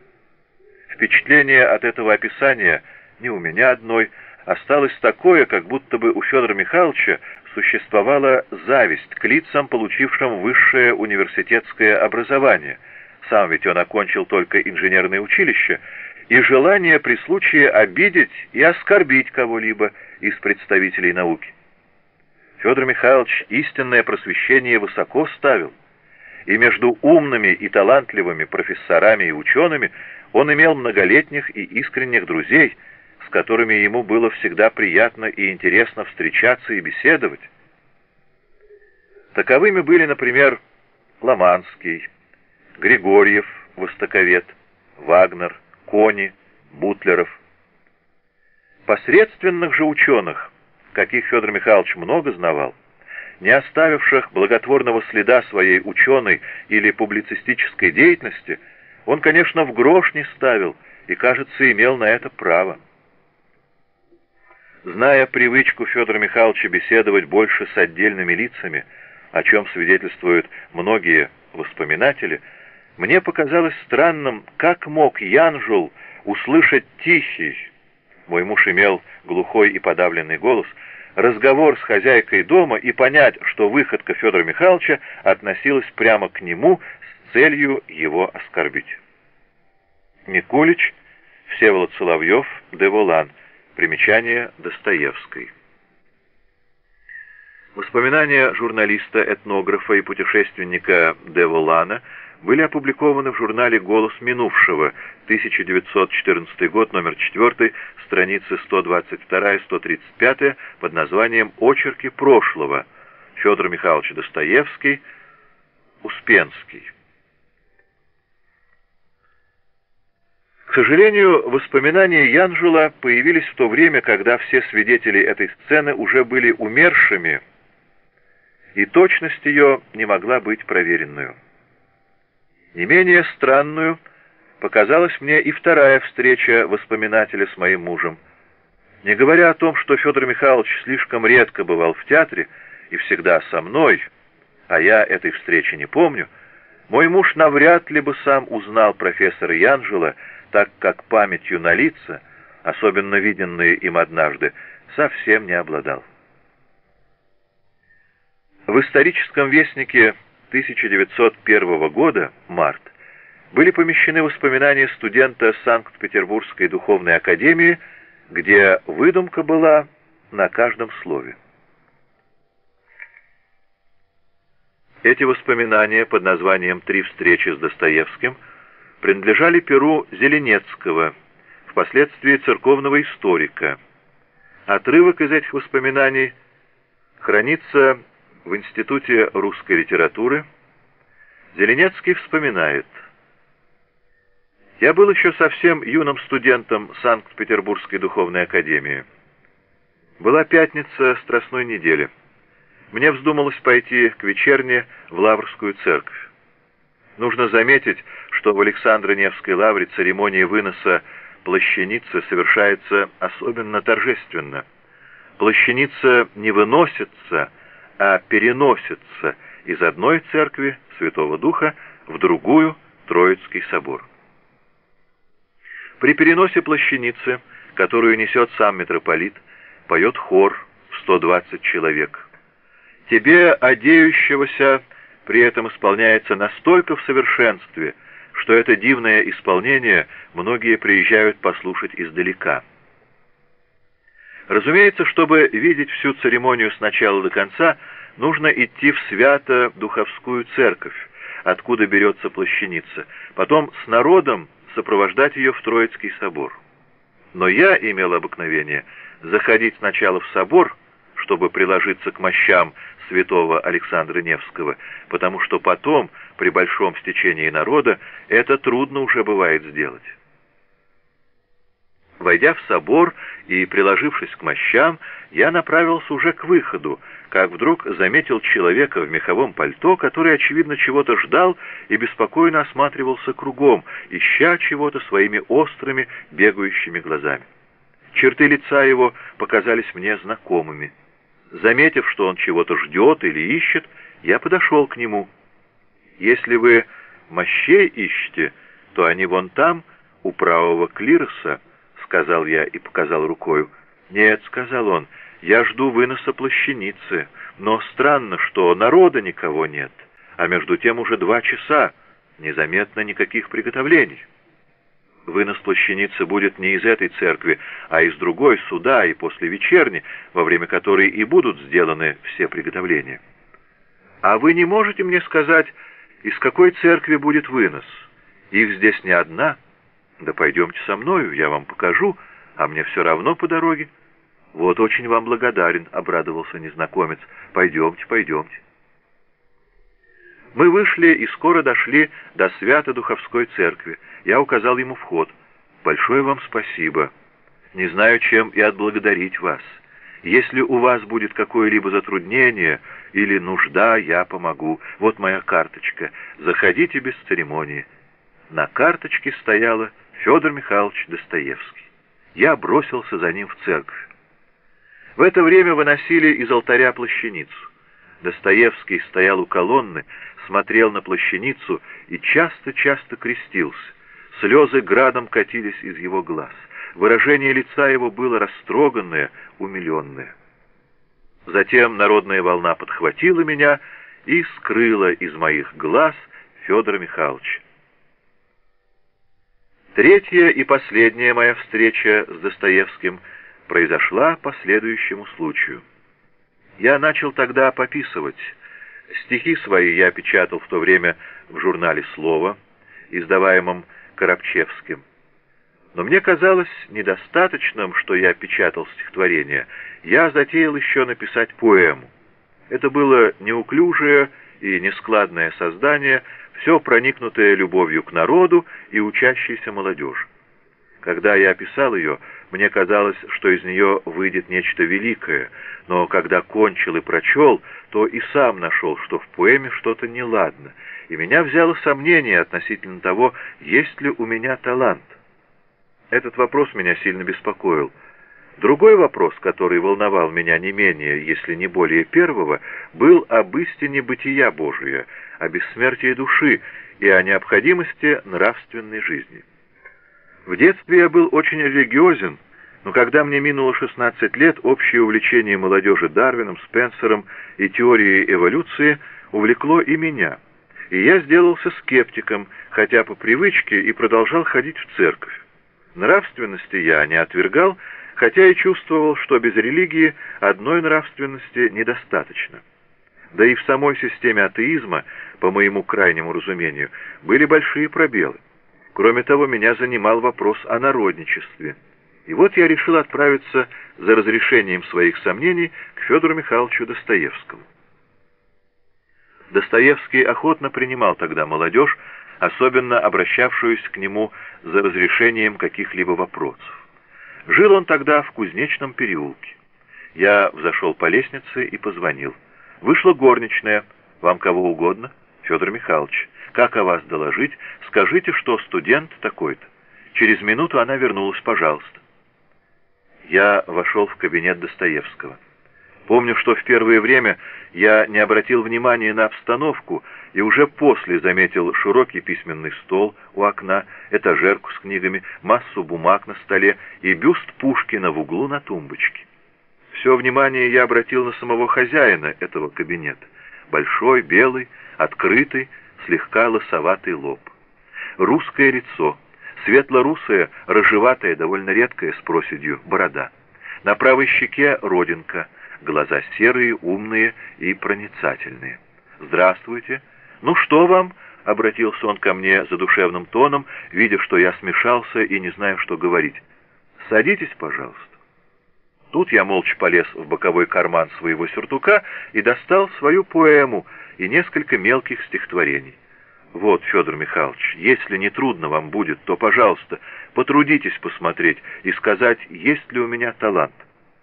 Печатаетесь?» Я сказал. Он пробежал стихотворение. Стихи продолжайте. Со временем еще больше усовершенствуетесь. А это что такое? Поэма? Да нынче их никто и не пишет. Он быстро перелистывал ее, посмотрел начало, середину и конец. Ну, вот это слабо. Видно, что вы жизни не знаете, что вы совсем зеленый мальчик. Я бы вам советовал поэмы бросить, писать стихи, а повестей не писать до тех пор, пока не узнаете жизни. Слог у вас, очевидно, есть, но с жизнью вы еще совсем не знакомы, а если и познакомитесь, вы будете писать лучше такие вещи, которые сами пережили, чем такие, о которых приходится слышать. У вас талант, что называется, субъективный. Еще раз повторяю, подождите прозой писать, наблюдайте жизнь, вдумывайтесь в ее явления, а пуще всего прислушивайтесь к движениям собственной души. Лет через пять-десять можете начать писать прозой. Я поблагодарил Федора Михайловича. «Это все, что вы имели мне сказать?» — спросил он. «Нет, я не сказал вам самого главного, зачем я пришел. Что же это?» Тут я подробно изложил ему свою исповедь и то, в чем была моя вера. Я окончил и замолчал, тревожно глядя на Федора Михайловича. Он молчал, грустно и укоризненно качая головой. «Из какого вы учебного заведения?» Я сказал. «Боже мой! Даже и туда закралось неверие!» И он снова грустно покачал головой. 28 января 1881 года Достоевского не стало мы с одним из товарищей отправились на квартиру Достоевского. Встретила нас на этот раз жена Достоевского, Анна Григорьевна, и, отирая градом катившиеся слезы, повела нас к гробу, в котором покоился Федор Михайлович. Отпевали его в той самой церкви, где Бог судил мне впервые с ним встретиться. Там же я дал ему и прощальный поцелуй. Исторический вестник, 1901 год, номер 3, страницы 1021-22, 1025-26, 1028-29. Он описывал, что встретил Достоевского в Страстную Пятницу, когда бывает вынос плащаницы в соборе Александра Невской лавры. Могу удостоверить, что на все великие службы Страстной и Пасхальной недель мы ходили с мужем всегда вместе. Я боялась, не произошло бы с ним от духоты и тесноты припадка, и бывали или в правом пределе Знаменской церкви, а в последние три года во Владимирской церкви. Поехать же в Невскую лавру от нашей квартиры верст пять В весенний день, когда по Неве идет Невский или Ладожский лед, несущий с собой холод, не могло прийти в голову моему мужу, который последние годы очень оберегал себя от простуды.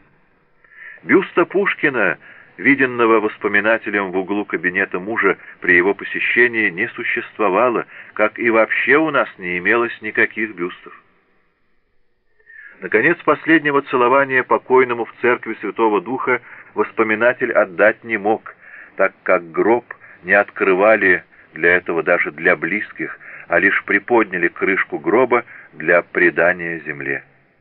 Словом, я предполагаю, что все это воспоминателю приснилось во сне, а он принял сон за действительность и напечатал в воспоминаниях. Впрочем, я очень признательна этому воспоминателю за то, что он не приписал моему мужу каких-нибудь дурных привычек, как сделал этот недавний воспоминатель Фирсов, поместивший в историческом вестнике за 1914 год июнь статью под названием «Из воспоминаний шестидесятника». Воспоминания известного писателя-переводчика и публициста Фирсова, выступавшего в печати под псевдонимом «Рускин Л», назывались в редакции журнала «Русское слово» из воспоминаний шестидесятника. Автор статьи видел Федора Михайловича во время своего пребывания в Старой Руси, где мой муж будто бы ежедневно приходил на вечернюю музыку и в глубокой задумчивости прогуливался, волоча ноги, вокруг военного оркестра, очевидно под влиянием музыки, обдумывая свои произведения, так как будто бы, приходя домой, он немедленно, опять-таки расхаживая по комнате, диктовал несколько страниц своего романа.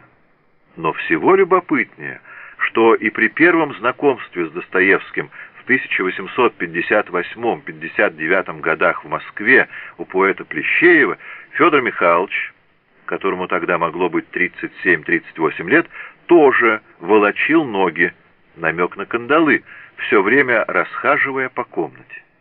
Тут что ни слово, то ложь. Федор Михайлович любил ходить пешком и мог ходить долго, но ног никогда не волочил, а ходил размеренно ступая, привычка, оставшаяся от его военной службы. Автор статьи не замечает несообразности своего описания. Волочат ноги лишь люди, страдающие ногами, а такие больные предпочитают сидеть на месте, а не разгуливать постоянно. В Старой Руси на музыке Федор Михайлович никогда не появлялся, а или заходил в читальню просмотреть газеты – или ходил в парке минеральных вод, всегда вдали от публики. Военного оркестра в Руси не существовало, а всегда имелся небольшой струнный оркестр, 10-12 человек, вдохновиться игрою которого навряд ли было возможно. Да и прогуливаться вокруг оркестра на виду собравшейся публики было бы нелепо, а в комическое положение мой муж себя никогда не ставил. Я спрашиваю себя, для чего воспоминателю понадобилось сочинить всю эту небылицу, приплетя к ней имя Достоевского? К моим воспоминаниям. Мне всю жизнь представлялось некоторого рода загадкою то обстоятельство, что мой добрый муж не только любил и уважал меня, как многие мужья любят и уважают своих жен, но почти преклонялся предо мною, как будто я была каким-то особенным существом, именно для него созданным. И это не только в первое время брака, но и во все остальные годы до самой его смерти. А ведь в действительности я не отличалась красотой, не обладала ни талантами, ни особенным умственным развитием, а образование было среднего, гимназического. И вот, несмотря на это, заслужила от такого умного и талантливого человека глубокое почитание и почти поклонение. Лица, читавшие письма моего незабвенного мужа ко мне, не сочтут мои слова за бахвальство. Примечание Достоевской. Эта загадка для меня несколько выяснилась, когда я прочла примечание Розанова к письму Страхова от 5 января 1890 года в книге «Литературные изгнанники». Выписываю то примечание – страница 208. Никто, ни даже друг исправить нас не сможет. Но великое счастье в жизни встретить человека совсем другой конструкции, другого склада, других всех воззрений, который, всегда оставаясь собою и немало не вторя нам, не подделываясь, бывает, к нам, и не впутываясь своею душою, и тогда притворную душою, в нашу психологию, в нашу путаницу, в нашу мочалку, являл бы твердую стену и отпор нашим глупостям и безумиям, какие у всякого есть. Дружба в противоречии, а не в согласии. Поистине Бог наградил меня как учителем Страховым, и дружба с Ним, отношения к Нему всегда составляли какую-то твердую стену, о которую я чувствовал, что всегда могу на нее опереться, или, вернее, к ней прислониться и она не уронит и согреет.